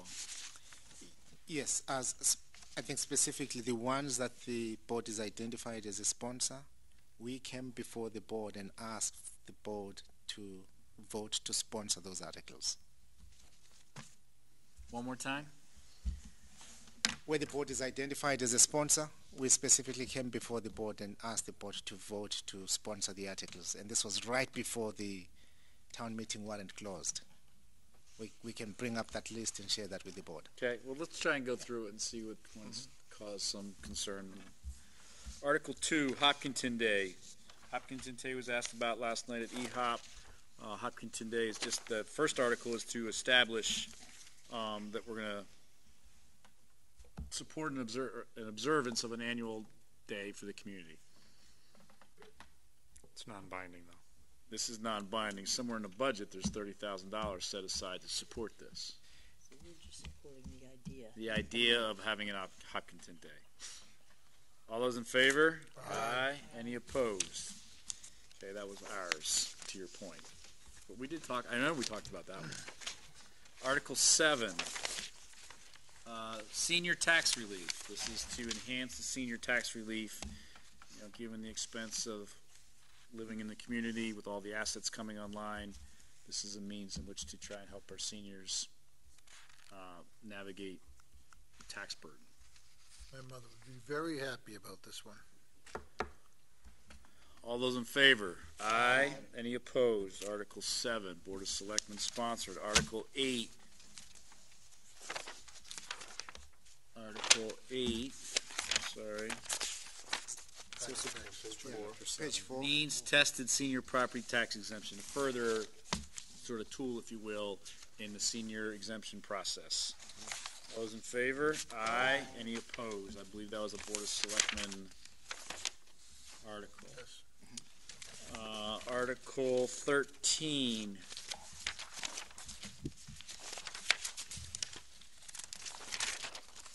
That's for the stabilization. Thirteen, transfer to stable, thirteen, transfer to general stabilization fund, so this is town manager sponsored, this is administrative, I think, is this, it's, it's not a special, obviously. Um, this is part of the process for the budget, correct, Mr. Khumalo? Y- Yes, and the interest here is that the board, as an executive board, um, has in the past stated its position in terms of supporting the stabilization fund or other post-employment benefits. Okay, so let's just stick with thirteen, which is stabilization. It's three hundred thousand dollars, part of the budget process. Right? All those in favor? Aye. Any opposed? Article fourteen, transfers capital expense stabilization fund. Taking no action, so the board can skip on that. So the town manager is taking no action. So the board, everyone okay taking no action? Excuse me. Yes, sir. Oh, sorry. Article fifteen. Um, other post-employment benefits liability trust fund, AKA the Ben Palleiko article. Um, So this is moving three hundred seventy-nine thousand dollars. That's good. I mean, we've in years past, I think we got as high as five hundred k, uh, but we've been as low as zero k. Um, so this is a good step. Um, I think I remember two fifty k the last couple of years. Um, but anyway, OPEB three seventy-nine. All those in favor? Aye. Any opposed? It's Article fifteen. Article sixteen is the underride. The underride, as we've discussed in previous meetings, this is coming out of us. We've got about a three million dollar excess levy right now. This will reset the, the, the number down to a million five, still give us wiggle room, keep our friends at Standard and Poor's reasonably happy, uh, but also put some fiscal discipline in place for future years. All those in favor? Aye. Any opposed? Article sixteen, the underride. Article seventeen, Hopkinton Day funds. I don't see the motion here. We move the town take no action on this article. Why is that? The reason being, we, we will fund the thirty thousand dollar, um, cost specifically of the fireworks, uh, from the FY seventeen budget. Explain that to me. How are we gonna do that in FY eighteen? The, in fact, remember the, the, if this day takes place, it's going to be in the fall. The contract will be signed before the end of FY seventeen. So we will use FY seventeen funds to execute the contract. So we're chipping into a little bit of free cash coming out of FY seventeen, is that fair? No, um, it's not free cash. We'll use it, we will use, um, existing. So there's citizens at home right now going, okay, well, where's that thirty grand in this year's budget, and how do we just magically find it this year pay for something for next year, right? Yes. The answer is simple. this community has been very clear in terms of encouraging us to find savings. Don't spend crazy. If town meeting approves, it doesn't mean you go out and spend. Only spend when it's absolutely necessary. There are positions, for example, that we have not filled. Okay, have you taken won me to over. fill, So So Article seventeen, take no action. Yeah. But we do have, the to the chair, sorry, but we are gonna have the money. Yes. We are gonna have a Hopkinton Day if people voted on Article Two. We will have the money. Yes, and in fact, that's that's why we propose having Article Two, Okay. so that at least we have a consensus from the community that this is the Hopkinton Day. Just wanna make sure. Yeah. Okay, Article nineteen, this is sponsored by the town manager. So, um, I would think we would actually need to vote this, although you can sponsor, never mind. Anyway, let's just do it.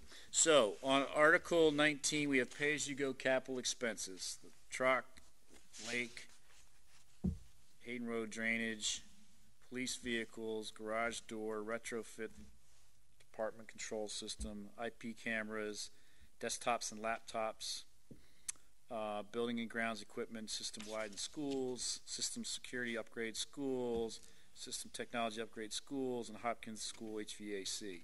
So this pay-as-you-go article, um, while we're doing it separate, this five hundred and also from general free cash, two hundred sixty-four thousand four hundred sixteen twelve dollars. This is all included in the eighty-two million dollar general overall budget, correct? Or did you back this out of that number? See what I'm saying? Because the pay-as-you-go uh, numbers were always in working to that three percent net of new growth. I'll I'll I'll defer to Chris. Um,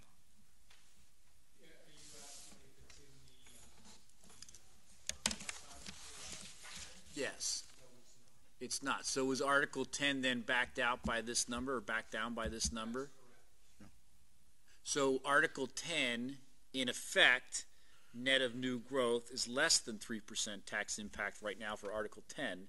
And then you add this article in, and if this article passes, then we go to three percent net of new growth all in. Okay? Is everybody clear on that?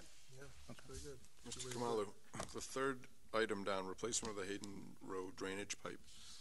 Is that, H- Hang on one sec, oh, Brennan. sorry, sorry. So, spe- bef- uh, I get, I want to do some of that too, but before we go there, conceptually, are we all in agreement?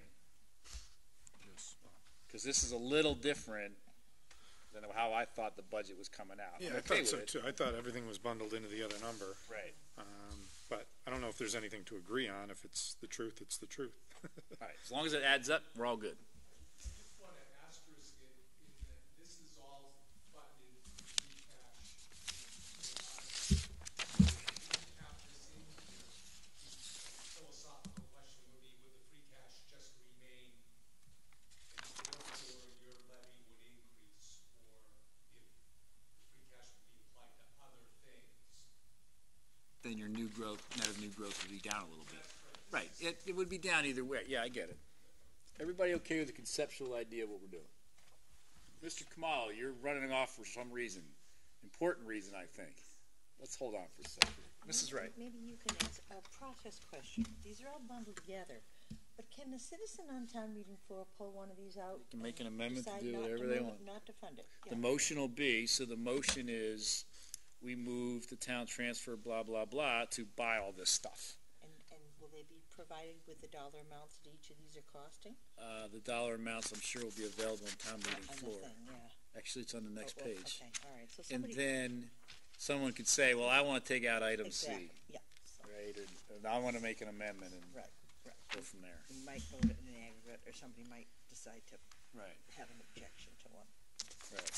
Okay, let's do this. We're gonna table this one for right now until Mr. Khumalo comes back from Chris's discussion. Article twenty-four, Lane, is that what I'm looking at next?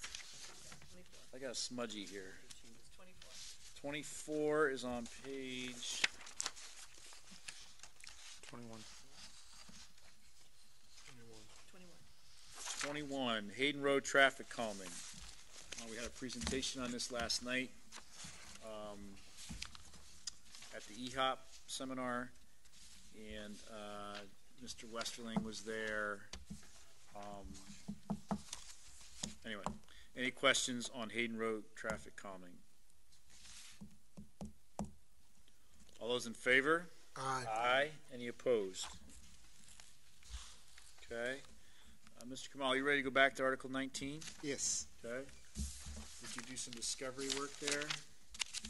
Yes, I, I did confirm with the CFO that the free cash amounts are not part of the 82 million. Okay. Yeah. So let me ask this question. Two weeks ago, three weeks ago, when we last gathered, we had a budget number of eighty-two million dollars. Did that include these pay-as-you-go items in the eighty-two million? It did not. It did not. Yes. Okay. And then this is coming in on the side to put together for the whole total budget. Correct. And in fact, also purely as a principle, because it's free cash, um, it therefore does not impact the, the 3%.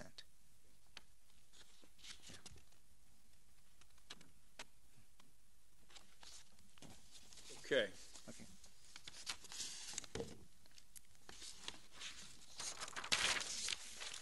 Article nineteen for the pay-as-you-go capital expenses. Any further discussion? Um, you know, I just want to, I just want to go on record. You know, this is the second year in a row where we're uh, shorting the police department a cruiser. Last year we cut them from three to two. This year we cut them from three to two. I think uh, if we don't make an adjustment this year, then next year we need to think long and hard about it. Okay. We can't have them out on, on the road. That's their job. They need to have cruisers that are safe and up to date. Okay. All those in favor? Aye. Aye. Any opposed? Article nineteen, Article twenty-four we covered. What's after Article twenty-four, please? 27. Twenty-seven. Page twenty-three, the Elmwood School Solution. This is the feasibility study uh, requested by the school committee um, that I have not looked at this motion. Um, Did we get this motion sorted out between the superintendent of schools and your office today? And the town counsel? We sorted it out with town counsel. Your last email, perhaps I misread it, led me to believe that you were discussing it with the superintendent and the school committee chair. Yeah, but I don't think the last email that I sent to them that said that the Board of Selectmen will formulate a school building committee, like we did for the elementary, Marathon Elementary, and we'll populate that, uh, and appoint the school, school building committee, um, with the, um, with the support of the school. I put, I, I added some words there to say, okay, it's to be spent under the direction of the Board of Selectmen or the Elementary School Building Committee that's to be appointed by the Board of Selectmen with this, and I added the words, with the support of the school committee as part of that appointing process.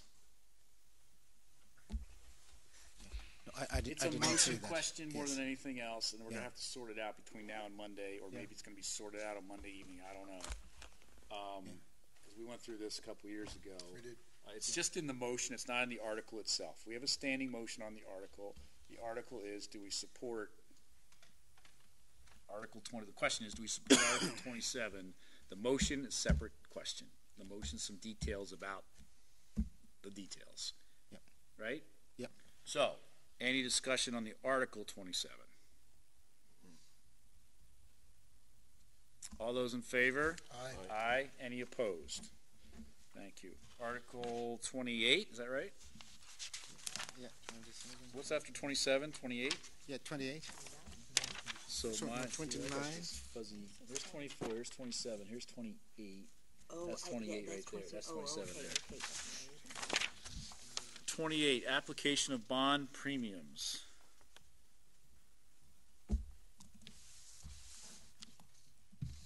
So this is to go borrow some money for bonds for any particular project, or is this to go get bonds that we need?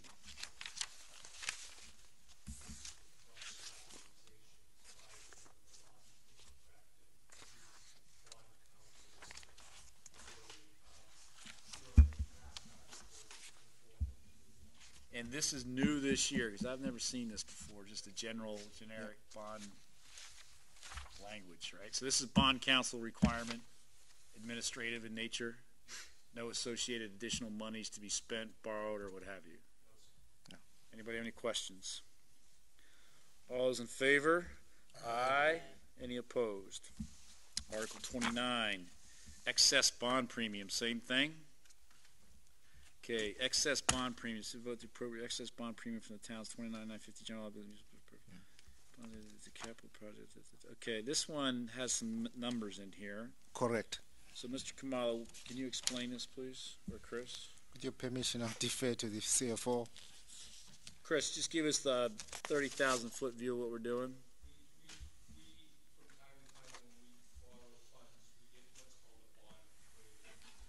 The new law requires us to take that premium and apply it towards the projects for which we borrowed on, thus reducing the amount of the future borrowings on that particular project. So if we get a bond premium, meaning we get cheaper money, we have to apply that cheaper money against the project itself so that the cost comes down. The, the bond premium is like a pot sweetener. A few years ago, well, it wasn't a few years now, at this point, um, the, um, the issuers got the idea to sweeten the pot by giving an additional amount to the town when they borrowed money. We still borrow based on the true net interest cost, so it doesn't matter unless we just subtract it out from whatever interest we're paying against interest cost. But it's actual money that we receive. So what the law says is we have to take that money and treat it like bond proceeds, Mm-hmm. which makes a lot of sense, and apply it towards the projects for which we borrowed on in the first place. Got it. In the proportion that it was borrowed in Okay. So, I think in lay terms, if we had to go borrow thirty million, but because we borrowed thirty million, we only had to borrow twenty-nine seven fifty, the extra two fifty, we get to apply against a thirty million dollar project, so the project's now twenty-nine seven fifty. Kind of paying down the principal. Yeah, a little bit. But in lay terms, right? Let's not get into the Right. technical financial world, because it's very complicated. We need smart people like Chris out there. Yeah. So, M- m- Mr. artic- Chair, Mr. Khumalo. it's just one point, and this is, I think, Chris, for public consumption. if the town didn't do this, is there any risk or liability to the town in terms of arbitrage? Um, okay. Okay. Okay. Okay. Yeah. Article twenty-nine. All those in favor? Aye. Any opposed? Any confused? Article thirty-eight. Page thirty-six. Thank you. Article thirty-eight, moratorium on marijuana establishments. We're trying to get our head around this. We need to have a moratorium to get our head around it further before we ever get a permanent moratorium in place. Any questions? All those in favor? Aye. Any opposed? Hearing none. Board of Selectmen supports Article thirty-eight. Article forty-eight. Page.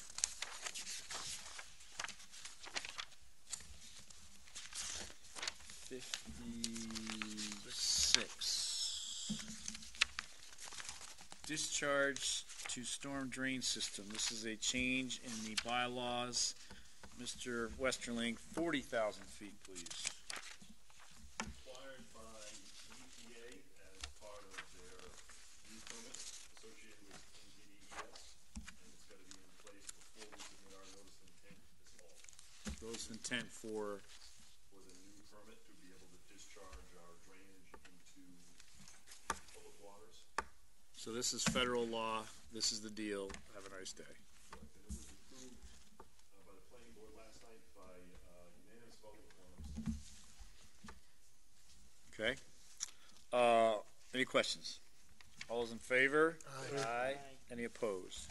It's Article forty-eight. Ladies and gentlemen, we are on the back of the page. I must say, this is like in record time. I think it's because we went, we went over it a few Mr. times. Chair, Mr. Chair, just one, one minor correction on, on the, on Article forty-eight. Yes. I'm also requesting that the Board of Selectmen make the motion. Okay, hold on a second. So moved. Make the motion. Article forty-eight, this is Director of Public Works. He can bring an article to town meeting. But he cannot move a motion, he's not a town resident. Okay, so what's the motion gonna be? It'll be in the motions document. Yep. That's fine, we can do that. Yep.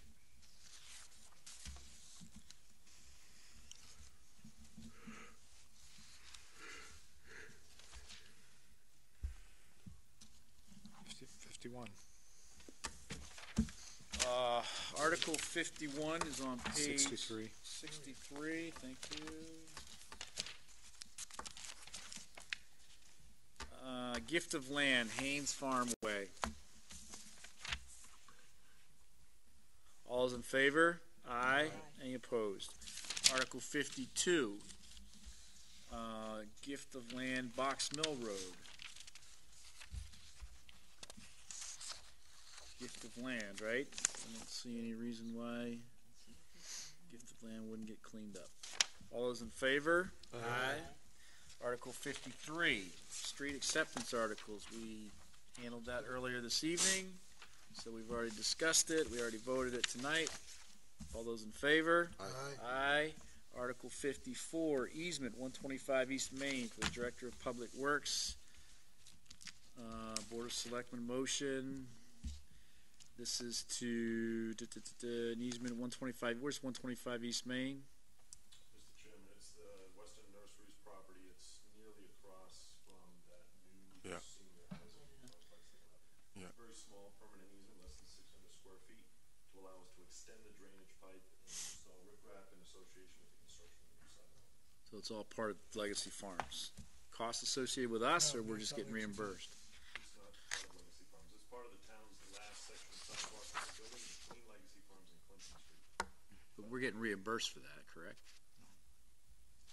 It's part of the, It's not part of Legacy No, it's Farms. not part of the, Weston Nurseries that they, they, they all right. Um, all is in favor? Aye. Any opposed? Article fifty-five, Fruit Street property leased to youth organization. This is gonna be a lease that we would enter into for a youth organization, namely the Scouts, most likely, after a RFP. Um, do we support, given that it's our article? Article fifty-five, All those in favor? So, I'm sorry, was this, was this discussed at the same time as Hopkinton Day? Uh, no, so this was the Pratt Farm can no longer accommodate wells and scouts. Yeah.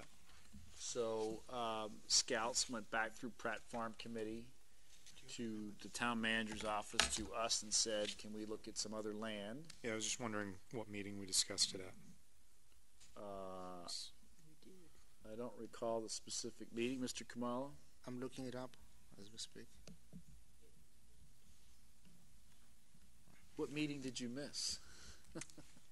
It was late March, early April, I thought, but maybe it was early March. I don't know. They all blend together. I know, because there, there Yeah, I'm was a just wondering, letter- it's these, these I just don't remember discussing, and I see that we're sponsoring it, so. I- Everybody else has recollection, so it must be the meeting that I was gone. Does everybody recall mm-hmm. discussing that we need to Yep. look at something else on Fruit Street? The possibility. I remember that coming up, I just don't remember it actually being discussed as a motion on, uh, or on an item on the warrant. Okay. So. That's okay, I, I don't, All right, Article fifty-five, uh, lease to youth organization at Fruit Street. All those in favor? Aye. Aye. Any opposed? So there's thirty acres on Fruit Street, um, that have never been set aside, correct me if I'm wrong here, Elaine, but have never been identified as a use, potential use space, uh, when we bought it ten years ago or fifteen years ago. And it's in that area that this is being looked at. And what was the other thing? The, the possible kennel, which is Article fifty-six, Neither- lease to animal shelter. Neither needed more than five, five acres Yeah. of parcel eight. we're sure that dogs don't mind sharing the land with scouts. I think scouts and dogs usually get along pretty good. Article fifty-six, all those in favor? Up, sorry. I got a question. Um, how did Animal Hospital get into this? It's supposed to be for a shelter. This is Lazarus. Does it say hospital? It says animal hospital or shelter. And animal hospitals are usually veterinarian, that's for profit, it's a business. Um, that was not the intent. The intent, we zoned last year to allow shelters in the town. And this was to provide the like, the possibility of negotiating a location for a shelter. So we're certainly inside the four corners of the article. The motion specifies sh- uh, hospital two, so we can work at, in the motion. Yeah. To do what? Remove Take it out, yeah. Take it out. So, I'm sorry, Mr. Hur- what would the process be? Should that be done on the floor? Somebody m- would make a motion to amend that, to remove that? We'll fix that before. Okay, it, wasn't in what we discussed and approved a couple weeks ago, but then last night at EHOP, it was in here, so I don't know where it came from. It wasn't in what we approved, uh, that you signed, Brian, I don't think.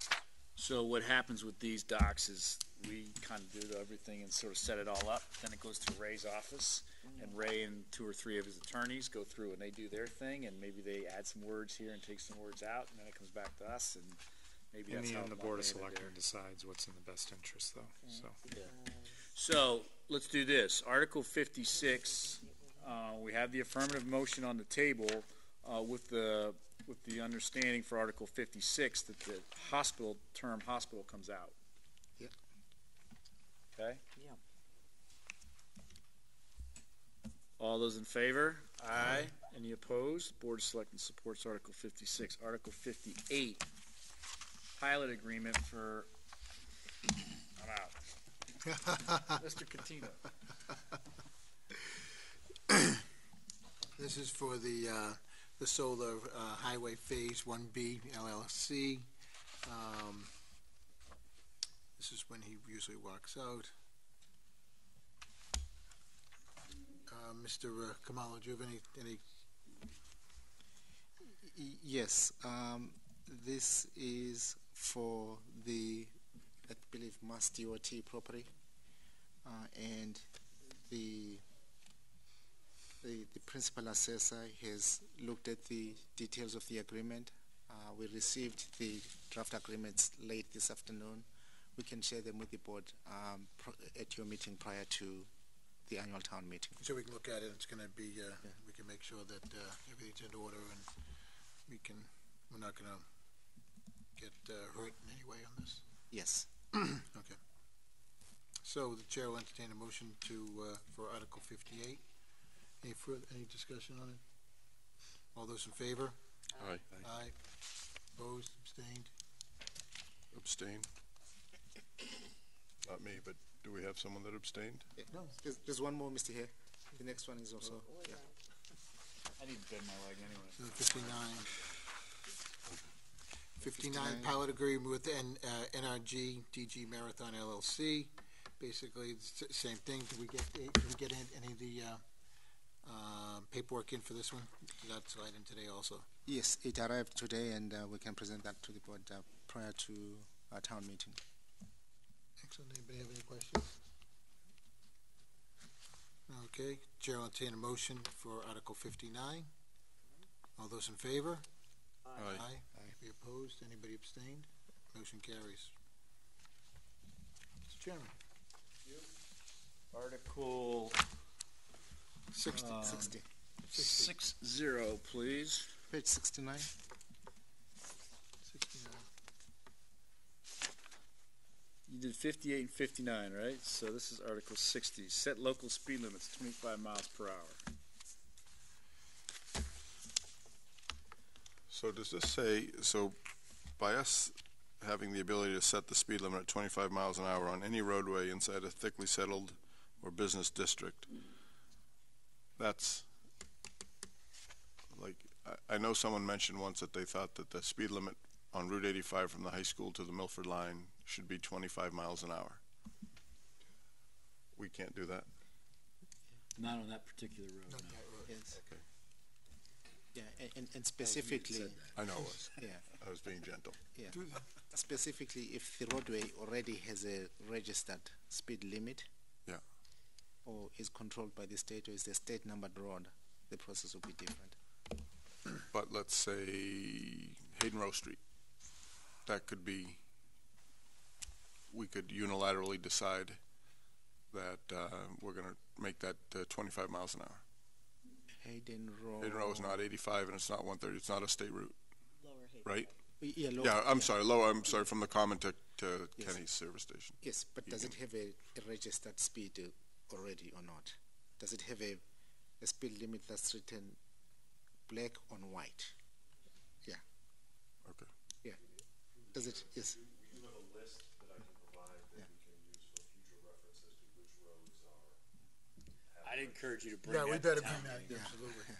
So the problem I have, Specific questions about specific roads, so if you have that with you, it will help. the problem I have with speed limits are, they were developed in the 50s and the 60s for cars with disc, I mean, drum brakes with big, huge engines, and they were trying to conserve fuel. Uh, a 25 mile an hour speed limit, I find, I don't like lowering the speed limits, um, where I just, I, I know, and I know that I'm, I'm gro- grossly in the negative on this. uh, I mean, on the minority on this, but um, you know, like they they talk about that accident that happened down here on Hayden Rowe. It wasn't speed related; it was distracted driving related.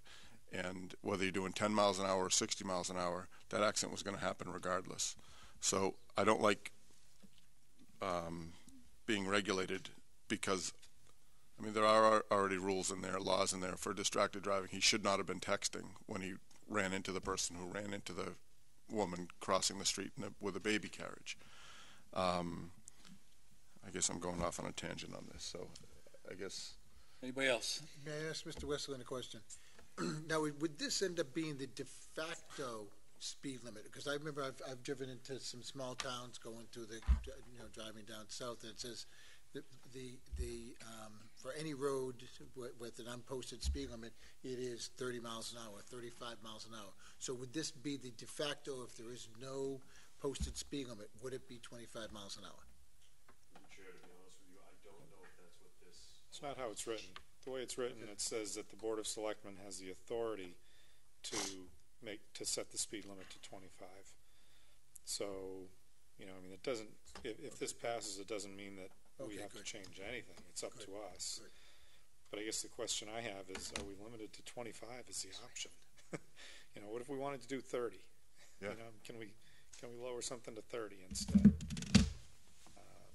Um, I, I mean, I feel similarly to Brendan. You know, I don't think that lowering everything to twenty-five is the answer to everything. Drives me nuts that they did it in Boston. Okay, I think we have some direction coming on this one, which might be a little different than the directions we've had on most of the others tonight. So we have a standing motion in support of Article six zero to potentially, I think the correct word is potentially set speed limits at twenty-five where we can at some point in the future if we decide to.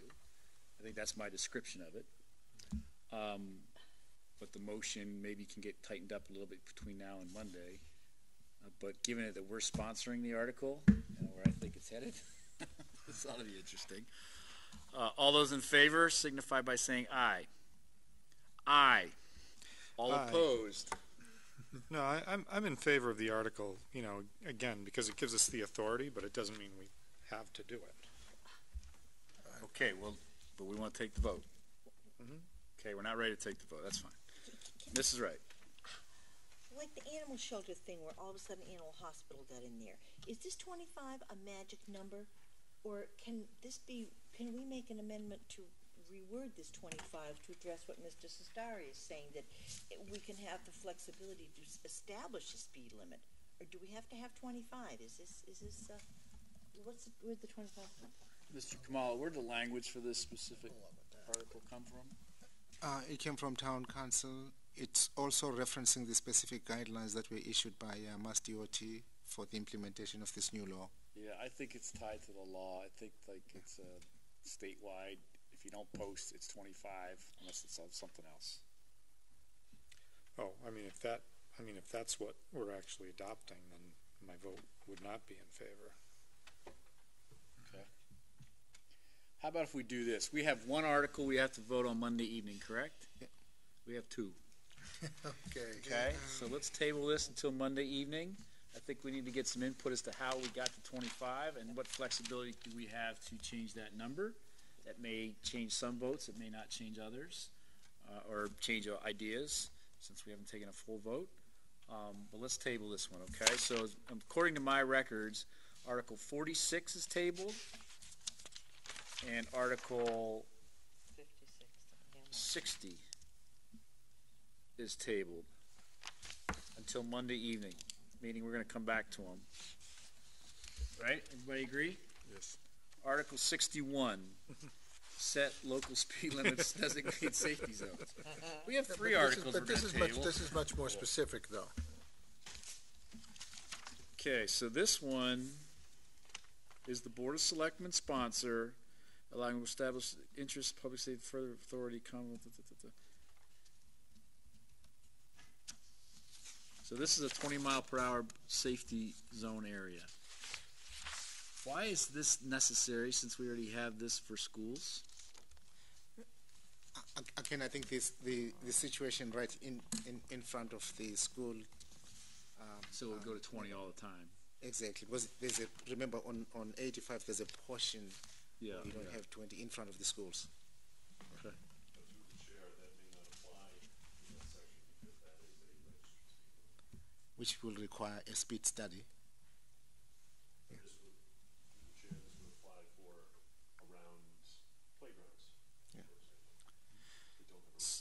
So,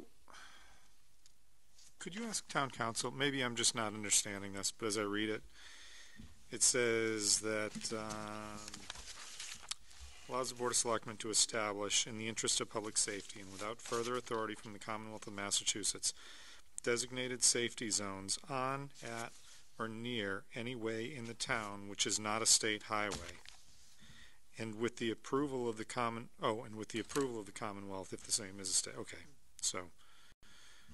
You can do it without state approval if it's not a state highway, with state approval if it is a state highway. Okay, I get it. Do you want to table this one, get a little bit more clarity on it before we get to Monday? Perfect. I think we'll be okay with our meeting Monday night. So let's table Article sixty-one, they're related. Article sixty-two is specific to the constables, whether the constables are an elected or an appointed position. uh, to see if the town will vote as provided, uh, blah, blah, blah, to make the position of constable an appointed instead of elected position to be appointed by the Board of Selectmen. And we have a member of the Charter Review Commission who's been patiently here this evening, um, and has some, has her has had her own work here in the building tonight, but has some input she want to share with this. Pam, why don't you just tell us what your thoughts are on Article 62?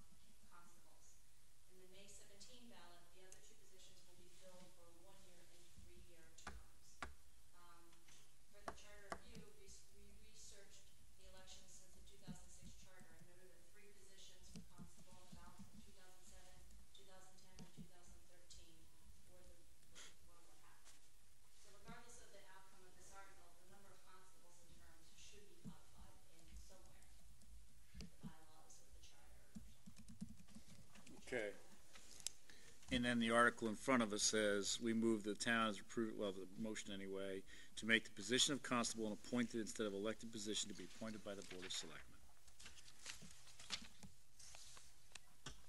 Okay? If there's a question at the microphone, my sense is the first question will be, what does the constable do? I know who's going to ask that first question. They serve papers, they post the warrant. Okay, so they physically move about the community, serving papers f- coming out of the police station, Civ- coming out of civil. the DA's office, civil Civil, not situations. criminal. Um, they post the warrants. What else do they do? Uh, they generally serve civil notice, so yes, they post the warrant. Uh, they're also able to, uh, handle civil notices like eviction notices, divorce papers, uh, anything like that. So there's activity around the position. For judged by, uh, that, at a rate set by state statute. Do they do restraining orders as well, or is that police? Uh, I believe they can do restraining orders, they can issue, uh, but I'm not entirely sure. No tasers. Not, not yet. have the ability to make unwarranted arrests for different, uh, Oh, that's awesome. I would love to be a constable. Okay, so anybody have a strong opinion about why they need to be elected? Appointed. Hearing none. All those in favor of Article sixty-two? Aye. Any opposed? Good job, Mr. Chairman. Okay, so we've got through that. We have three we need to get further information on, and we want to take a vote on Monday evening. We are posted to meet, I assume, on Monday evening at six PM. Is that correct? Let's- Well, we'll just confirm that with Maria the next day or so. Uh, I'm pretty sure she had sent out something for six PM. Um, town meeting begins at seven PM, if I'm correct. So we'll have a little time where we just meet in advance, like other committees would have done or do. And we'll clean up those through, three articles there. Anybody have any questions about the articles? Next on the agenda, um, is town manager's report. We already covered the FY eighteen budget update, I assume. Yep. And we have, uh, another item on your agenda, Mr. Khumalo, authority to act on rights of first refusal in relation to affordable housing units, thirty-five Sanctuary Lane. Yes, um, the request is twofold. Uh, the first part, I'm requesting the board uh, authorize the town manager or the town manager's designee to act on requests that come in regarding affordable housing units uh, that are up for sale. Um, the In, in, in most cases, the deed requires that the town uh, um, be given the opportunity to exercise its uh, right of first refusal. Uh, in most cases, those requests are timely, and so I'm asking that the board give us the blanket authorization to do so. In most cases, we we always consult with the Affordable Housing Trust Fund to see if they have funds available to to to to to, to, to be applied to any affordable housing unit. So um, the authorization may be with the understanding that the uh, that town staff will check with the Affordable Housing Trust Fund if they want to retain the unit on behalf of the town. So explain this one to me. If, if this particular unit on Sanctuary Lane is deemed affordable, is, is what you're saying that it, it's potentially changing to not affordable? No, it's remaining affordable, and the town has the opportunity to purchase the unit and make it a town unit. I see. But we're not in the business of I see. of Yep. holding property. Okay. Yeah. Sorry. So if we're not in the business of doing it, why would we need the blanket authority to do it? To allow to allow the state to sell it to a qualifying affordable um, to a qualifying uh, family under the affordable housing guidelines. Oh, okay. Yeah, rather than us taking the ownership. Got it. Yeah. Yeah, we don't want to take the ownership. Can, can just, so if we didn't do that, are you saying it still would remain an affordable unit, or would it evolve? It remains an affordable unit. Right. All we're simply asking is in instances where the town is named in the deed as having the right of first refusal whenever a unit is being sold as an affordable unit, that, that the authorization be given to the town manager to act on that request. The unit remains affordable. It's not changing from affordable to non-affordable. Yeah.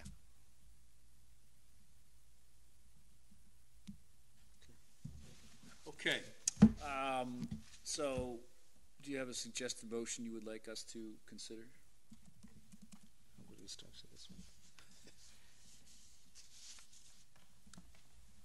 To, to authorize the town manager to act on behalf of the Board of Selectmen uh, in instances where the town is asked to comment uh, on whether the town wants to exercise its first, its right of first refusal on affordable units. So we have a motion uh, entertained by the chair, so moved, correct? Is there a second? Second. And a second. Any further discussion? All those in favor? Aye. Any opposed? Thank you. Um, Future we- board agenda, I'm sorry, Mr. Khumalo. So, and therefore specifically with that authorization, um, the town manager wants to know, wa- wants to let the board know that uh, uh, we'll be acting on the request regarding 37 Sanctuary Lane. Or 35, sorry, yes. Okay, makes sense. All right, um, future board agenda items, frankly, I think we should table until post-election. We will not be meeting as a board until after the election, if my memory serves me correctly. We have, well, we meet during town meeting, and then we are, quote, off until the election two weeks hence, or a week and a half, whatever, after. And then we'll meet the Tuesday following the Monday election. Yes. Night, next night after. In the past, that next night after has been a reorganization meeting and we go home. But in recent years, it's been a regular meeting that we reorganize and then we go right to it. This is May ninth. Uh, Yes, yes, it does. We're, Yeah, we're we scheduled do- to meet on the 9th. Yes, Can- there's one more meeting before the election, after town meeting. We'll see. After town meeting, before the election. Yes. That's, I'm, I'm okay with that, but isn't that a little out of sequence or order with what goes on at town meeting and then what happens, because town meeting closes with the election. And then I'm not showing a meeting on the sixteenth, but I'm showing one on the The 9th. twenty-third. Do we have one on the twenty-third? This is showing on the ninth. I think we have to look at the question of a meeting inside town meeting, because town meeting adjourns at the close of the election. I, I just want to look at that. I don't, I don't have a problem with it, and we'll come back to you guys, because it's something a little. But we're already, we're already having a meeting though, during town meeting. Town Yeah, but meeting we is a meeting. adjourn at the end of Tuesday night at eleven oh five, which is my prediction. We adjourn to, to, to, and close town meeting at the conclusion of the election at eight PM. on- But, but that's, but that's town meeting, it doesn't mean we can't reopen our meeting. Yeah. I would think. I'm Yeah, just, I I'm understand. just, you know, It hasn't been past practice in my time, but that's fine. and Let's look at that with Maria, and we'll let you guys know. I mean, And you guys have been here for. we got lots of stuff to do. There's plenty of things to do. Yeah. Um, so, you know, we can always fill a meeting with an agenda, or fill an agenda, whatever. move to adjourn. Second. So I'll moved. second that one. All those in favor? Aye. Okay. Thank you. Good night. Good job, Mr. Chairman.